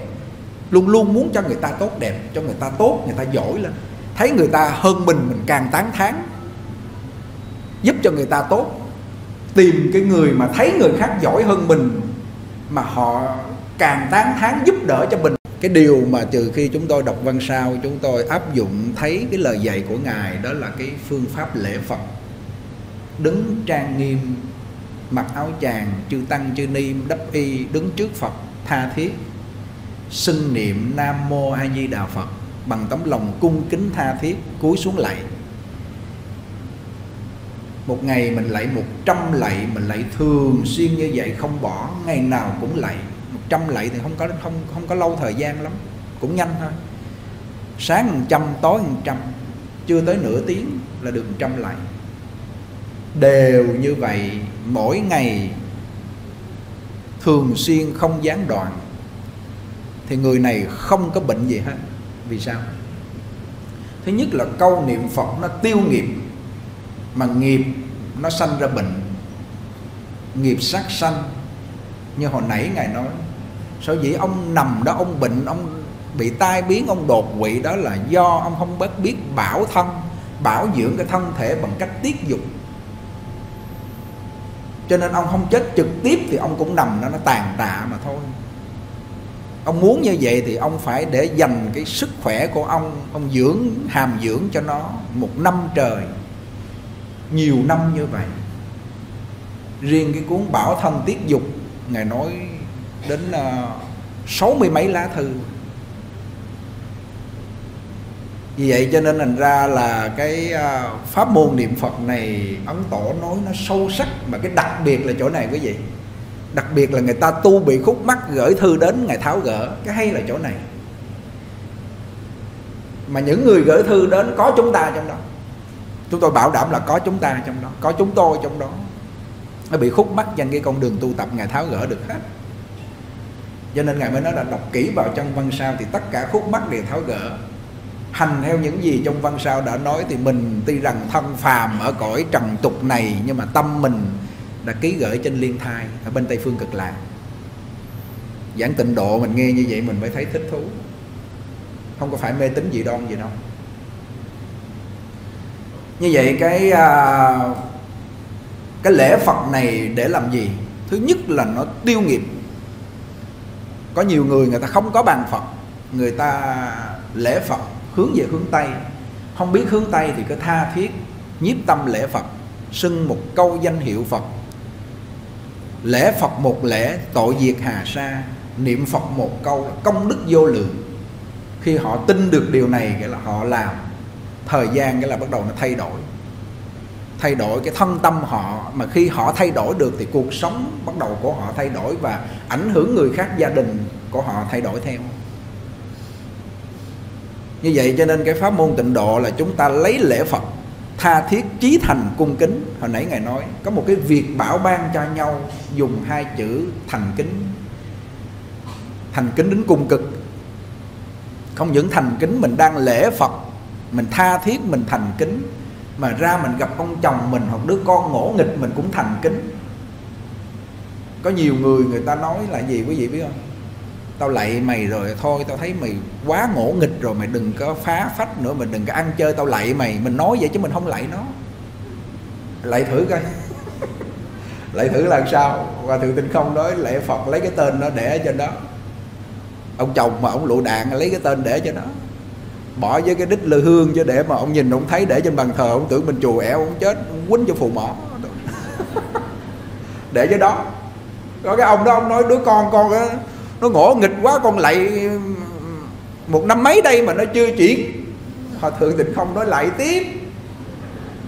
Cha lạy con có việc gì không? Không lạy đây là mình lạy để mà mình cầu phật gia trì để mình với nó để giải được oan gia trái chủ giải được oán nghiệp chứ không có tội lỗi vậy hết trơn. Cha lạy con tốt, lạy đi. Ở cái này chúng tôi nói là quý vị về áp dụng nó có kết quả. Cho nên chúng tôi cũng đang tính rồi, lỡ mà chú nào mà ở trên chùa, thầy nào mà ông không nghe lời là bắt đầu mình để tên vô lén lén mình lạy mấy ông nữa. Bởi vì mình với ông có nhân viên rồi, nhưng mà ông tới ông không nghe lời mình, ông ngỗ nghịch quá, cho nên lại thì âm thầm ở trong đó nó tiêu nghiệp. Nó tiêu nghiệp cái thời gian mình nói sao nó nghe vậy, họ nghe vậy à? Thì cuối cùng cũng lại 3 năm. Ông lên ông đảnh lễ hòa thượng, ông nói bên này nó chuyển rồi hòa thượng. Hòa thượng nói đó, tôi nói ông thấy chưa? Cùng kịch gọi là cung kính là đến cùng cực thì đá vàng cũng nứt. Con đá vàng là vô tri mà nó còn nứt thì con ông là bảo đảm nó quay đầu là sẽ chắc chắc chắn như vậy. Cái điều này chúng tôi nói là lấy cái lời của hòa thượng mà ngài đã hành trì như thế. À thành ra cái mà để cho khởi được cái lòng thành kính là cái lễ phật là đệ nhất. Nhưng mà khi mình đang thành kính với phật, mình lễ nhưng mình ra bên ngoài mình bất kính thì cái công đức lễ phật nó mất. Hiểu chỗ này không? Tự nhiên mình ra mình gặp ông chồng cái bà mà lạy phật cái gì? Bà giữ như bà chằn á mà. Mình nghe vậy cái bắt đầu mình bực bội, tức tối lên là chính cái ổng là người phá đi cái công đức niệm phật. Nhưng mà họ phá không được, họ nói tay này lọt qua tay kia, coi như xong hiểu không? Nói tay này lọc qua tay kia cũng như có cô hồi nãy cô lên cô khóc bù lu bù lo, nó ông chồng của con cũng làm cô khổ hỏi sao? Ông đi ăn à, nhậu đến 10 giờ rồi 6 giờ sáng ông mới về, cũng nhớ ông cũng khổ cái trời ơi. Còn cái chịu gì cắt cớ vậy? Nghe đĩa thầy rồi, bây giờ ông đi kệ ổng, mình cứ nhớ phật, niệm phật đi cho nhớ ông chi cho khổ. Hỏi thầy khai thị cho con đi thầy thì kia bây giờ ông đi đâu, ông đi, cô cứ nhớ phật, cô có phật a di đà trong tâm rồi đi đứng nằm ngồi trong tâm cô giữ bốn chữ a di đà phật niệm thầm trong tâm rồi cô tha thiết cô niệm với phật. Thì như vậy là cô không có khổ nữa. Bởi vì cô đâu có nhớ ông đâu mà cô nhớ cô khổ. Cô nhớ phật di đà làm sao cô khổ? Cô à đúng rồi đó. Thì lúc đó nước mắt nó ngưng liền. Ghê thiệt. Coi như không khóc nữa. À, rồi kêu con nghe lời thầy. Nhưng không biết về nhà cái lực niệm phật nó đủ hay không đó để có thể chiến thắng được cái lực nhớ ổng không? Nằm chạy queo ở nhà. Trời ơi, ông đi chơi mình ở nhà. Mình nằm mình nhớ ông mà không chịu niệm phật cho khổ. Đúng là thiệt là như là không có không có hiểu đạo cho nên thành ra nó mới là như thế. Cổ nghe cái tự nhiên cổ thông. Cổ thông cái cổ hiểu cái kêu con về con làm theo ý thầy. Nói vài câu tự nhiên cổ hiểu. Thì con cũng vậy. Nếu mà con mình nó mất mà mình niệm phật, mình hồi hướng cho nó thì lợi lạc đôi bên có một đứa nhỏ ở bên mỹ. Ông chồng thì à, theo vợ bé rồi, mà đứa nhỏ này nó học giỏi. Bà vợ có một đứa nhỏ. Bà vợ này à, có một đứa con ở bên Florida. Cái nó đi ra nó chơi sao không biết. Bên Florida có biển á, nó rớt xuống à, biển cái nó chết mất. Người ta vớt nó lên đường, mang về, cái người nó tím liệm mà. Bà này bà là có cái hay, bà niệm phật được, bà không khóc và cô này là cổ gọi điện trực tiếp về với chúng tôi cô nói, con thấy như vậy rồi là con niệm phật suốt luôn. Con niệm mà từ cái người, cái môi nó tím hết trơn vậy mà bắt đầu nó hồng lại, thầy. Con là cứ nhớ theo thầy nói là a di đà phật, con niệm suốt trong tâm, con không cho một ý niệm, con khởi lên nhớ tiếc nhớ tiếc nó. Con niệm suốt luôn từ cái lúc mà mang về khám tử thi cho đến cái lúc mang ra nhà hoàng ở bên đó mất, không có để ở nhà, mang ra nhà hoàng cho đến khi đưa nó đi thiêu luôn. Mà sau khi con niệm suốt như vậy rồi, cái thân thể nó con thấy khác. Tức là người mẹ niệm cho người con mà nó biến chuyển người con bị cái tư tưởng của phóng vô cái thân của nó. Cho nên nó chuyển thân. Môi tím liệm hết trơn có thấy bắt đầu nó giải từ từ từ từ từ từ. Cho mình mình thấy cái câu Phật hiệu nó vi diệu. Mà đây là sự thực thì nếu mà cái lúc mà con cổ mất như vậy mà cổ nhớ đến nó, cổ khóc, cổ không niệm Phật được thì cổ chết theo nó luôn. Ngủ không được, nhớ nó ngày đêm cái là nó cuốn trong đó, nó làm khổ.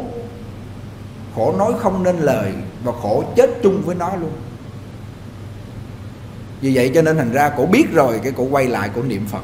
Cổ niệm suốt, càng nhớ càng niệm, càng nhớ càng niệm, càng tha thiết càng niệm niệm chuyển thân đó nhưng mà có một cái là sau khi nó mất rồi, cái bắt đầu cổ, cái cái lực niệm nó yếu, bắt đầu cổ quay lại nhớ nó. Cổ kêu con niệm không nổi nữa. Giờ con phải nhờ thầy chỉ cho con thêm.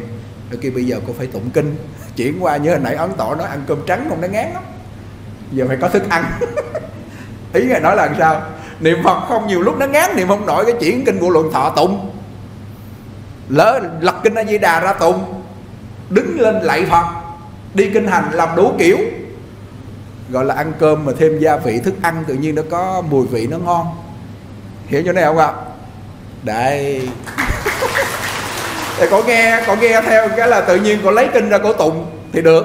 Tự nhiên có tụng kinh cái là tự nhiên là nó lại à, không có lờn câu niệm phật cái, bắt đầu vô định được cái con niệm được. Con trời, cảm ơn thầy quá, chứ con niệm con niệm không nổi. Lúc đó chỉ nhớ nó nó bao quay cái đầu rồi. Không có cách nào mà nhớ phật nổi nữa hết. Bắt đầu là nó bất an khó khó chịu, khổ đau liền. Nhớ nghe, đang ngồi yên ổn như vậy chứ mà nó có chuyện gì xảy ra, cái là con người mình bất thường. Bây giờ có phật tử đang ngồi ở đây nghe ông chồng xe tông lòi não rồi bất thường không? Bất thường. Trong tâm sẽ bất thường, chắc chắn. Bất thường nghĩa là nó nó không phải như bình thường nữa mà bắt đầu nó tán loạn lên. Thì lúc đó câu Phật hiệu đã có sẵn trong tâm rồi, bình tĩnh mới giải quyết được công việc. A di đà phật bắt đầu réo rắt lên niệm hoặc lúc đó mà mình khởi niệm lên nam mô quán tham bồ tát, trong tâm năm chữ quán tham bồ tát, quán tham bồ tát bắt đầu nó dằn cái tâm xuống. Giống như xe mà đang xuống dốc, nó nó mình chạy nhanh quá, mình lại dùng cái thắng mình rà nó từ từ từ từ từ từ. Lúc đó tâm nó cuồng loạn như người điên loạn rồi, lúc đó mình rà câu phật hiệu vào, danh hiệu quan âm vào, từ từ từ từ, cái bắt đầu nó ổn định tâm lý lại. Tâm mà ổn định rồi mới giải quyết được vấn đề nhưng mà nếu mà hiện tại không có niệm cho thành thói quen thì lúc đó niệm không nổi. Bởi vì mình trong bình thường mình không niệm, mình không thấy cái à, cái hiệu lực của câu Phật hiệu. Không có sức định sẵn và không có niềm tin cho nên lúc đó mình không niệm được.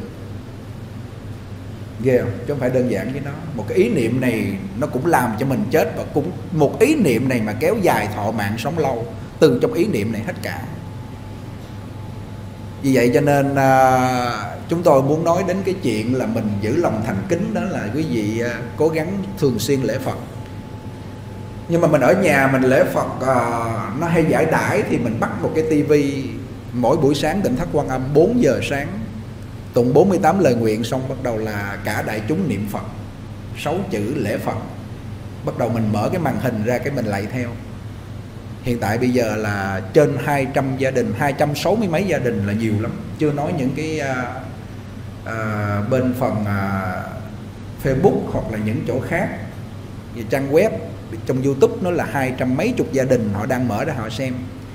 Đó là ban ngày bình thường chứ còn sáng sớm họ chưa đi làm là đông hơn nữa. Họ mở một cái tivi ra họ lạy theo đại chúng. Họ nghe tiếng Phật của đại cái tiếng niệm Phật của đại chúng ở trong nhà họ họ lạy theo họ kêu bắt đầu cái không khí trong gia đình bắt đầu nó có sự chuyển biến tốt. Nhưng mà nãy có một cô kia cổ lên cô nói con đi chùa rồi mà ông chồng của con ông cứ uống rượu về là ông lấy dao lấy búa ông dí ông đánh con. Giờ con không biết làm kiểu nào hết thầy. Kia bây giờ cô tha thiết uh, cung kính ông niệm phật. Mà nếu mà cô ở nhà cô chịu không nổi thì thôi cô lên tinh thất con âm cô tu một tuần thử sao? Ông kêu sợ ông tìm lên chùa phá chùa hả thầy? Trời, mình nhìn lại mình thấy nó kinh khủng vậy ta. Sao giữa con người với con người mà họ là kinh khủng vậy? Ừ. vì vậy chúng tôi nói quý vị là không phải bỗng không đâu. Chắc là đời trước mình cũng làm cho ổng tơi tả, te tua, tàn tạ gì trong đó đó. Cũng làm cho ổng lên bờ xuống ruộng gì đó. Phải không à thì bây giờ ông gặp mình ông mới làm lại chứ sao ông không gặp bà khác mà ông đi gặp mình? Nó có cái nguyên do, chứ không phải xui, không phải xui, không phải may rủi trong này. Cái nhân quả là nó không có xui với may rủi, mà đường tơ kẻ tóc không có sai một ly nào hết cả. Thì bây giờ mình quay lại kịp, còn làm con người quay lại kịp, giữ lòng cung kính, để tên ông lên lạy được lúc nào lạy. Chỉ còn con đường đó thôi, chứ không còn con đường nào khác. Thì chúng tôi nhìn vô quý vị, chúng tôi thấy mỗi người có mỗi hoàn cảnh trong đó đó có cô thì à, nghèo khổ túng thiếu chạy từng bữa ăn không có thời gian tu. Có cô thì quá giàu có nhưng mà gia đình lại bất an chuyện này chuyện nọ. Ở trong cái cõi này nó là như thế chứ tìm một người mà gọi là đầy đủ trọn vẹn. Chồng tốt con tốt có tiền cái tự nhiên nó bệnh hoạn. Nên nó đủ kiểu chứ không phải là đơn giản như nó đâu. Cái nghiệp này nó không có tha mình đâu. Và bất cứ kiểu gì giữ công Phật hiệu lâu ngày chày tháng rồi, cái nghiệp gì nó cũng tiêu, trí nó rạng khai minh tâm địa. Về ở chung với Phật cho nó sung sướng cho rồi, ở đây sao mà nó phiền quá? Có nhiều người không chịu đâu. Này, có chú đó lên nói cái vị thầy đó, chúng tôi không dám nói tên, nói là ông phải tái sanh chứ không được vãng sanh nghe. Làm gì mà đủ khả năng mà tái sanh, nó đọa lạc như không? Ông tổ nói mà không về cực lạc là cơ may đọa lạc, xuống tam đồ nguy hại ra đi nó tiếc cái thân mạng nó tiếc của nó tiếc đủ thứ chứ không cho con mà tìm cái người mà họ mà đi vào đắc được thiền định để họ tự tại thâu thần tịch diệt. Họ muốn đi lúc nào họ đi thì cái trường hợp này tìm nó khó vô cùng khó lắm. Mà tìm con người mà để mà họ niệm Phật vãng sanh thì coi lại trong mấy điệu sen thanh với ở lại những uh, những cái ờ, cuốn sách như là tịnh độ thánh hiền lục, không biết bao nhiêu con người vãng sanh. Két mà nó giảng sanh được luôn. Con két giống như con nhầm á, người chủ nhà dạy nó a di đà phật, nó cũng niệm a di đà phật. Cái lúc nó mất ở trong mấy điệu sen thanh đó là cái miệng nó mọc lên cái hoa sen. Ngay cái miệng nó mọc lên hoa sen mà trong người, cho cái thân thể của nó mềm mại, nó ra đi tốt. Súc sanh mà nó niệm phật còn còn giảng sanh được. Huống chi là mình mà mình lại không chỉ người ta niệm phật vãng sanh, bắt người ta là đi tái sanh. Tái sanh chỉ có những vị lạc ma. Ngài chứng được cái cái cái tâm mật tương ưng. Ngài muốn đi tái sanh ở chỗ nào, ngài đi tái sanh vô gia đình, đó là ông tự tại.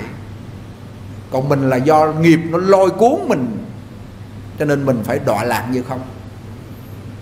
Mà nếu con người này phát nguyện giảng sanh, họ có cái công đức này, nếu mà lỡ mà họ không đủ thiện căn phước đức nhân duyên để họ vãng sanh á thì họ vẫn sanh vào trong gia đình, sanh phùng Trung Quốc, gặp nơi trung tâm Phật pháp. Trong gia đình có Phật pháp. Rồi tiếp tục họ niệm Phật, họ tu tập. Nó đầy đủ cái thiện căn phước đức nhân duyên rồi bắt đầu họ vãng sanh. Cho nên cái nguyện vãng sanh một cái nguyện mà mười phương chư Phật tướng lưỡi rộng dài, thiết thành thật ngôn. Tán thán chúng sanh nên nguyện, nương theo cái nguyện lực, là 48 lời nguyện của Đức Phật A Di Đà. Là cái nguyện lực vô tác diệu lực bất khả tư nghị của Đức Phật A Di Đà mà mười phương chư Phật tán thán. Khi lúc lâm chung mà mình tỉnh táo niệm được 10 niệm là cái chuyện này không phải dễ. Khó vô cùng. Một niệm niệm không nổi. Cái đau đớn, cái sợ hãi, cái oan gia, người sống cũng như người chết không. Bao quanh mình niệm không nổi. Mà niệm được 10 niệm là cái chuyện này không phải dễ. Mà 10 niệm trong đó là phải đủ tính nguyện nha. Phải đủ thiện căn phước đức nha. Thì nói tới nói lui là bây giờ phải tích lũy đó nếu mà ai mà dành thời gian để mà tích lũy về của cải vật chất, làm những cái gì cho nó kiên cố ở cõi này thì không có thời gian để tích lũy ờ, công phu tính nguyện, thiện căn phước đức đâu. Cho ấn tổ quý vị đọc lại văn sao ngài nói, tôi không có thời gian để mà tôi phải ờ, đi xây chùa chủ trì đâu. Tôi nguyện tôi không chủ trì. Tôi nhiệt nguyện tôi cũng không nhận đồ chúng, bởi vì tôi không đủ khả năng. Họ để cho họ ở tại nơi tu chân ngay cõi tục, ở gia đình của họ họ phát tâm họ làm trọn bổn phận gia đình họ niệm phật để họ vãng sanh. Thế mà cái số lượng theo ngài cho đến bao nhiêu? 990 gia đình. Và 990 gia đình này gọi là đắc pháp với ngài đó nghe. Đắc pháp tức là giữ được lá thư này và tu hành nó có kết quả. Và về sau này 990 lá thư này độ không biết bao nhiêu là chúng sanh.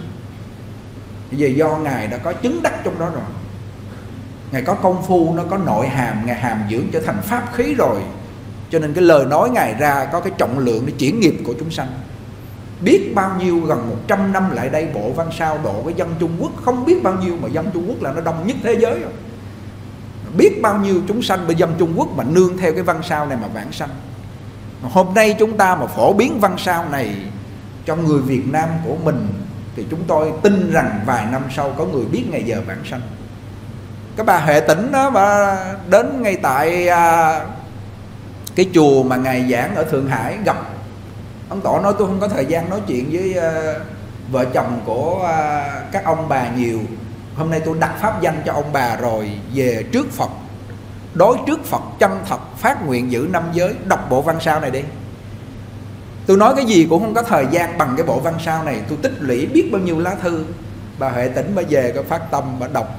Một năm sau cái nghiệp nó tới, bà bị bệnh. Khi bệnh bà biết rồi, xả hết vàng dòng đeo trong người bán hết, phóng sanh in kinh bản niệm phật. Ngày đầu bắt đầu bảo vào công phu bản niệm suốt một thời gian, bắt đầu bà thấy được Bồ Tát Quan Âm đến gia trì cho bà. Rưới nước cầm lồ gia trì. Sau đó rồi bắt đầu bà ra đi là gặp ngài đại thế chí Bồ Tát với Đức Phật A Di Đà. Thì ấn tổ giao cho bộ văn sao, bà y theo đó bà hành trì, có duyên với ấn tổ tức là ấn tổ là hóa thân của ngài đại thế chí bồ tát cầm đài vàng đến cho bà ngồi lên. Phật A Di Đà phóng hào quang từ nơi bạch hào này nhiếp thọ bà ngồi trong hoa sen về cực lạc. Bà huệ tỉnh này con đồng. Sao bà tu cái bộ văn sao này bà nương theo mà có một năm bà vãng sanh, còn mình bao nhiêu năm mà còn ngồi đây? Kỳ vậy ta? Tự nhiên mà mình suy nghĩ lại cho nên chúng tôi đọc vào trong bộ văn sao chúng tôi cứ càng đọc là chúng tôi càng thấy à, cái lời của ông tổ. Và có nhiều người người ta vâng theo lời ông tổ mà người ta làm nó có kết quả tốt. Vậy cho nên thành ra hôm nay chúng tôi à, phổ biến cái bộ văn sao mới nói giờ cái à, gần bốn rưỡi à gần hết giờ. Cố gắng bữa nay xin nửa tiếng nữa 5 giờ đi ha. Lâu lâu mình mới gặp nhận lần đó mà ha. Cả tháng gặp lần. Gọi là gọi là bạn này là tri kỷ tâm giao tâm đầu ý hợp hết. Mới ngồi đây cho hoài, nó nắng, nó nóng quá trời mà cũng ngồi đó. Rồi mấy người dùng này có phước, ngồi mấy lạnh rồi ha. Thì cố gắng lắng nghe ha. Cái quy tắc tu học của ngài, chùa nào cũng dán hết trơn. Nhưng mà ít ai áp dụng, ít ai áp dụng. Chúng ta đọc cái quy tắc của ngài. Bất luận là người tại gia hay xuất gia, cần phải trên kính dưới hòa nhẫn điều người khác khó nhẫn được, làm việc người khác khó làm được, thành toàn cho người là việc tốt đẹp. Khi tỉnh tọa, thường nghĩ đến điều lỗi của mình. Lúc nhàn đàm, đừng bàn đến điều sai trái của người. Lúc đi đứng nằm ngồi ăn mặc từ sáng đến tối, từ tối đến sáng, chỉ niệm phật hiệu, không để gián đoạn. Nếu mà niệm ra tiếng không không đủ sức suốt ngày nam mô di đà phật, nam mô di đà phật, a di đà phật, a di đà phật, thì sợ cái khí lực mình nó không đủ để niệm. Thì lúc niệm ra tiếng, rút niệm thầm trong tâm. Mà thường mình dưỡng khí, mình niệm thầm trong tâm nó khỏe niệm thầm trong tâm thì cái thân, cái tâm mình nó dưỡng thầm. Nó dưỡng thầm mà được cái sự cái sự gia trì của Phật nữa. Mà cái miệng của mình nó không có nói để nó tạc nó tổn khí thì con người mà thần khí thần sắc người này đủ thì người ta khỏe không có bệnh. Một là người ta bị à, cái tinh thần của họ quá bấn loạn họ kìm không được. Thứ hai là họ bị tổn khí tổn lực sức lực của họ bị hao mòn. Do đi làm việc do à, ăn uống không điều độ và không biết tiết dục cho nên thân họ mau hư hoại. Tinh thần họ bị lụng bại vì vậy cho nên thành ra niệm phật là cái cách dưỡng thần tốt nhất, dưỡng khí tốt nhất, dưỡng tinh tốt nhất, gọi là tinh khí thần con người này đầy đủ. Chỉ niệm phật không để gián đoạn, hoặc niệm nho nhỏ, hoặc niệm thầm. Ngoài niệm phật, đừng giấy khởi một niệm nào khác. Nếu khởi vọng niệm phải tức thì bỏ ngay. Thường có lòng hổ thẹn và tâm sám hối. Nếu đã tu trì, phải tự hiểu là công phu của ta hãy còn nông cạn chẳng nên tự kiêu căng khoe khoang chỉ nên chăm sóc việc nhà mình đừng dính vào việc nhà người. Chúng nữa chúng tôi sẽ nói nhưng mà cái chỗ mà nó quan trọng là chúng tôi hay nhắc một chút xíu cho đỡ quên. Thường mình hay để tâm đến việc nhà người đi chợ về cái, cái trò hồi nãy tôi thấy cái hai cái bà bác cãi lộn. Mà nói thôi đủ chuyện hết bà cãi như vậy nè mày. Kể xả rác trong nhà. là gọi là rác của mình hốt không hết. Bây giờ mang rác bên ngoài vô nhà. Đi làm ở bên công ty, nó có phiền não buồn bực cái mang về kể cho vợ con. Hoặc là bản thân mình bị khúc mắc là bắt đầu giận giận cá mà chém thớt về, bắt đầu hành hạ con cá. Cái một người mà phiền não là cả gia đình nó rối beng hết quý vị ạ. À. mà một người nó ăn vui thì cả gia đình mình cũng ăn vui theo, đúng không ạ? Thôi bây giờ mình làm biện pháp thì lúc nào cũng về cười mỉm chi với ông chồng nhưng mà thực sự trong lòng là, thực sự là trong lòng vui, thực sự trong lòng có pháp hỷ, thực sự là trong làng an vui. Ông chồng nếu mà ông hiểu đạo thì bữa nay sao em mỉm cười mỉm chi đẹp thế? Thì bữa nay em nghe thầy nhàn thuyết pháp tự nhiên trong lòng em nó phấn khởi. Bây giờ anh nói gì em cũng giận, mà nói một lần đến hai thì lần thứ ba là em hết đó. Em không có thể nào mà ngưng được đâu à tức là cái sức chịu đựng mình nó không có dẻo dai là do mình không bám vào câu Phật hiệu liên tục. Cho nên mình bám vào cái lời ổng thì ông nói lần thứ ba là mình chịu hết nổi rồi. thành ra thì uh, mình quan tâm việc nhà người dữ có người đó người ta nói uh, người ta hỏi quá nhiều đi ngài nói tôi đưa cái bộ văn sao ông không chịu đọc bây giờ ông hỏi chi nhiều quá vậy? Chứng tỏ là ông không có đọc văn sao rồi. Nếu mà ông đọc văn sao thì ông không hỏi những câu này bây giờ hỏi đủ thứ nhà con thiếu gạo thiếu tiền rồi con con nó bệnh hoạn hỏi đủ thứ hết trơn. Thì cái thôi ông hỏi nhiều quá tôi biết năng ngại nào trả lời thôi đọc văn sao đi. ý nghĩa là ngài cũng gạt bớt những người mà làm phiền tối cho ngài. Đừng gửi thư đến đây nữa. À. như vậy quý vị biết một cái cây mà nó xum xê thì nhiều à, chim chóc nó tới nó đậu chùm gửi nó gửi trên nó nếu mà cái cây không xum xê cây chọc lóc không cả lá chim nó không có tới. Cũng vậy một người mà họ có cái phẩm hạnh người ta có cái sức ảnh hưởng đến con người thì nhiều người đến mà nhiều người đến mà họ không có công phu, họ cứ để tâm vào những người khác, để vào cái nghiệp xấu của người khác, để họ chuyển cái lâu ngày họ mất công phu cái họ cũng bị ờ, dính mắc theo luôn, họ khổ đau luôn. Mình trong gia đình cũng vậy. Chồng con, cháu chắc, bạn bè nó làm cho mình rối lên chịu không nổi. Mình cứ để tâm vào những cái chuyện bại hoại, dính mắc chuyện nhà người mà riêng cái nhà mình, tức là ở trong tâm mình là nhà mình, ý ngài nói, ở trong tâm của mình chưa ổn định. Thì nên tránh duyên đi vào cái chỗ nào đó mình công phu. Có vị hòa, có vị thầy đó kêu bây giờ tâm con bất an, lúc trì chú tự nhiên đang ngồi cái nó chuyển niệm phật. Lúc niệm phật cái nó chuyển trì chú, kêu cái sức định ông kém quá phải bây giờ ông buông xuống mọi duyên, ông đừng có lo chuyện gì nữa cả.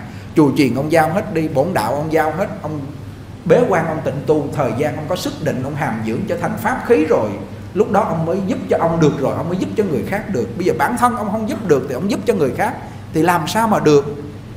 Quý vị đã nghe xong cái là ông buông xuống vô công phu. Đó là lo việc nhà mình. Lo việc nhà mình, tức là lo an định cái tâm của mình. Nói như vậy không phải là mình không có trách nhiệm với người khác.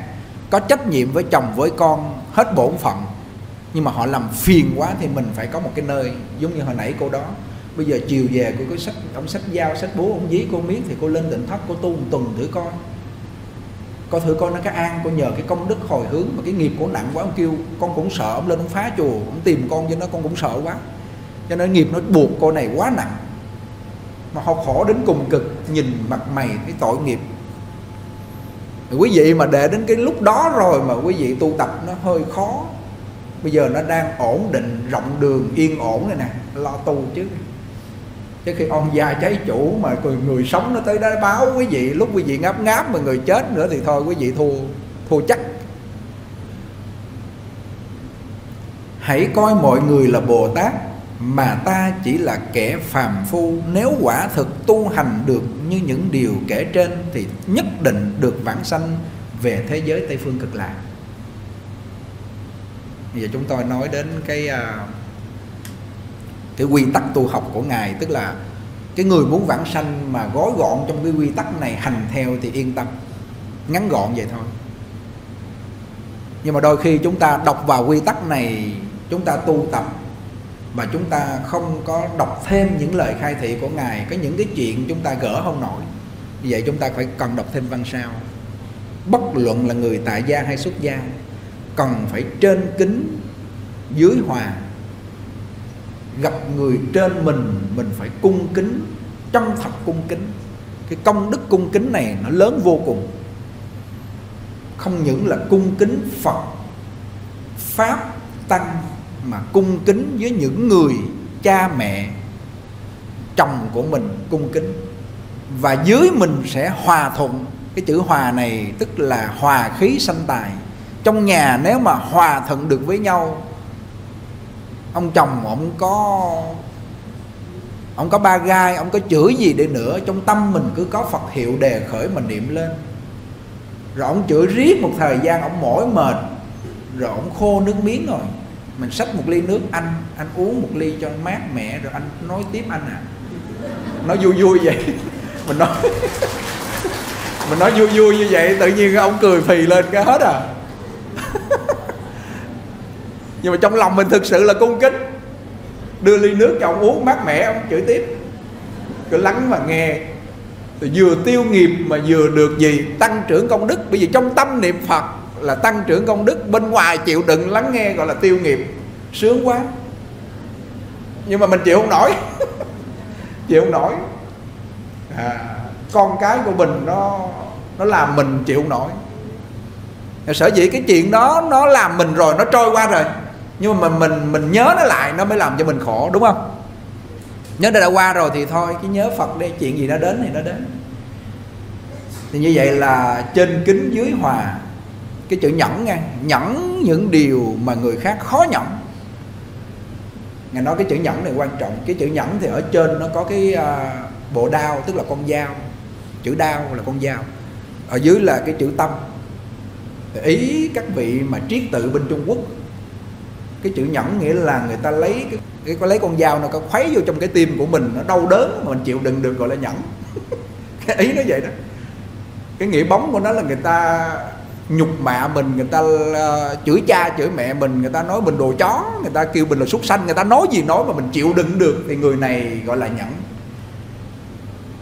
Mà người nhẫn được thì gọi là thánh nhân. Còn nhẫn không được thì gọi là phàm phu bây giờ muốn làm phàm phu muốn làm thánh nhân. Bây giờ hỏi thiệt, muốn làm phàm phu hay thánh nhân? Làm thánh nhân là phải nhẫn nha. Phải nhẫn. Cho nên ngài nói là nhẫn những điều người khác khó nhẫn. Nhà. Làm việc người khác khó làm được. Cái việc mà người ta không làm mình làm. Có các vị hòa thượng, quý vị biết là hiệu trưởng trường Phật học Huệ Nghiêm, các vị hòa thượng hồi xưa cái việc mà khó làm nhất là việc gì không? Đi rửa nhà cầu. Thôi nó hôi hám mà rửa nó khó lắm mà ngày cứ 3 giờ khuya ngày dậy có bắt đầu là ngày gì? Ngày lừa rửa để cho đại chúng đến 4 giờ ngày lên ngày công phu. Sợ đại chúng thấy ngày phải lén lén ban đêm khuya ngày dậy ngày rửa nhà cầu.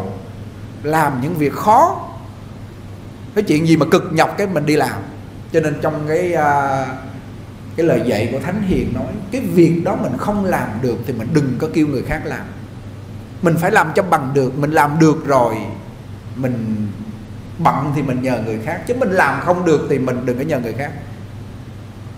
Tức là mình phải thay người làm việc khó nhọc mà người khác khó làm cho nên trên tình thất quan âm chúng tôi chia ra mỗi người một việc. Thấy người đó người ta làm cái việc đó được mình chia cho họ làm.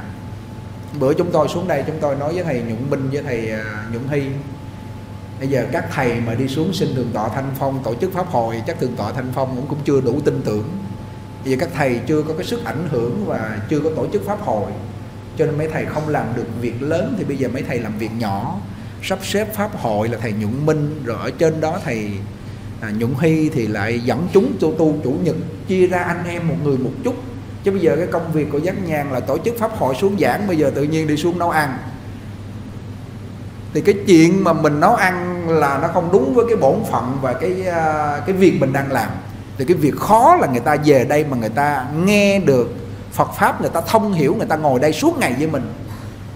Thì cái chuyện này nó khó mình phải thay người mình làm mà khi việc khó mình làm được thì tất cả việc dễ gì mình làm được hết. Về nhà, ông chồng ông nói, em, đi lâu nhà. Dạ anh à.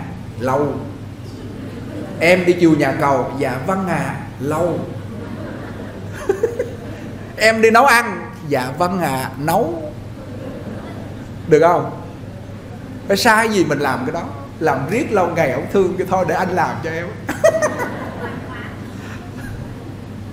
chứ khi sai đó bà kêu là, tôi cứ làm hoài, ông ngồi không, ông coi đá banh với ông. Thì không có thay người làm khó, làm những việc khó, làm như con ở luôn. Bởi vì mình nợ ổng cho nên ông mới sai chứ. Mà quý vị để ý gia đình coi, có nhiều ông chồng ông đa lưng cấm cổ, đi làm đuôi vợ vợ ở nhà phè phè chơi. Rồi có nhiều người là nợ, vợ, nợ chồng làm công lưng luôn, chồng coi đá banh chơi à. nó nợ thôi chứ không có gì hết trơn á. Gặp cõi đời này là đòi nợ, trả nợ, báo ân, báo án nhiều đó. Không gì hơn hết trơn. Nhưng mà người khéo xử trí, người ta biết cái người ta vượt qua được. Không ạ à? nói thì nghe có lý, ngồi trong này thì nghe có lý, êm tai lắm. Mà về nhà đụng chuyện nó khi làm không nổi. Thì cái sức nhẫn của mình nó kém, cái sức chịu đựng mình nó kém. Nhưng mà niệm câu Phật hiệu, bắt đầu tự nhiên mình thấy ổng khởi niệm ác lên, tự nhiên mình thương ổng, sợ ổng đọa lạc, thương ổng cùng cực thương nổi không? Bây giờ mình mà nếu mà khởi niệm ác lên với ổng nữa rồi ổng khởi niệm ác lên nữa là ổng đọa lạc nhanh cho nên thôi không dám khởi niệm ác. Cứ khởi niệm phật lên hồi hướng cho thì con người này gọi là thiện nhân. Quý vị nhớ ở trong cái phim mà cái ông đó ông thấy bà này ăn chay ông cứ gấp thịt ông bỏ vô ở trong uh, chén xong bắt đầu ông thấy bà niệm phật chuẩn bị giảng sanh bỏ ông quản hồn ông bắt heo về cho bà giữ giữ chân để ông giết. Quý vị nhớ cái phim không ạ? Giữ chân ông giết cái bà cứ cầm cái chân bà quay mặt qua cái nam mô di đà phật. Ông vừa giết, bà vừa niệm phật cho con heo. Thế mà cuối cùng bà vãng sanh quý vị. Coi như là ông chồng, coi như là ông ờ, ngăn cản bà niệm phật, nhưng mà ngăn cản không được. Ngăn cản ờ, bên ngoài thôi, chứ trong tâm bà ông ngăn cản không được, đúng không? Trong tâm ai mà, trong tâm mình ai mà ngăn cản? Chỉ có mình ngăn cản mình thôi, chứ ai mà ngăn cản bên trong tâm mình được. Đúng không? Nghe cả lý ông làm sao mà ông chui vô tâm mình ông ngăn cản mình được? Mình niệm phật làm sao mà ông ngăn cản mình được? Ông bắt mình giữ chân heo vẫn cầm giữ chân heo như thường. Nhưng mà trong tâm cái niệm phật cái tay thì cầm chân heo để cho ông giết. Ông kêu bà phải cầm heo cho tôi giết mới được. Ông cho các cớ ông giết được mà ông kêu bà, bà phải cầm. Ông vừa cầm ông vừa niệm phật bà cầm bà niệm phật. Niệm phật cho con heo nó nghe. Vậy ở trong tâm mình không ai ngăn cản mình được mà chỉ có duy nhất là nghiệp mình nó ngăn cản. Nghiệp tức là hành động theo thói quen nó lười biếng niệm phật nó ngăn cản mình niệm phật chứ không có ai mà ngăn cản mình được. Nó lười biếng tụng kinh nó ngăn cản mình tụng kinh chứ không ai mà ngăn cản mình được đúng không quý vị? Đó. Thì bây giờ nếu mà mình muốn để cho màu chuyển được cái nghiệp này á, thì mình cũng phải nhờ đại chúng gọi là cái tiếp dẫn lực của đại chúng. Rồi mình phải nhờ vào cái pháp lực là cái câu Phật hiệu. Tự lực mình làm không được rồi mình nhờ vào cái Phật lực bất khả tư nghì để gia trì cho mình. Thì có khả dĩ cho nên cái người vãng sanh mà cái lúc họ ra đi tự thân họ niệm Phật được nhưng mà nó yếu ớt quá cho nên phải cần có đại chúng. Hồi sáng chúng tôi mà nói à, mời mấy cô bên úc lên chúng tôi nói không biết ở bên úc như thế nào cho tỉnh thất quan âm. Suốt 24 trên 24 phòng hộ niệm không ngơi nghỉ một giây phút. Chúng tôi một câu a di đà phật đại chúng cứ là hai chục người chia ban, hai tiếng đồng hồ, a di đà phật, không ngơi nghỉ. Cái câu phật hiệu này nó phát lên một cái tần số, nó làm cái không khí ở trong xung quanh đó, nó thanh tịnh. Không gián đoạn một giây phút nào hết. Cho nên cái lúc mà mình ra đi mà nhờ được cái lực của đại chúng hộ niệm và nhờ được cái môi trường nó thanh tịnh sẵn rồi đó, thì cái sức gia trì đó chuyển nghiệp cho mình, giúp cho mình gọi là trợ lực, trợ niệm nhưng mà có nhiều người người ta tự niệm thật không được, chỉ nhờ trợ lực thôi. Thì cái này không thành tựu được chánh niệm. Muốn thành tựu được chánh niệm thì chánh trợ phải song vận với nhau. Chánh niệm của họ họ phải đề khởi được câu Phật hiệu. Rồi trợ niệm, tức là cái người khác trợ lực cho họ. Thì giữa cái trợ và cái chánh này nó mà khế hợp với nhau, cái câu Phật hiệu ở bên ngoài và trong tâm họ liên tục không gián đoạn từ từ cái bắt đầu cái tâm họ nó cảm đến cái pháp lực, là cảm đến cái câu Phật hiệu và cảm đến Phật lực bất khả tư nghị thì nó chuyển được nghiệp lực. Và khi chuyển được nghiệp lực rồi thì tịnh nghiệp Tây phương nó thành tựu được là Phật cầm đài vàng đến tiếp dẫn chúng ta vãng sanh. Thông hiểu chỗ này không ạ? Có nhiều người nói bình thường mình không có niệm phật gì hết, cái lúc lâm chung mình cần ban trợ niệm mà mình không niệm phật có vãng sanh không? Không vãng sanh được. Mà nếu mà mình đầy đủ chánh niệm rồi biết ngày giờ vãng sanh thì người này không có cần trợ niệm nhưng mà ấn quan đại sư biết ngày giờ vãng sanh là đại thế chí bồ tát. Thế mà cũng nói ta chuẩn bị đây đây mọi người niệm phật cho ta nha. À quý vị coi lại coi ngài là thành tựu được cái cái cái cái uh, tâm niệm là ngài nguyện vãng sanh và ngài biết ngày giờ. Các vị uh, hòa thượng chân đạt mới nói giờ của ngài là bây giờ cái ngày đó để mà lo cái việc mà bổ nhiệm chủ trì, lo việc này, việc nọ. Ngài kêu trễ rồi, không kịp đâu. Đổi lại cái ngày kế tiếp ngày tôi cũng trễ rồi. Nói lại cái ngày mà ngài gần giảng sanh, ngài nói cái ngày đã giờ được à. vừa rồi chứ không không đợi lâu được đâu.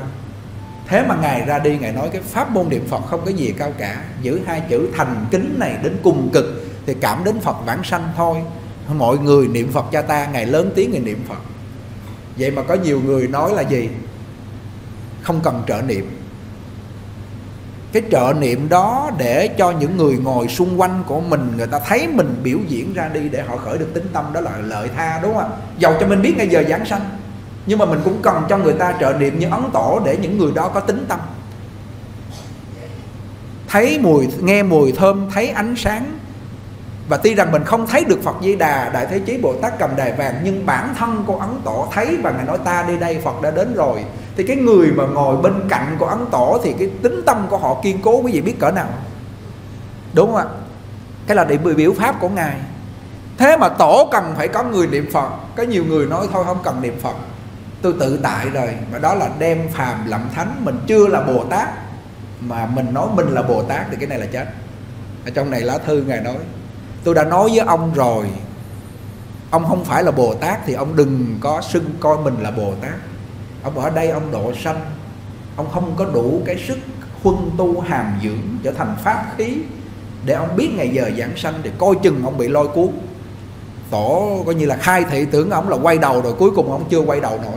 Ông về ông lấy những cái à, lời ở trong uh, uh, khổng tử nói á và ông nói cái vẻ giống như là Phật nói ông mượn cái lời của uh, sách nho mà ông à, nói tương tự như là Phật vậy. Cái này ông gọi rằng là cống cao ngã mạng. Cuối cùng ông này ông nằm ba ngày ba đêm ông chết không được vãng sanh. Gặp trực tiếp ấn tổ khai thị rồi mà vẫn không chuyển nghiệp được. Thì ấn tổ có nói cái lá thư này.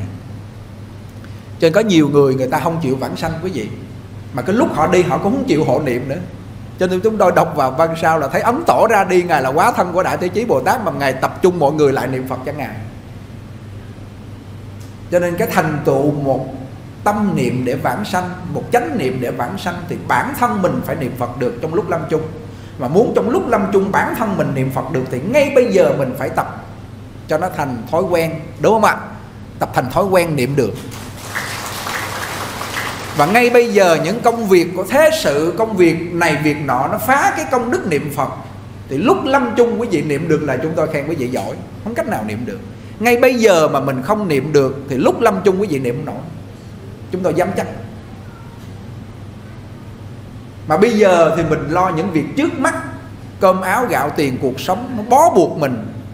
Rồi thọ mạng hết cái là mình quay lại niệm niệm không được nữa. Bởi vì nó không có hung hàm dưỡng, nó không có hung tu thì lúc đó là tay trắng rõn tay trắng, mất hết cả chì lẫn chài mất cả chì lẫn chài là của cải vật chất mang đi không được mà tâm lực này không có phật lực gia trì, bởi vì hàng ngày không có niệm phật. Cho nên lúc đó nghiệp lực nó lôi cuối vào cõi ác mà đã làm chó rồi, làm súc sanh rồi, coi chịu thua. Nghe đến đây tự nhiên hơi giật mình, phải không? Làm súc sanh rồi là khó cứu. Mà để súc sanh này nó có phước làm người nữa thì không biết khi nào cho nên đức phật nói mà con người để làm người lại nó khó vô cùng. Đức phật cầm một nắm đất nói, này tất cả các vị tỳ kheo, đất trong tay ta nhiều hay đất trong đại địa nhiều. Các vị tỳ kheo nói, đất trong nắm tay ngài so với đất đại địa quá ít. Đức phật nói cũng thế, cái người chết mà được làm người nó ít như trong đất trong nắm tay ta. Mà cái người chết mà đọa lạc vào tam đồ, nó giống như đất trong đại địa cái này chúng tôi nói là đúng có sử liệu Phật dạy như thế. Ngay thời Đức Phật còn tại thế mà ngài nói như thế đấy. Ngài cầm nắm cát lên, ngài kêu, cát trong sa mạc nhiều hay là cát trong nắm tay ta nhiều? Các vị đệ tử ngài nói, cát trong sa mạc quá nhiều, cát trong nắm tay ngài quá ít so với cát trong sa mạc. Ngài nói là người mà chết mà làm người nó hiếm lắm, giống như là cát trong nắm tay của ta. Ý ngài nói vậy là sao? Quý vị nhìn lại coi, nhìn lại coi ngài nói đúng không nè? Lúc lâm chung nó không tham đắm cái thân này thì nó cũng tham đắm của cải. Không không tham đắm của cải thì cũng tham đắm chồng con. Mà không tham đắm chồng con thì nó cũng là gì? Nó bị cái nghiệp chướng nó lôi cuốn mình, chịu không nổi. Mà tham là nó xuống ngạ quỷ rồi đó. Sân nó vô địa ngục mà nó si mê, mình không biết đường nào đi là nó vô loài súc sanh rồi. Cho nên ngay lúc bây giờ chúng ta biết để chuyển nghiệp bằng một câu Phật hiệu đơn giản, dễ dàng lấy cái thức mình nương vào câu Phật hiệu, lâu ngày nó chuyển thức thành trí. Chỉ có cách này là nhanh nhất, cách này là hay nhất, đơn giản nhất, màu nhiệm nhất, thành tựu dễ dàng nhất, không tốn sức, không tốn công nhiều. Nghe có lý không? Nhưng mà chưa làm cho nên thấy nó nó bình thường. Nghe thầy nhà nói vậy thôi chứ mà mình chưa làm cho nên thấy nó bình thường, nhưng mà làm vô thấy nó phi thường á các cụ già bây giờ không phải làm gì hết như bà cụ mẹ của cô à, Hà Ngọc cứ a di đà Phật suốt ngày. Nhưng mà bà cụ này hỏi này kỹ lại một chút là sáng bà cũng ham vui và đi tập thể dục rồi này nọ. Nên cô Hương nói sáng mà bà ở nhà bà lạy Phật luôn nó có sức khỏe vừa là thể dục luôn khỏi phải đi ra bên ngoài.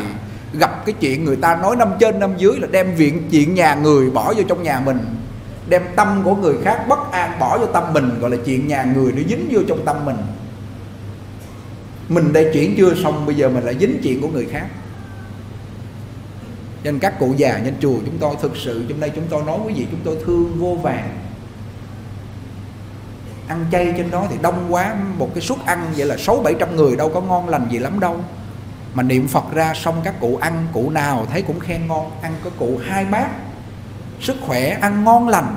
Suốt ngày bốn thời một câu phật hiệu niệm.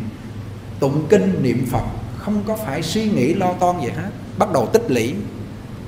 Vì vậy cho nên thành ra chúng tôi à, thành tựu cho một người vãng sanh là thành tựu cho một phàm phu thành phật. Công đức này lớn lắm. Há chi là thành tựu cho gia đình mình? Nay gia đình mình có bốn năm người ông chồng hai ba đứa con bây giờ bằng cách nào để thành tựu cho họ một cái ý niệm giảng sanh là đọc văn sao? Đọc văn sao cho họ nghe hàng ngày. Vậy cho nên hôm nay à, chúng tôi không có cái thời gian để nói hết cái quy tắc tu học.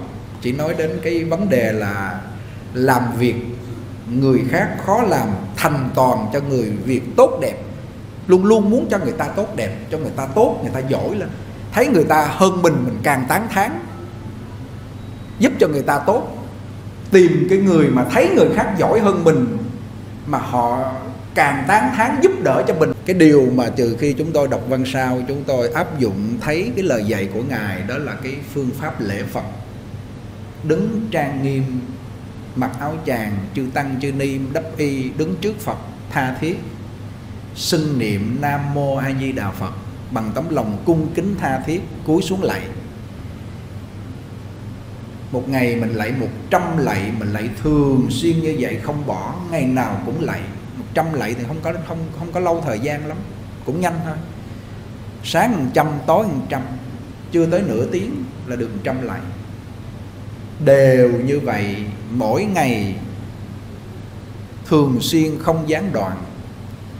Thì người này không có bệnh gì hết. Vì sao? Thứ nhất là câu niệm phật nó tiêu nghiệp mà nghiệp nó sanh ra bệnh. Nghiệp sát sanh, như hồi nãy ngài nói. Sở dĩ ông nằm đó, ông bệnh, ông bị tai biến, ông đột quỵ đó là do ông không biết biết bảo thân, bảo dưỡng cái thân thể bằng cách tiết dục. Cho nên ông không chết trực tiếp thì ông cũng nằm đó, nó tàn tạ mà thôi. Ông muốn như vậy thì ông phải để dành cái sức khỏe của ông ông dưỡng, hàm dưỡng cho nó một năm trời nhiều năm như vậy. Riêng cái cuốn bảo thân tiết dục ngài nói đến sáu sáu mươi mấy lá thư. Vì vậy cho nên thành ra là cái uh, pháp môn niệm phật này ấn tổ nói nó sâu sắc mà cái đặc biệt là chỗ này quý vị. Đặc biệt là người ta tu bị khúc mắc gửi thư đến ngài tháo gỡ cái hay là chỗ này. Mà những người gửi thư đến có chúng ta trong đó chúng tôi bảo đảm là có chúng ta trong đó, có chúng tôi trong đó. Nó bị khúc mắc trên cái con đường tu tập ngài tháo gỡ được hết. Cho nên ngài mới nói là đọc kỹ vào trong văn sao thì tất cả khúc mắc đều tháo gỡ. Hành theo những gì trong văn sao đã nói thì mình tuy rằng thân phàm ở cõi trần tục này, nhưng mà tâm mình đã ký gửi trên liên thai ở bên tây phương cực lạc. Giảng tịnh độ mình nghe như vậy mình mới thấy thích thú. Không có phải mê tín dị đoan gì đâu như vậy cái à, cái lễ phật này để làm gì? Thứ nhất là nó tiêu nghiệp. Có nhiều người người ta không có bàn phật. Người ta lễ phật hướng về hướng tây. Không biết hướng tây thì cứ tha thiết nhiếp tâm lễ phật xưng một câu danh hiệu phật. Lễ phật một lễ tội diệt hà sa niệm phật một câu công đức vô lượng. Khi họ tin được điều này nghĩa là họ làm thời gian cái là bắt đầu nó thay đổi. Thay đổi cái thân tâm họ, mà khi họ thay đổi được thì cuộc sống bắt đầu của họ thay đổi và ảnh hưởng người khác, gia đình của họ thay đổi theo. Như vậy cho nên cái pháp môn tịnh độ là chúng ta lấy lễ phật, tha thiết chí thành cung kính. Hồi nãy ngài nói, có một cái việc bảo ban cho nhau dùng hai chữ